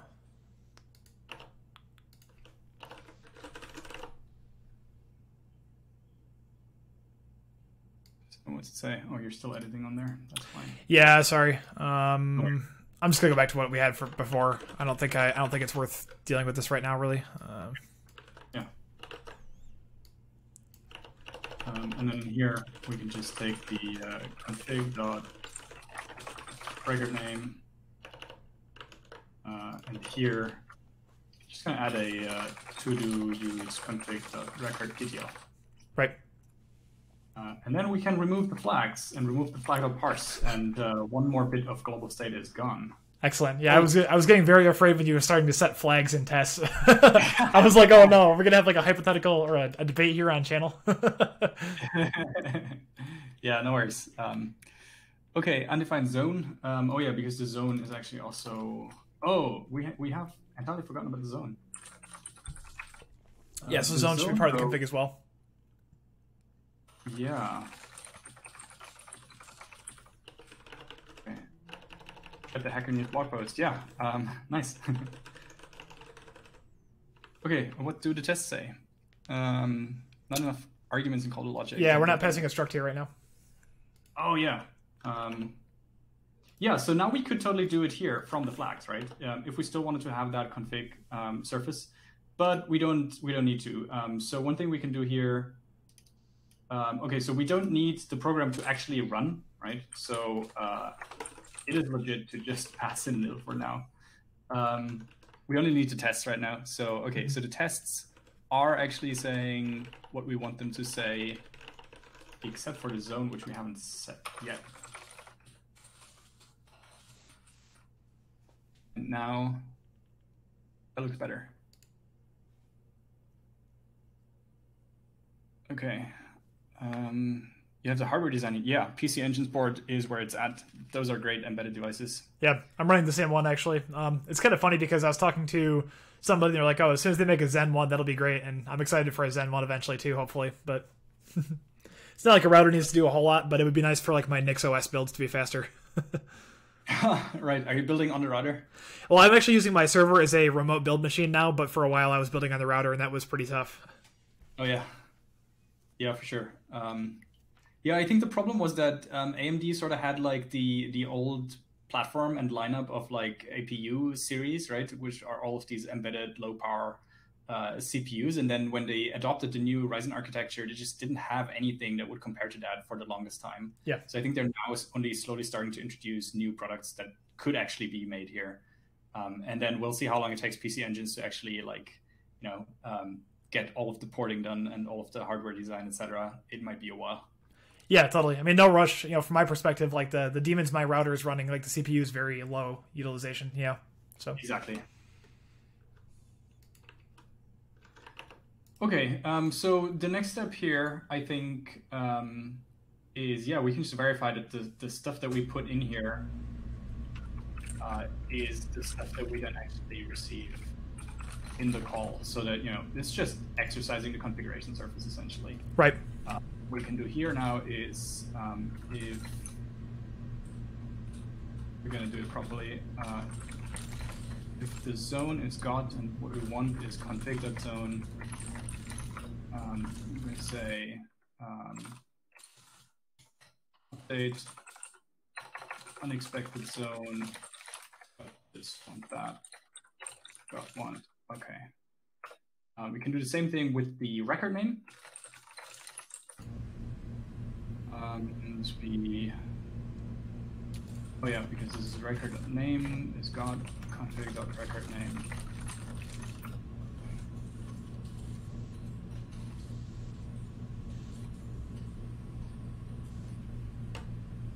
Okay, this is very mechanical, but um, yeah, this is what we need. And then in here, I'm just gonna say nil.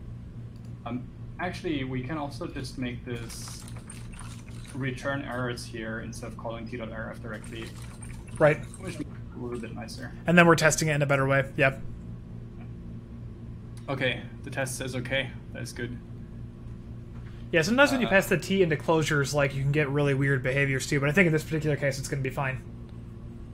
Uh, yeah, yep. Um, the, the, the case where uh, it causes trouble is when you have a go routine that uh, holds onto a T and then actually calls something like t t.fail. Right. Uh, because right. that passes the internal model of how you should be using the testing package. Cool. Um, So actually, what I think I, what I think I've run into in that particular case is if you have a test that creates a subtest and the subtest invokes a function and then that function actually has the outer T scoped into it, I think that will also cause a problem, even if there's no concurrency involved. Um, yeah, there there is like the additional gotcha here that if you have subtests uh, that are parallel, you need to actually wait for them um, at the end. Right. Yeah. Okay. Um, how is our situation looking with regards to the testing zone? Is it still permission denied? Um, oh yeah. So now the flags won't actually work. um, we destroyed our testing path. Right. Yeah. Now we need a file actually. So Excuse me. Yeah, that is correct. Um, so what are we going to do? Um,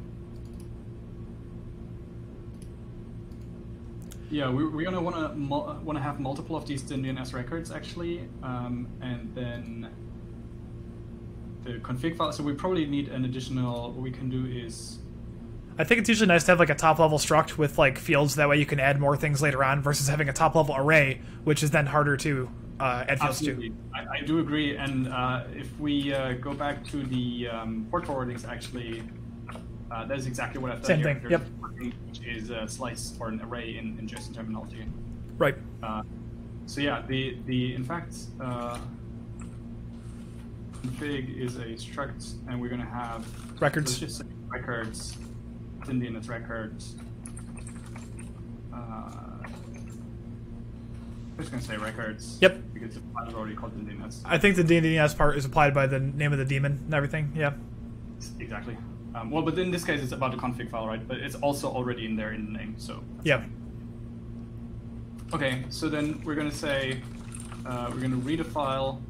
Um, this should be this should come from flags actually. So we're gonna have a config file is a flag.string. Uh, also gonna split this up into multiple lines. Defaults to perm din dns.json. Uh, gonna write a nice message here later. Parse the flags. Uh, read from the config file. So now we have like a couple more error handling statements, but it's Yep. really not too bad. So I'm just gonna leave in here. Um, unmarshal. Um, our parameters again. Which one goes first? Why does it not show? Right when you need it the most. Uh, Okay, let's see. Unmarshal. Data and then the interface. Uh, so data is what we read from the file, and then config is what we're unmarshaling into. And then we're just going to say config.records and here we will need to change this to be just records for the time being. This makes it a little bit nicer to test. Um, as soon as we add anything else, we'll need to refactor this to be like a full config chart. But for now, this is okay. Um, oh, you already prepared the Yep. JSON. That's nice. Um, and then here, I think the uh, logic. Oh, the, yeah, this now needs to be records. So. And now it's a slice.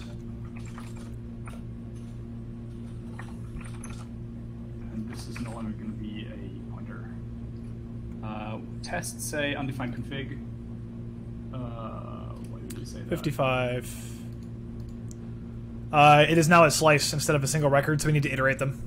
Oh yeah, nice. Yeah, indeed. Uh, Or perhaps just right now check the first one, because we're assuming there's only one. for sure. Uh, quick and dirty, and then we fix this right Yep. after. Exactly. Cool. So now you can try running again, see what Ah. happens. Uh, did we not pipe in that flag? File, I believe. Oh, sorry, I was looking for dash C. I wasn't even thinking about it. Yep. Yep. Uh, whoa. Why? Uh,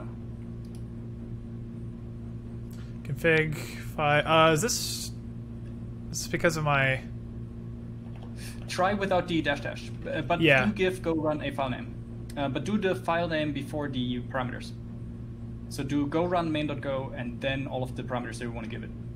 Ah, okay. So go run mid.go. Right. It's actually dyndns.go, I think. Oh, right. Yeah, I usually name these main.go. So sorry. Um, then DNS.go. Oh. Oh, hey. Uh, I think we have credentials. Yeah, this is uh interesting. Uh, sorry if there's any audio problems on my side. So the air conditioning is running and it's in that closet right there, so it might be kind of loud. So I am hoping that uh, perhaps OBS or whatever is gating the noise. But uh, my apologies.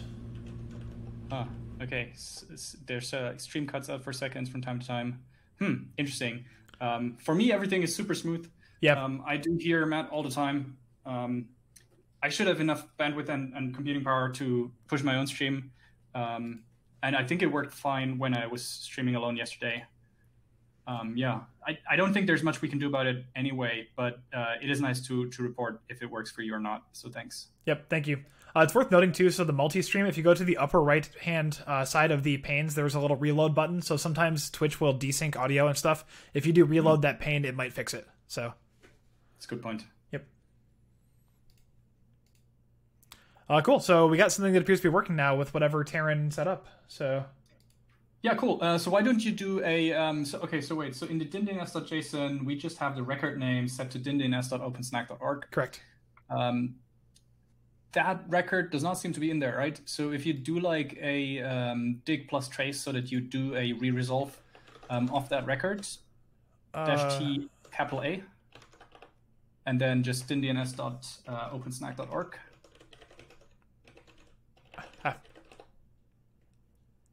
Okay, so it currently resolves to nothing. This is uh, roughly what we expect. okay. Um, okay, so what are we going to do here? Um, the logic. So we should be updating it to 127.0023. So this indicates that um, either our zone indicator is wrong in the config file, um, or the record name. Oh, one thing I think is that um, there might be a logic bug in our DynDNS also um, that we haven't thought about yet. Um, let me pull this up here because currently what we do is we only ever update an already existing record we never add a new record That's true. Um, yeah. So this is not. This would be a new record actually. yeah so if we didn't find anything to update what we're going to do is we're just going to update the record that we were given Yep. Sounds good to me. That is- Uh, can you run it again so I- I'm trying to think this really quick. So Len updated. So that's going to copy. Oh, so the length will be zero. Okay, so if there's nothing in the loop that matches, right? Okay, yeah, let's run it again. yep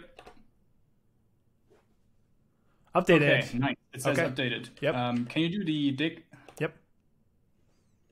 yeah nice it's in there at the very bottom Excellent. Okay, yeah, there we go. Hey, first DN- DNS. Uh, yeah, very cool. Okay. Um, So one thing that we can now do is um, actually run it again, please. So we Yep. just know that it actually also updates. Uh, not the dig, but the. Oh, right. You just change the address. Yep. Okay, running. Updated DNS uh, 127, 127. Okay. Uh, now we have two. Ah. Now we have two A records. This is not what we wanted. No, not at all. Okay, so it's good that we tested it, but Yes. um, how do we resolve it? uh, hmm.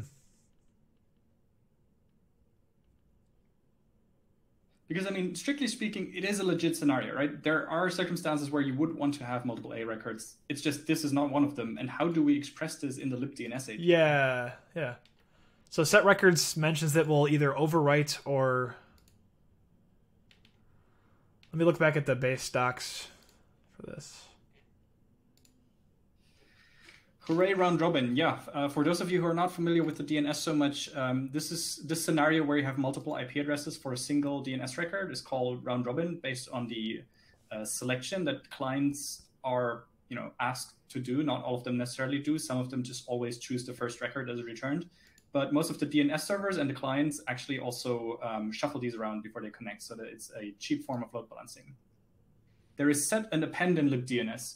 Yeah, um, but what we're currently seeing is append, and what we're calling is set, right? So it may create or overwrite records, or depending on the record type, delete records to maintain parity with the input. So does that is our input correct? So. Well, I uh, mean, the only input that we're giving it here is uh, the updated record, right? Or actually, wait. I don't think that's true now because we let's we had the record from the previous run, right? Uh, can you run it again? See Yep. what it says. Uh, 400 record already exists. Oh, well, this is good. Um, what's it say in setting? Um, it actually has multiple in there, right? Yes, So that might be the problem. Why does it have multiple in there? Oh, because we already have multiple ones existing, and then updates both of them. Whew. We made Um, it. Could we we could ask Taryn to remove them in, from the dashboard, or we could write code to do that.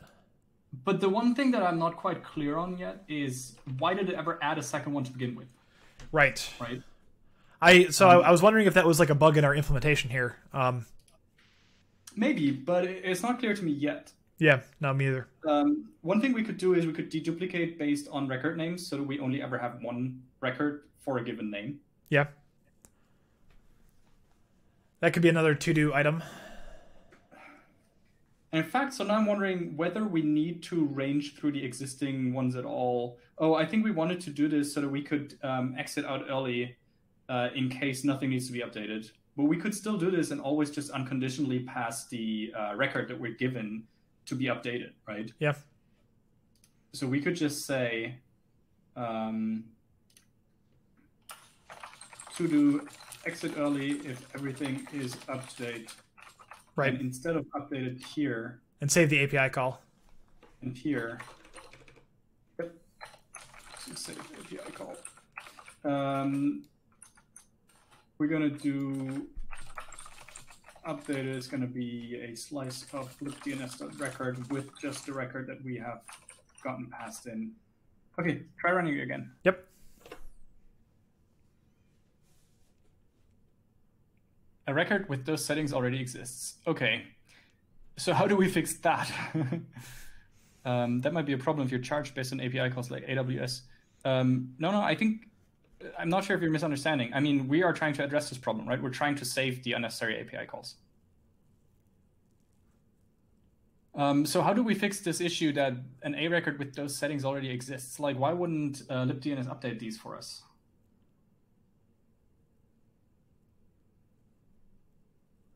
I'm not sure.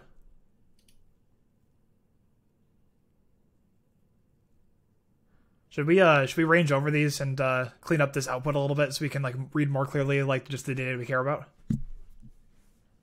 Um, the existing ones, you mean? Yeah, so we can just check and see like which records are there that we would we would impact. Sure, sure. Yeah. Please go ahead. Okay. Um, so if the record is not equal to the record name or the type, continue. Matched uh, percent plus v. So roughly something like this. Right. So there's our two records that already exist. Oh, you know what, Michael? This might be that ID thing we were talking about, right? Oh yeah. So I think the problem is here that we, we need to pass it with the same ID. Sorry, we just talked all over each other. Go ahead. yeah, uh, so there was like, already uh, there was actually a point in in doing the iteration over the existing records, which is to carry on the ID. yes. So we, we do need to capture the ID. We need to set the ID according to uh, whatever already exists. So I would guess either the first or last one we find. Um, assuming we only want to update one A record at a time right now and not multiple. Yeah. Um, okay, so how about this? Um, Taryn, can you in the dashboard please delete both of these records for us so that we can start with a clean slate? Um, and We got a link to some code. Let's see here. I mean, the to do is still relevant, but I think we're going to do it down here. And then here, um, but actually checks old records if ID is empty. Yeah. Oh, And our ID is empty. both are deleted now. Thank you. Mhm. Um, okay.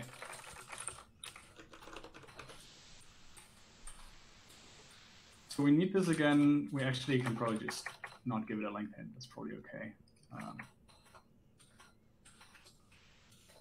okay. So we're gonna say updated is append updated.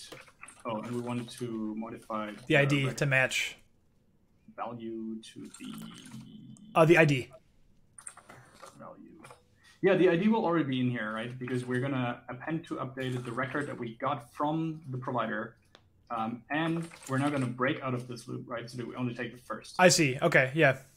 Then we'll need to reinstate the check that we had before, um, and we're gonna say updated equals append updated. Well, actually, if it's length zero, we can actually just leave it like this. Yep. So that would be, you know, this is a brand new record versus an existing one. Exactly. Yep. Um, oh, and maybe this is uh, that's that that is probably why uh, like how the Cloudflare package distinguishes between updating an existing record and adding a new record, right? Uh, Mhm. based on the ID. Right. Because I think So you and I were both thinking that the zone was the. Sorry. I think you and I were both thinking the zone was the unique part, but it was actually the ID field we had long forgotten about. you know. Yeah, yeah. Um, but I think um, this might have been this might have been why we end up with two records. Anyway, Yes. um, yeah, run it now, please. Yep. You got it. Shoot. Okay, we now have a record. Okay. Um, why want- don't you just do an update again? See what it does. Okay, you don't want to change the IP. Um, no, Yep. record already exists. So does that So mean? it So turns I'm not sure this does the right thing. If the ID exists, it always tries to create a new record. Why though? I mean that that seems like a bug in the Cloudflare thing, right? yeah. I guess for now we could we could wallpaper around this with uh, you know, looking for HTTP 400. I mean, yeah, but will it also change the value of the record? So think Taryn, think, libdns spec. Yeah, I, I think so too, right? I mean, we could try and have a look at it, right? Um, uh, Cloudflare provider, definition, get records, append records, delete records. yeah. So I guess what I'm seeing here is that since the ID is not empty, it's going to skip over the logic. It's just going to attempt to create record no matter what.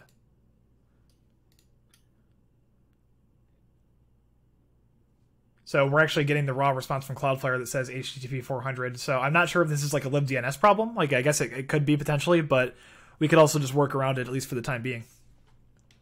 So wait, so set records, if we look at the implementation here, it ranges over the records, right? It checks if the record ID is not empty. Not empty.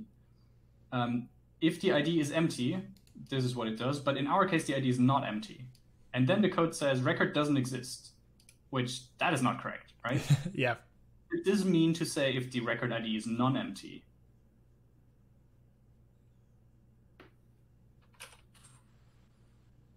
No. The record might already exist even if you don't know the ID yet. So then it tries to fetch the ID for you. But so it feels like a third branch might be missing here, right? Yeah.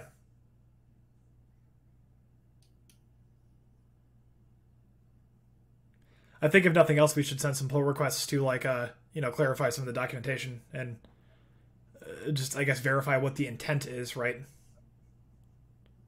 Because after the old record checked, in if it does not exist, what? I think there's a typo in that chat message. Um, I feel like there's an if clause that's missing. Yeah, I think so too. Um, do we want to try and, and figure this out, or um? Oh, Hmm. we're already uh, well over the three hours actually. So how do you feel? Do you want to like try and try and try and fix that libdns package or no? Uh, I think we could probably go for like another maybe like half hour or so would be good. Yeah. But once you get to like the four hour mark, I, I tend to find I get like kind of like you know zoned out. Yeah. so For sure. Um, okay. so we could try and fix we could try and fix the libdns thing. Yeah. Um, yeah. Do you want to open it as well? I have it open on my stream. Yeah, totally. Uh, how do let's see here. So does router seven have vendoring or no? Um, so in this case, um, I would recommend you use the Go Hack tool. if you have it Yeah, it's been a while since I've looked at that. I'll have to. Oh shoot. Uh, Yeah, just in your like in the terminal that you have open here, just enter Go Hack, um, github.com slash libdns slash Cloudflare. Enter. yeah. Should be good to go. I don't know if I've had this installed for a while, so Okay. one sec. Ah. So I think you know because we talked about this earlier um, with the go.mod changes that were intentional or unintentional. Like the thing that you just did, like running go get to install a program within another project that already has a Go module. I think that modifies go.mod. Yeah, I think it does too. That Go mod tidy would clear out later. I always forget about that. Uh, so what's the? Am I missing an argument here? So go Um, hack. oh no! Oh, um, Go ahead. Get. do go hack help first? Okay. Um, I think we're just missing like a verb for this. Uh, get undo status start hacking a module. Yeah, get get is what we want. Yeah, nice. Okay. Sweet. Um, so now if you opened up the uh, So that path. uh, yes. Um, The problem is now is we're outside of our shared VS Code session. yeah, you will need to uh, open it up in the other VS Code, I believe. Can you do that? Uh, there we go. Are you able to get into this tab? Uh, wait. Can you make a change to it?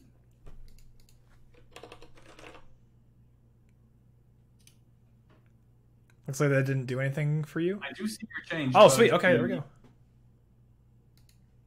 I guess we're good then. This looks funny on my screen. Says uh, tilde external and then like a, looks like a git ID, and then client.go. Oh, that's uh, that's wild. Um, I'm getting the actual path of my file system. So Okay, well, um, maybe this is because like this this is like it leads you outside of the uh, root of your of our shared session or something. right. You should add folder to workspace. Oh yeah, maybe. Um, maybe that is necessary for VS Code. How do we do that actually? I don't know, man. this is where we find out the, the limitations of what I know about. Uh, let's see here. So file add file. Hey, there we go. Um. Hmm. All right. One sec. Yeah. Speaking of, let me. Uh, I don't trust. I don't.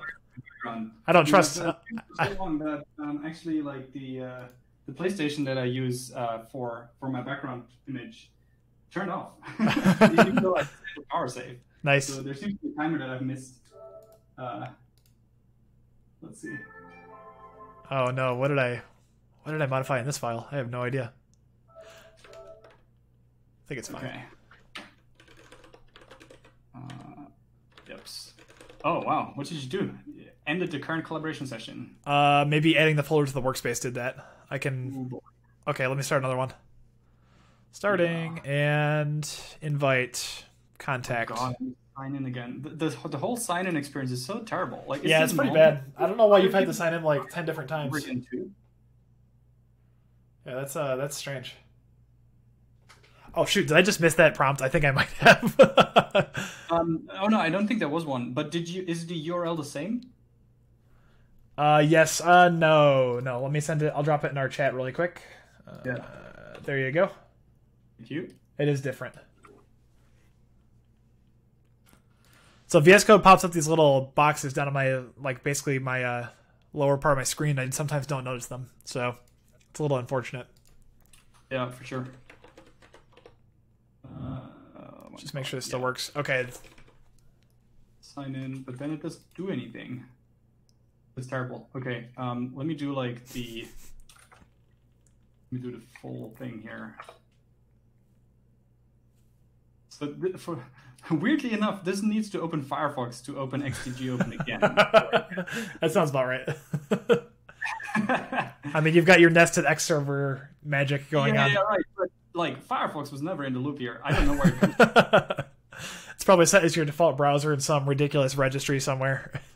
hey, Yeah, there we go. I remember telling Chrome that it should be the default browser here. So I don't know. I don't know what it does. Yep. Okay, uh, this looks good. I want to say. Yeah, yeah, I can see you do, doing things. Okay, Excellent. cool. Um, so you are now in the DynDNS test. Um, yeah, why don't we go into the Cloudflare? Um, why don't we start with just adding a, a print message here so that we can uh, see that our cloud modifications are taking effect, um, and then we'll try to make it work. So, do we want to go to the provider code we were looking at? Um, the set records. Exactly. Yeah. Um, and then maybe just at the like after line 133, uh, just print out the record. That will give us something to work with for debugging and Yep. also verifying that you know, everything is okay. Cool. Okay, so there's our there's our A record we're attempting to set. Nice. The ID is not empty, so Yep. so this Uh, this zone info. What is this? Should we compare against? Get zone info. Uh, print it. Let's print it. See what. Yeah. It, uh, no, wait. Can we print it? Uh, let's go to definition. I just wanted to make sure there's no like leak in here. Oh Um, yeah, totally. uh, ID name. Yeah. There's a lot. Of, there's a lot of information in here. But I mean, one thing we can do is we can just print the ID and name fields. Yes, Put those those should be safe. that's what we work with. Yep, we can do that. Uh, And I still wonder if our zone is actually correct, right? okay, I guess we'll find out, right? Yeah. Okay, so you see that we have the zone ID, right? And Yes. yeah, I was, I was, I guess I was just confused if we can use OpenSnack.org as an alias for that ID because I think I've always used the actual ID, and I just wasn't sure that names work as well. But I think they do. Yeah, I'm honestly not sure. If you want to be like a thousand percent, you could just plug and play or uh, copy and paste this uh, uh, zone ID into the JSON file, right? Yeah, totally. Where is that file?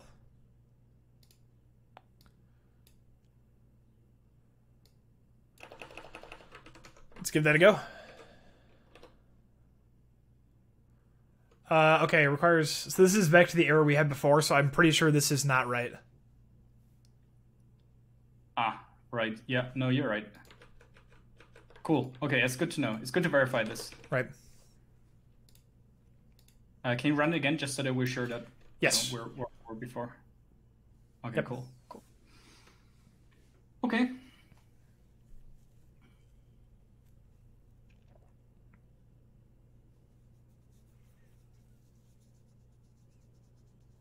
Yeah, I'm still having a hard time interpreting what exactly the contract is here with this API, right?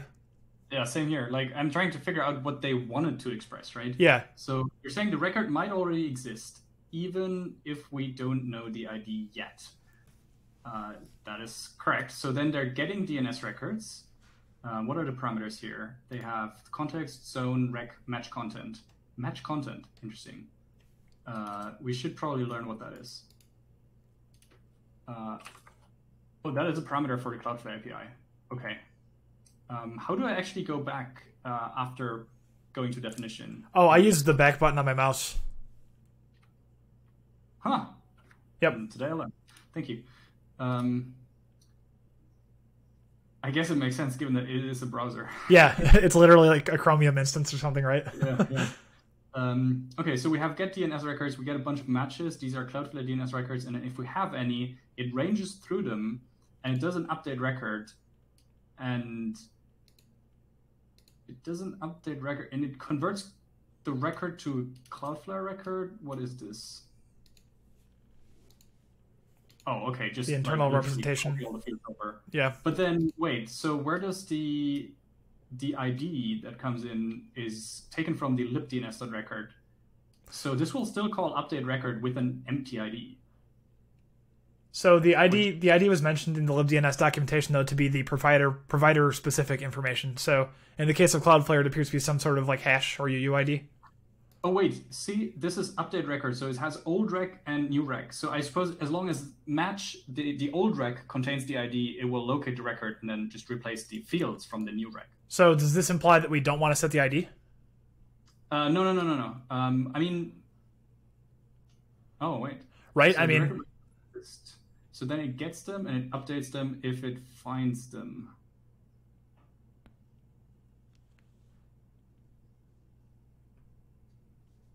I find I it confusing. I would think that when you're setting a record with the same ID, it would overwrite. But I think in this particular case, it might be that you pass it without an ID, and it assumes you want to update it. But Yeah. I, I mean, I still can't understand under which circumstances you would pass in an ID and not want to update that record. I agree.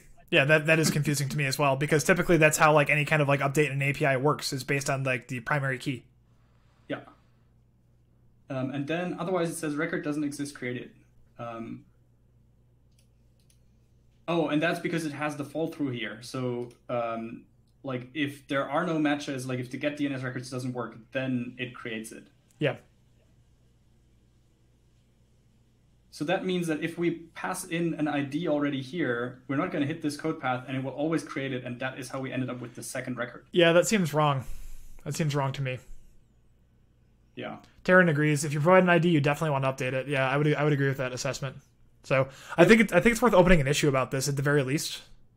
Yeah, yeah, yeah, for sure.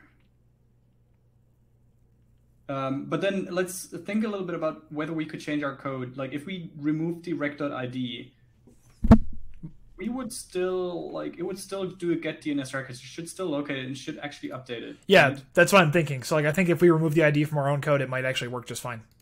Okay. Do you want to give it a shot? Yeah, totally. Um, let me find the file we ran again. Uh, rec value, no.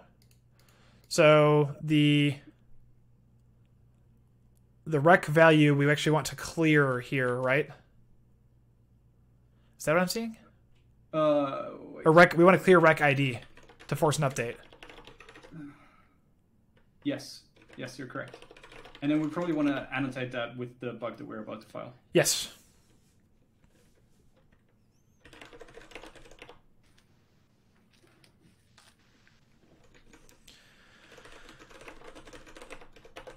Uh, before I write this, let's verify this hypothesis. So if I run the code right now, what happens? Okay, it was updated successfully. Uh, so let's let's change the IP address and try again. Yep. Um, 128. There we go. Okay, so this is this is it. It's the ID being uh, empty that triggers the update path. So I would agree that is confusing behavior. and We should file a bug. So uh, if you'd like to do that really quick, I think I'm going to get some more water uh, for just a moment. So um, yeah, I'll, I'll get some water. I'll be back in a sec. Okay.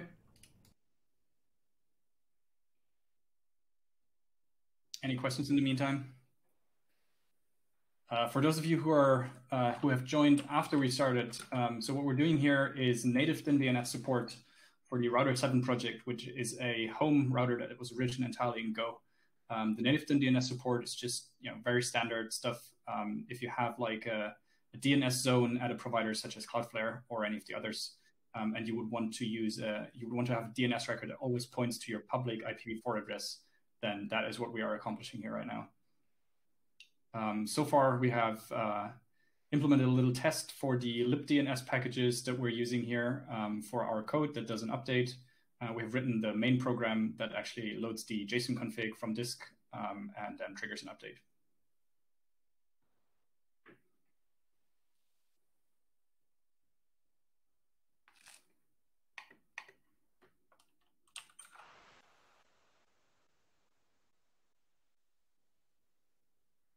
Okay, one thing that we can do is um,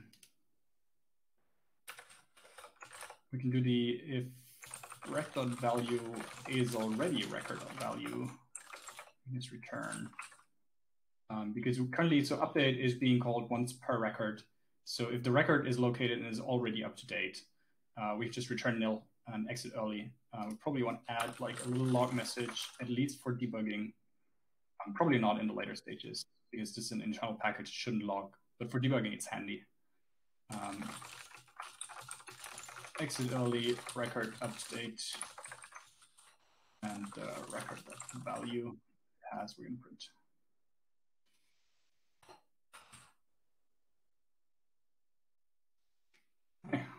Welcome back.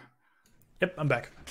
Uh, so I just changed, uh, I just added this, the exit early if everything's already up to date. Sounds good. I did a quick recap of what we're working on.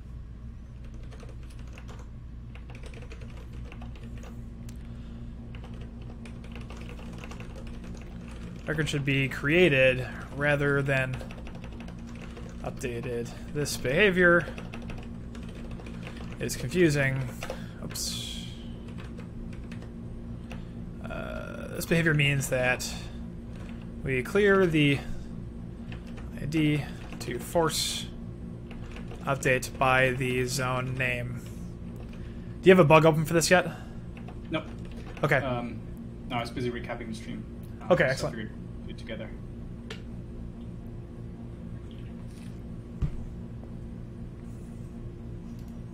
Uh, cool. Okay. So should I file it or? Oh yeah, sounds good. Okay. Since ultimately you're the one who's gonna need to use this, you know. Yeah, fair enough.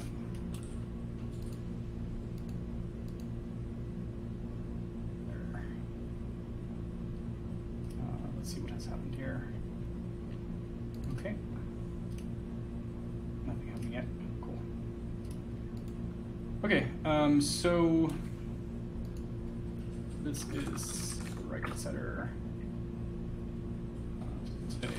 cloudflare.set records using behavior regarding record ID. Yep.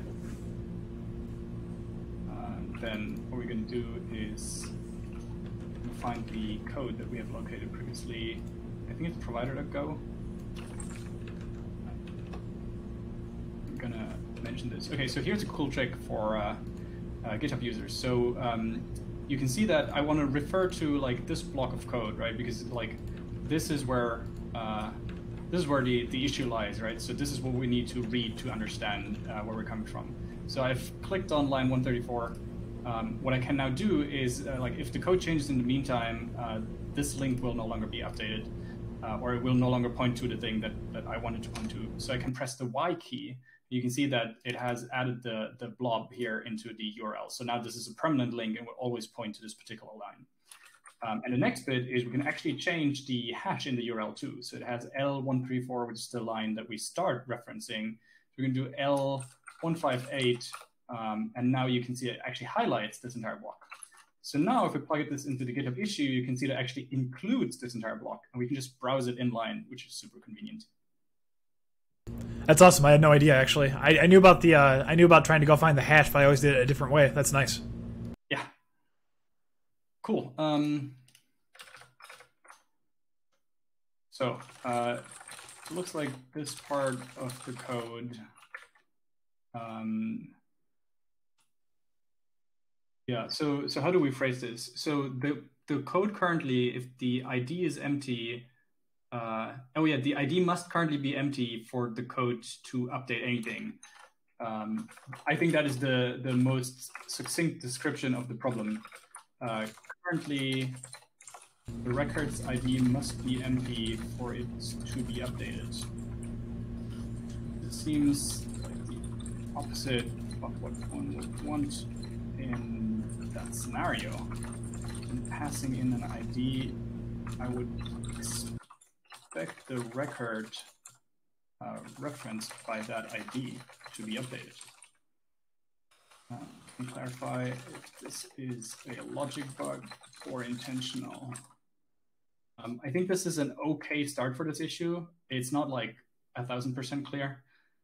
but you know, given that this is on stream, I think we can start with this, and then uh, if mholt has any questions, can always just get back to us. Yeah, I agree. I think it's good to start somewhere, and I think that we're we're explaining the behavior we saw versus the one we expected to see, which ultimately is pretty important for a bug report. You know.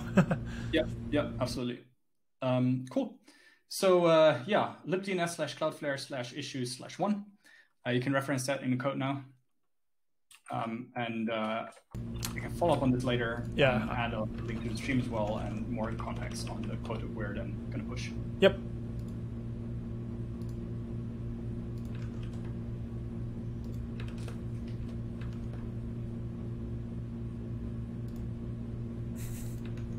Thumbs up emoji already from Taryn. He's on. He's on it.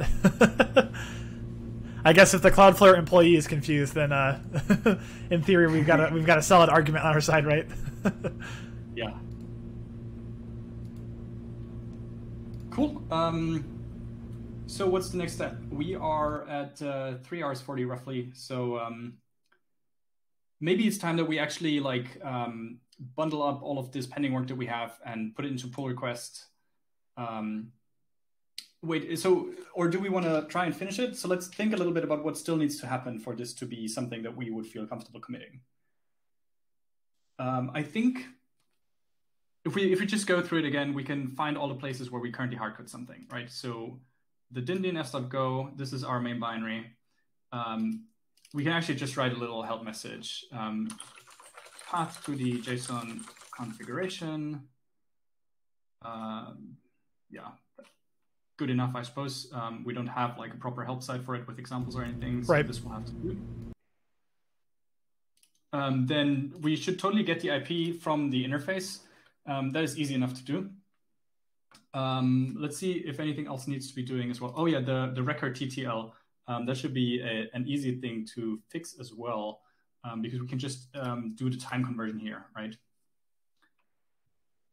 Yeah, it's just an integer in seconds, so just do times time dot second and you're done. It's converted to a duration at that point. Exactly. Um, so I think we need to cast it though. Um, or is it actually, is it, is it, um, well, we'll find out. So config seconds time second. Um, is your testing running? No, wait, this will actually not complain. Can you do the go run? Yes, I can do the test thing. Uh, one sec. Uh... No, no, the go run, I think. Oh, right. This is in the main. Yep. Invalid arguments. Yeah, uh... yeah. I think we need to um, do this, right? And then it should no longer complain. You do again. Yeah, sorry. I was trying to see if I could fix the uh, the background noise really quick, but it's probably not worth it for this point in the stream. But uh, okay. yeah, looks like it works. Yep, nice. Um, Right. I think um, the yeah.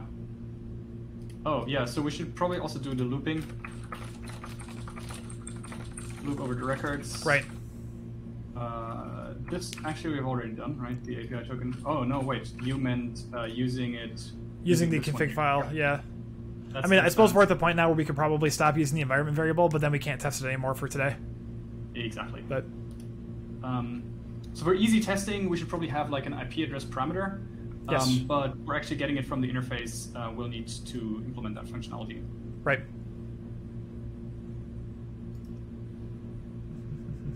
Most important part is setting real value. Yes. yeah. So let's do that. Right. right. Uh, um, do you want to uh, give this a shot, or should I? I'll give it a shot really quick. I I think I might have found the setting that uh, somebody's referring to. I'm gonna see if I can uh, cut out the AC noise. Okay, cool. of course, it stops just now. Well, no, the AC stopped. Yeah, but yeah. I'll, I'll set a filter for negative twenty. Okay, so now we have a noise gate filter. Uh, so in theory, no more issues with that. Um, okay, so I just uh, was browsing like my uh, proof of concept for this um, that I was running up until now, uh, which is you know Cloudflare specific. So that's why I wanted to get it uh, generalized and, and built into Router 7 proper. Um, so I have this little helper function which gives us the um, IPv4 address or an error from the interface that we specify. Um, so we can just use the net.interface by name, uh, give it that interface. If there is an error, just um, return Um, Oh, so you're not going to read it from the. So you are going to read it from the interface itself, and not the. I, I thought you mentioned earlier that all this was stored in like the file system, and I was curious, like if you were trying to avoid netlink for some reason. But I think in this particular right. case, the Yeah, standard no. library is fine. You know. Yeah. Um, so the um, the um, the IP addresses is, okay. So everything that goes into the IP address configuration is actually stored on the file system, right? So the Right. uh, uh, for example, the DHCP4 lease that I get from my upstream provider, um, that is on the file system. But then the netconfig actually interprets all of this, applies it, and then I just want to read the result of what it has applied, right? So that's why I'm querying the interface directly. I see. Um, Okay, I think that makes if the you were sense. To modify, uh, if you were to modify the state in the middle, right? Like if you were to manually configure an IP address, um, that should be reflected, right? Like if you decide, oh, DHCP is broken right now, and you're going to stop the DHCP for a client and just configure a static IP address, um, that should still be reflected. I see. I was kind of wondering if this was like the uh, like the NixOS philosophy of like everything is declarative and you should leave it alone. But like I wasn't sure if you had allowed like uh you know configuring addresses manually, but it probably makes sense to be able to break the glass at some point. You know. Yep. Yeah, exactly. Um, in general, I try to like query things from where you would query them. So if you do like an ifconfig or an IPA command uh, to list the the addresses, um, the program should do the same thing, right? Right.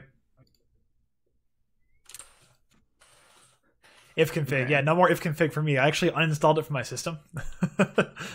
It's nice. Um, I'm not sure if I have uninstalled them actually, but I am in the habit of using the others. Um, I have noticed that on uh, Arch Linux, for example, the uh, netstat command is no longer present, so you need to use the ss command as a replacement. yeah, and that's that's the one I use most often anyway. So uh, Netstat would you know SS actually has a lot of the same flags. It's just I find it's a little bit wider, so it's a little bit more annoying to read. Right. Yeah, well, it is flag compatible actually with the flags that I usually use. So I can literally like sometimes I'll enter like my netstat command line and it says command not found. I just replace netstat with ss and it just, just starts working. Yeah, totally. Okay, so um, if this is not an IP address, we can continue. If the IP address is Everybody's favorite, everybody's favorite Go API.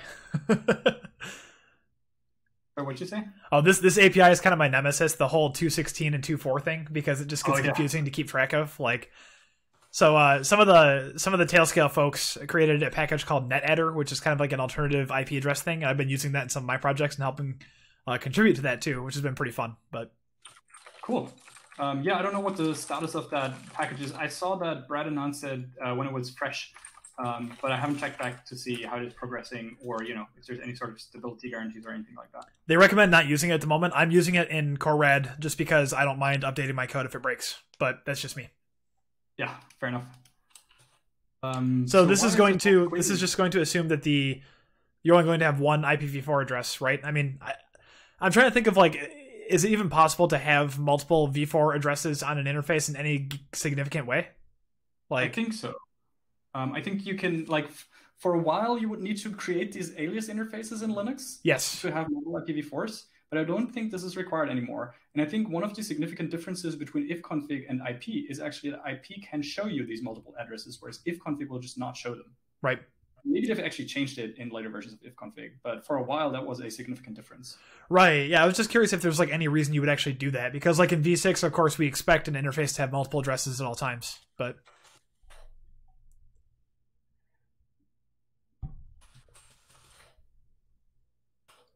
So I'm going to declare another flag here. Um, say interface name. Um, probably just going to use, actually, we're going to make it the uplink zero, which is the production uplink interface. yep, sounds Uh, good. Every interface name to take the first IPv4 address from. And then you can just uh, override that in your go run invocation pointed to, I don't know, LO or your actual Ethernet interface. Doesn't really matter. Yep, sounds good.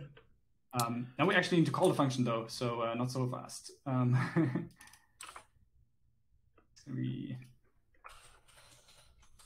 uh, oops. address uh, ifs. Okay, and then address who is now obsolete. yeah, give it a shot. Yep, you got it. Hey, check it out. Okay. Uh, do I have the lab VLAN configured? I don't even remember. One sec. Who was it who said on Twitter SSH and SCP have inconsistent port flag dash lowercase p versus dash uppercase p, but consistent dash dash port in the sense that dash dash port is not implemented. I think that was uh, I think that was Dave Anderson, and yes, that was a great tweet. yeah, yeah, nice. Um, I have stumbled over the dash lowercase p versus dash uppercase p so often. Yeah, it's so frustrating. Yeah, um, and I think they um, uh, super annoying. Also, dash capital R versus dash lowercase r in SCP versus every other program. Oh yeah. Mm-hmm. Um, I think the the um, SSH and SCP one is particularly uh, is is particularly bad in the sense that uh, I think when they introduced it in SCP, they were like, "Oh yeah, so there's a flag difference here. We acknowledge this, and this is because we're compatible to RCP, which was the uh, remote copy version before encryption was a thing that you would want to do on network links. Um, so in order to keep it consistent with the like way too old thing, they missed the chance to unify them which is oh man, such a missed opportunity. It's legitimately horrifying. Like if you think about it, you know, because how long has it been since somebody has used RCP? But I guess then again, I don't know how long SCP's been around either. But many many years. Yep. Uh, uh, by the way, this works just fine with different interfaces. So I I grabbed the interface that's on my lab VLAN and it pulled the IP just fine. So beautiful. Uh, I guess if the length of records is zero, we're just gonna like exit early. Yeah, nothing to do. Um, and then we're gonna do the work of fetching the address because if the address can't be fetched, we don't need to loop over the records either. Yep. And then we're just gonna say, just gonna loop over this. Uh, and run an update for each one. Is this the kind of thing you'd want to do concurrently? I guess it probably doesn't matter, but um, yeah, it doesn't matter because the number of records is going to be so small. Right. Um, it doesn't matter if you have like high latency, but really, like, what is one more second if you're just updating your um, IP address after reconfiguring things? Yep. Um, people will still have the old IP address in the cache, so it doesn't really matter if this is super fast or not. Um, the additional concurrency will just be um, more potential for bugs, right? Um, True. So let's do it without for simplicity's sake for today. Yeah, I agree. Okay. Um, so actually, what we're going to do now is um, resolve this as well, right? Because why not at this point? Uh, actually, if the token from the environment is set, it always overrides it. Uh, actually, I think there was a, wasn't there a, um, uh, what am I looking for? The uh, OS package getenv. I think there was a variant that would tell you whether something was actually in the environment. I don't think lookup I. Env. Oh, lookup env. Oh, interesting. Yeah. That's why that's wild. Lookup env, uh, capital E. If T okay, so then we don't need to do the in-band signaling with the empty string. We can just say if it is in the in the environment, we're always going to say a token equals t. You know, I've been using Go for like seven years now, and I don't think I've ever noticed that API before. and I, I, much um, prefer that. I prefer the second return value. So if if you know 1.5, if you haven't checked the OS package since 1.5, that's why it's new. Yep. I mean, wow. Today I learned. quickly this expected opening paren. But this looks correct to me. Uh, can you run and see? Early. Records up to date. Hey. Oh, yeah. Let's try it with uh Oh yeah, you can just flip flop between the two now for testing. Indeed I can. That works perfectly. Okay. Uh, nice. So I don't know why the language server is out of date here, um, and how to restart it. Uh, I think there's a command to do so. Actually, uh, restart. Go. Sure. There we go. Okay. I'm not sure if you're using the same instance I am though, but it's restarted now. Yeah. Um, let me see. Uh, record. What does it complain? Request language server failed with message. It it won't tell me. Okay. Renaming this var CFG to record would cause this reference to become shadowed by this intervening var definition. Uh, okay, um, so we already have a record in here somewhere. Oh yeah, this one. Yes. Here. So it won't let us. Oh. Um, Would you not just call this R? The range variable? yeah, yeah, we can. Uh, probably fine. It's like it fits on one screen, so Yeah. fine. Right. That's kind of my whole thing. Is I, I tend to use short variable names, but also I'm pretty strict about function like lengths anyway. So it, it works out for me. Yep. Okay. Um, Do you want to apply some kind of like context timeout with this, like five seconds or something? I mean, just for sanity. Yes. Though um, I feel like we should probably have like a pretty long timeout here. Um, Okay. Like let's say a minute, right? Because if we're like if we're gonna do a loop uh, and gonna pull this for for a minute. Um, Right. We need to fix the config Cloudflare bit now. uh, what do you mean? Oh, so we need to pass this in. This comes from, yeah, we need to pass in the Cloudflare API token. Oh, it's actually associated with each record. Never mind. What? I guess I'm not sure. yeah, Terrence. factor this out um, yet, but I, I think that's probably okay Okay, for simplicity for now. sure. Sounds good to me. Okay. Um, let's see what else we have. Um, oh yeah. So now we probably also want the uh, long-running nature of the program, right? Um, so I'm gonna add a new flag, um, and at this point, I'm gonna make this a var block. Yeah, var block for sure. Uh, I like to leave like an empty line in between logical units of things, and for flags, this is usually for each one of them, unless they're like related. Um, in general, this helps me navigate through code because then I can just uh, use like whichever key binding it is to jump to the next paragraph of text, um, and I like that. I'm actually the exact same way, and I was curious if you were because I know some people like to have just like a wall of text, and I can't stand it. Some of some of the stuff in the standard library makes me so upset.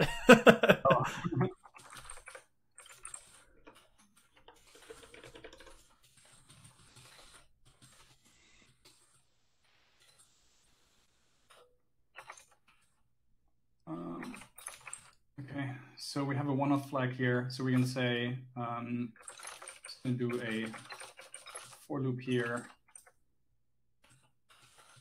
If one-off is true, then this was the last iteration, and otherwise, sleep for one minute, and then it will repeat. So this is how we're gonna do the polling. Looks if good. you to run it now, it should be long running, uh, or yeah, with the one-off, uh, it should just be one. Yes. Try both. Okay. That's good. A.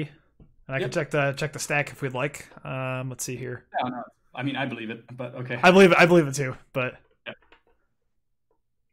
uh, IO. Wait, no, it's net poll. Why is there an HTTP server in here? Did I see that? Oh, it's Um, it's clients and stuff. Okay. Yeah. Must be it must be the connections remained open. Okay. Yeah, looks good to me. Cool. Um, so let's see. Um, this was command. We have internal. Uh, let's just go through all of this one more time to make sure we don't have any glaring omissions or anything. Should we remove Um, the I logs? we Kind of figured this out. Yeah. Um, we have a couple of, of log messages in here, which is, I think we're going to remove them. Um, I'm good with that.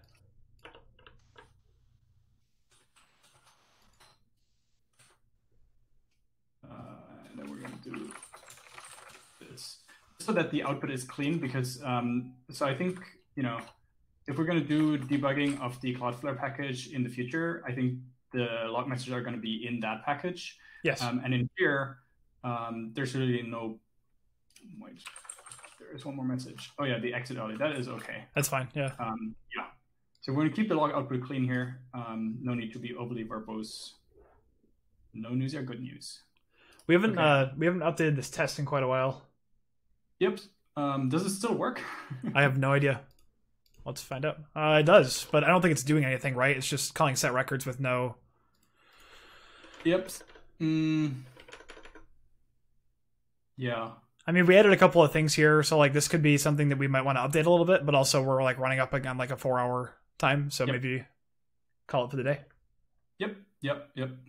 Yeah, we can totally do it. I think the the test, um, even though it might not be complete, it has still helped us. Like it is something that documents more of our intent.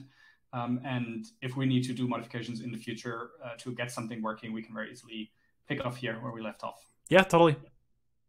Um, so do you want to like go through our pending changes and make a git commit out of it? Yes, absolutely. Me.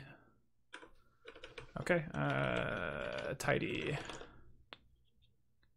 Oh, I guess this wasn't tidy before. Um, no, I think. Oh, did you do a tidy? Yes, I did. Ah, okay. Um, yeah, it might be. So one thing you can try is now do a make test and see what comes up. Ah, right. Okay. Yeah. See, now it needs to redownload stuff. Yep. That's uh. Hmm. Let's test again. Do we still have that commented out? Do we change the make file? I think we did, but uh, not enough I think I arguments. Back um, in our last change, actually. I saw something fail in there. Yep. Uh, I think that might be the test in the command actually, so command in DNS, but I don't know where the output went. Yeah, not enough arguments and call to logic, so dyndns test uh, 27. So logic now accepts an interface name as well as records Oh yeah. because it needs to fetch the Yeah. Uh, just make it LO. I think. yeah yeah that's what I was going to suggest as well for now at least. Um, Uh, because we don't actually check the value in the update func, so that's fine. yeah.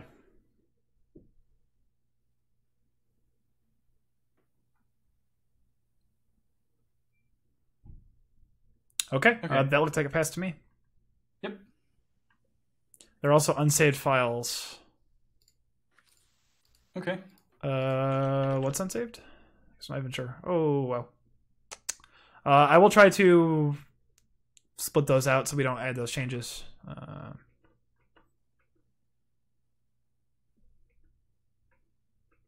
yeah, I guess I shouldn't have tidied, huh? oh yeah, and you can just check out your go dot sum. yeah, I, I think I probably, I think I probably should at this point. Um, go dot sum. Okay, so internal and the command code. Oh, so- without the JSON. You don't want the JSON. Okay.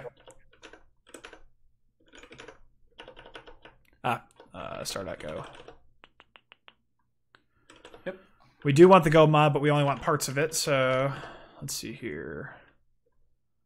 No. Split. Yeah, I guess just the additions of the libdns stuff. Yes. No. No. No. Uh, no. Definitely no. Uh, we don't want the make file. We don't care about the JSON. So okay. So now we have all the new code. Uh huh.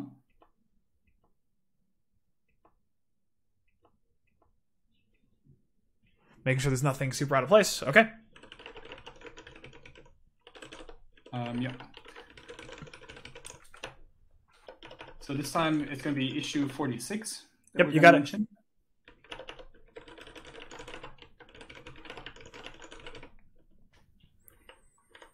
Uh, I guess I should. Uh,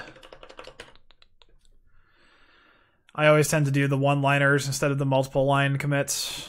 Uh, one sec. Fixes number forty-six or updates. Uh, yeah, related to or updates. Yeah, one. works. Updates. Yep. Fork. Been a while since we looked at this. Uh, router seven.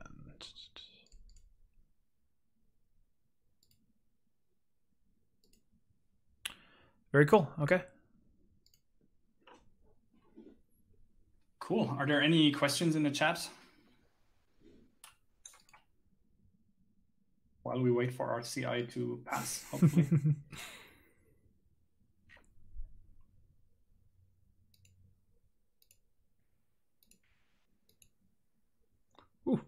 The uh, the nighttime mode kicked on on my monitors, and I didn't realize like how orange they were until I turned it off. It's like ah, blinding. yeah, this is it can be very jarring. Um, I also use Redshift uh, to do the same thing. Yep. Um, and I think whenever you open up the NVIDIA settings program, uh, for a brief moment in time, it resets like all of your tinting. So it's like a flash of white. Yeah. back. Whoa, what just happened?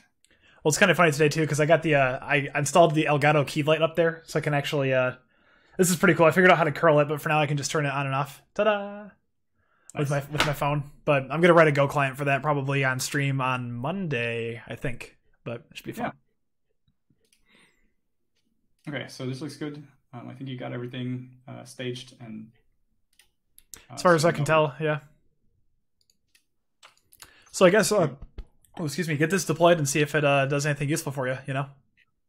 Yeah, um, I think I'm gonna like uh, configure a separate record. Uh, Definitely. Uh, and then we have like a, a little little script um, that will monitor that my main record that I'm updating with my existing program matches the record that I'm updating with the new code. Right. Um, just so that I'm sure that you know everything's fine. Yep, totally. Uh, yes, Monday is a public holiday in the U.S.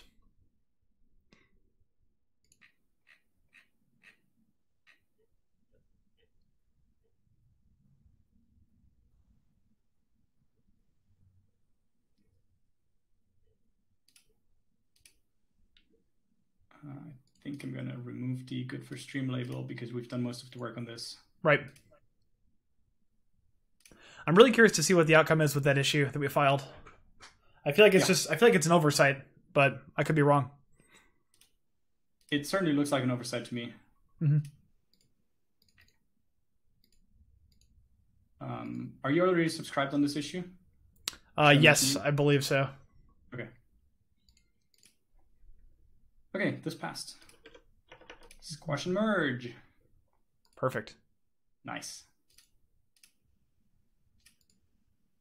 Okay, um, so this will have an update. Um, yeah, left to do is actually test, etc. But one thing we can do now is um,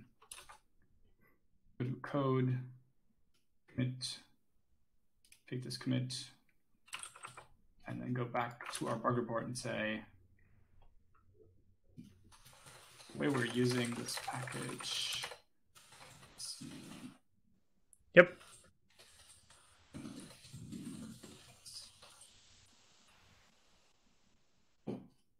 So now they have more contexts uh, right. to work with.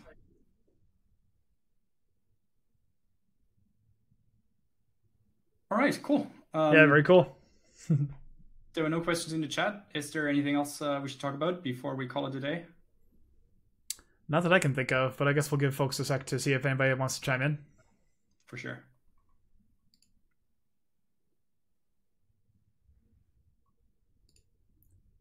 Oh, I thought we got an update already, but it was just your comment on the issue. yep. It's typical. Uh, you press submit, and then you're like, "Oh, somebody sent me a new email." yeah, exactly. Looking forward to your next stream together. Yeah. Yeah. Hey, happy to help out. Alrighty. Uh, cool. Well, thank you all for hanging out. It's been a ton of fun today. It's been a super good time. Thank you, Michael, for taking the time to do this with me. This has been uh, this has been a blast. I learned a lot about Router Seven, kind of some of your ideas, picking your brain. It's been a lot of fun. So thank you. Yeah, um, it was nice to be here. Um, yeah, I think we can repeat this. Um, at this point, I think uh, the the most pressing challenge will be to figure out which of the issues are actually good to do on on stream. Um, one thing to look forward to, I think, is the uh, automatically switching to tethering. Um, I have not actually tagged this as a good to stream issue because there's still some research that we need to do. Um, mm-hmm. So the idea is that um, if you have a router seven and the upstream is dead for whichever reason, and you know it, it, has never been dead for me in the last couple of years, but you know in case it happens, um, it would be nice to be prepared, and it would be nice to be prepared in such a way that we could just plug in like an iPhone or an Android phone via USB into the router, um, and it would automatically create an uplink connection via that uh, tethering connection um, and then just route the traffic over that. Um, you know, obviously, it's not like it's not something you should do lightly, right? Because if you're gonna like route your entire home network over like a mobile connection, you're gonna have crazy data charges unless yes. you disconnect the data hungry devices first. Um, but uh, nevertheless, I think this is the way that um, it should work. Like, you know, if you wanted to enable tethering, it should be a matter of just plugging in the device. Um, I haven't done any research though on how the iPhone or Android actually do tethering. I think it's it has something to do with USB networking devices. I don't know what other configuration signaling, etc. you need, um, and I don't know if the two are separate. Like if Android works differently than the iPhone. So a bunch more research is needed here, but um, I could totally imagine doing something here on stream. Um, we have a couple of other things as well, like IGMP proxying for TV7. I don't really watch TV, so I wasn't motivated up until now to actually do this, but it might be fun to do an IGMP proxy on stream. Um, mm-hmm. A number of others are just like discussions or weird bugs that I've encountered. Um, so if you have anything else, maybe you know we don't always need to do the router seven. Uh, we could also, as the chat suggests, uh, Wi-Fi on gokrazy. No, maybe not. Um, requires WPA supplicant. Yeah, uh, Wi-Fi is a can of worms that I don't want to open. Um, but we could totally do something gokrazy related on on here, um, or some other project entirely. Mm-hmm. Sounds good to me. Cool. All right. Um, maybe using hardware feature instead of WPSW. That's right. Yeah, you can read up all about this on the gokrazy issue. You can just uh, put a put a link there. Multipath TCP on router seven. Um, maybe I don't know if multipath TCP actually has any advantages in that scenario. Um, if we don't have multiple uplinks, um, right. multiple uplinks in general tend to work not so well. Um, I was excited to use multiple uplinks a couple of years ago at an event, and it was terrible. Um, it turns out that you know having these um, asymmetric paths um, and different IP addresses and like everything just breaks down. So I don't know if multipath TCP needs middle box support in that sense. I know that, for example, the iPhone I think uses it, um, or or Macs, like some Apple product uses it to roam between Wi-Fi and um, wired connections, or Wi-Fi and data, or something, whichever you have. Um, but I think that is transparent as far as middle boxes are concerned. Um, so I'm not sure if there is something to be done here really. Um, oh, you have to agree it's not so stable. Yeah, so maybe we just won't do anything here then. Um, but if you, if any of you have any suggestions, uh, please feel free to either just reach out to me directly on Twitter or email, or just file a GitHub issue and we can discuss it there. Mm-hmm. Um, suggestions welcome. Um, if it's a cool thing that I think would be fun to work on and would fit into the project well, um, we can totally do it. PXE server with Router 7. There is actually already a great PXE server uh, written in Go. Um, and I think Pixiecore, uh, netboot slash pixiecore. Was it really this one? Uh, no longer developed. No, I think I thought this was uh, there was a different version of this. Anyway, um, yeah, check this out. 11 months ago. So yeah, maybe I was misremembering it. I thought it was under the Google org, but yeah. Um, Pixiecore, yeah, because when Dave left Google, I think he moved his repos.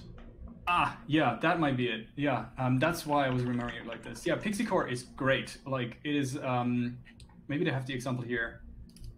Uh, well, that's that's a bit of a too short TLDR, I think. But I think they had something. Oh yeah, this.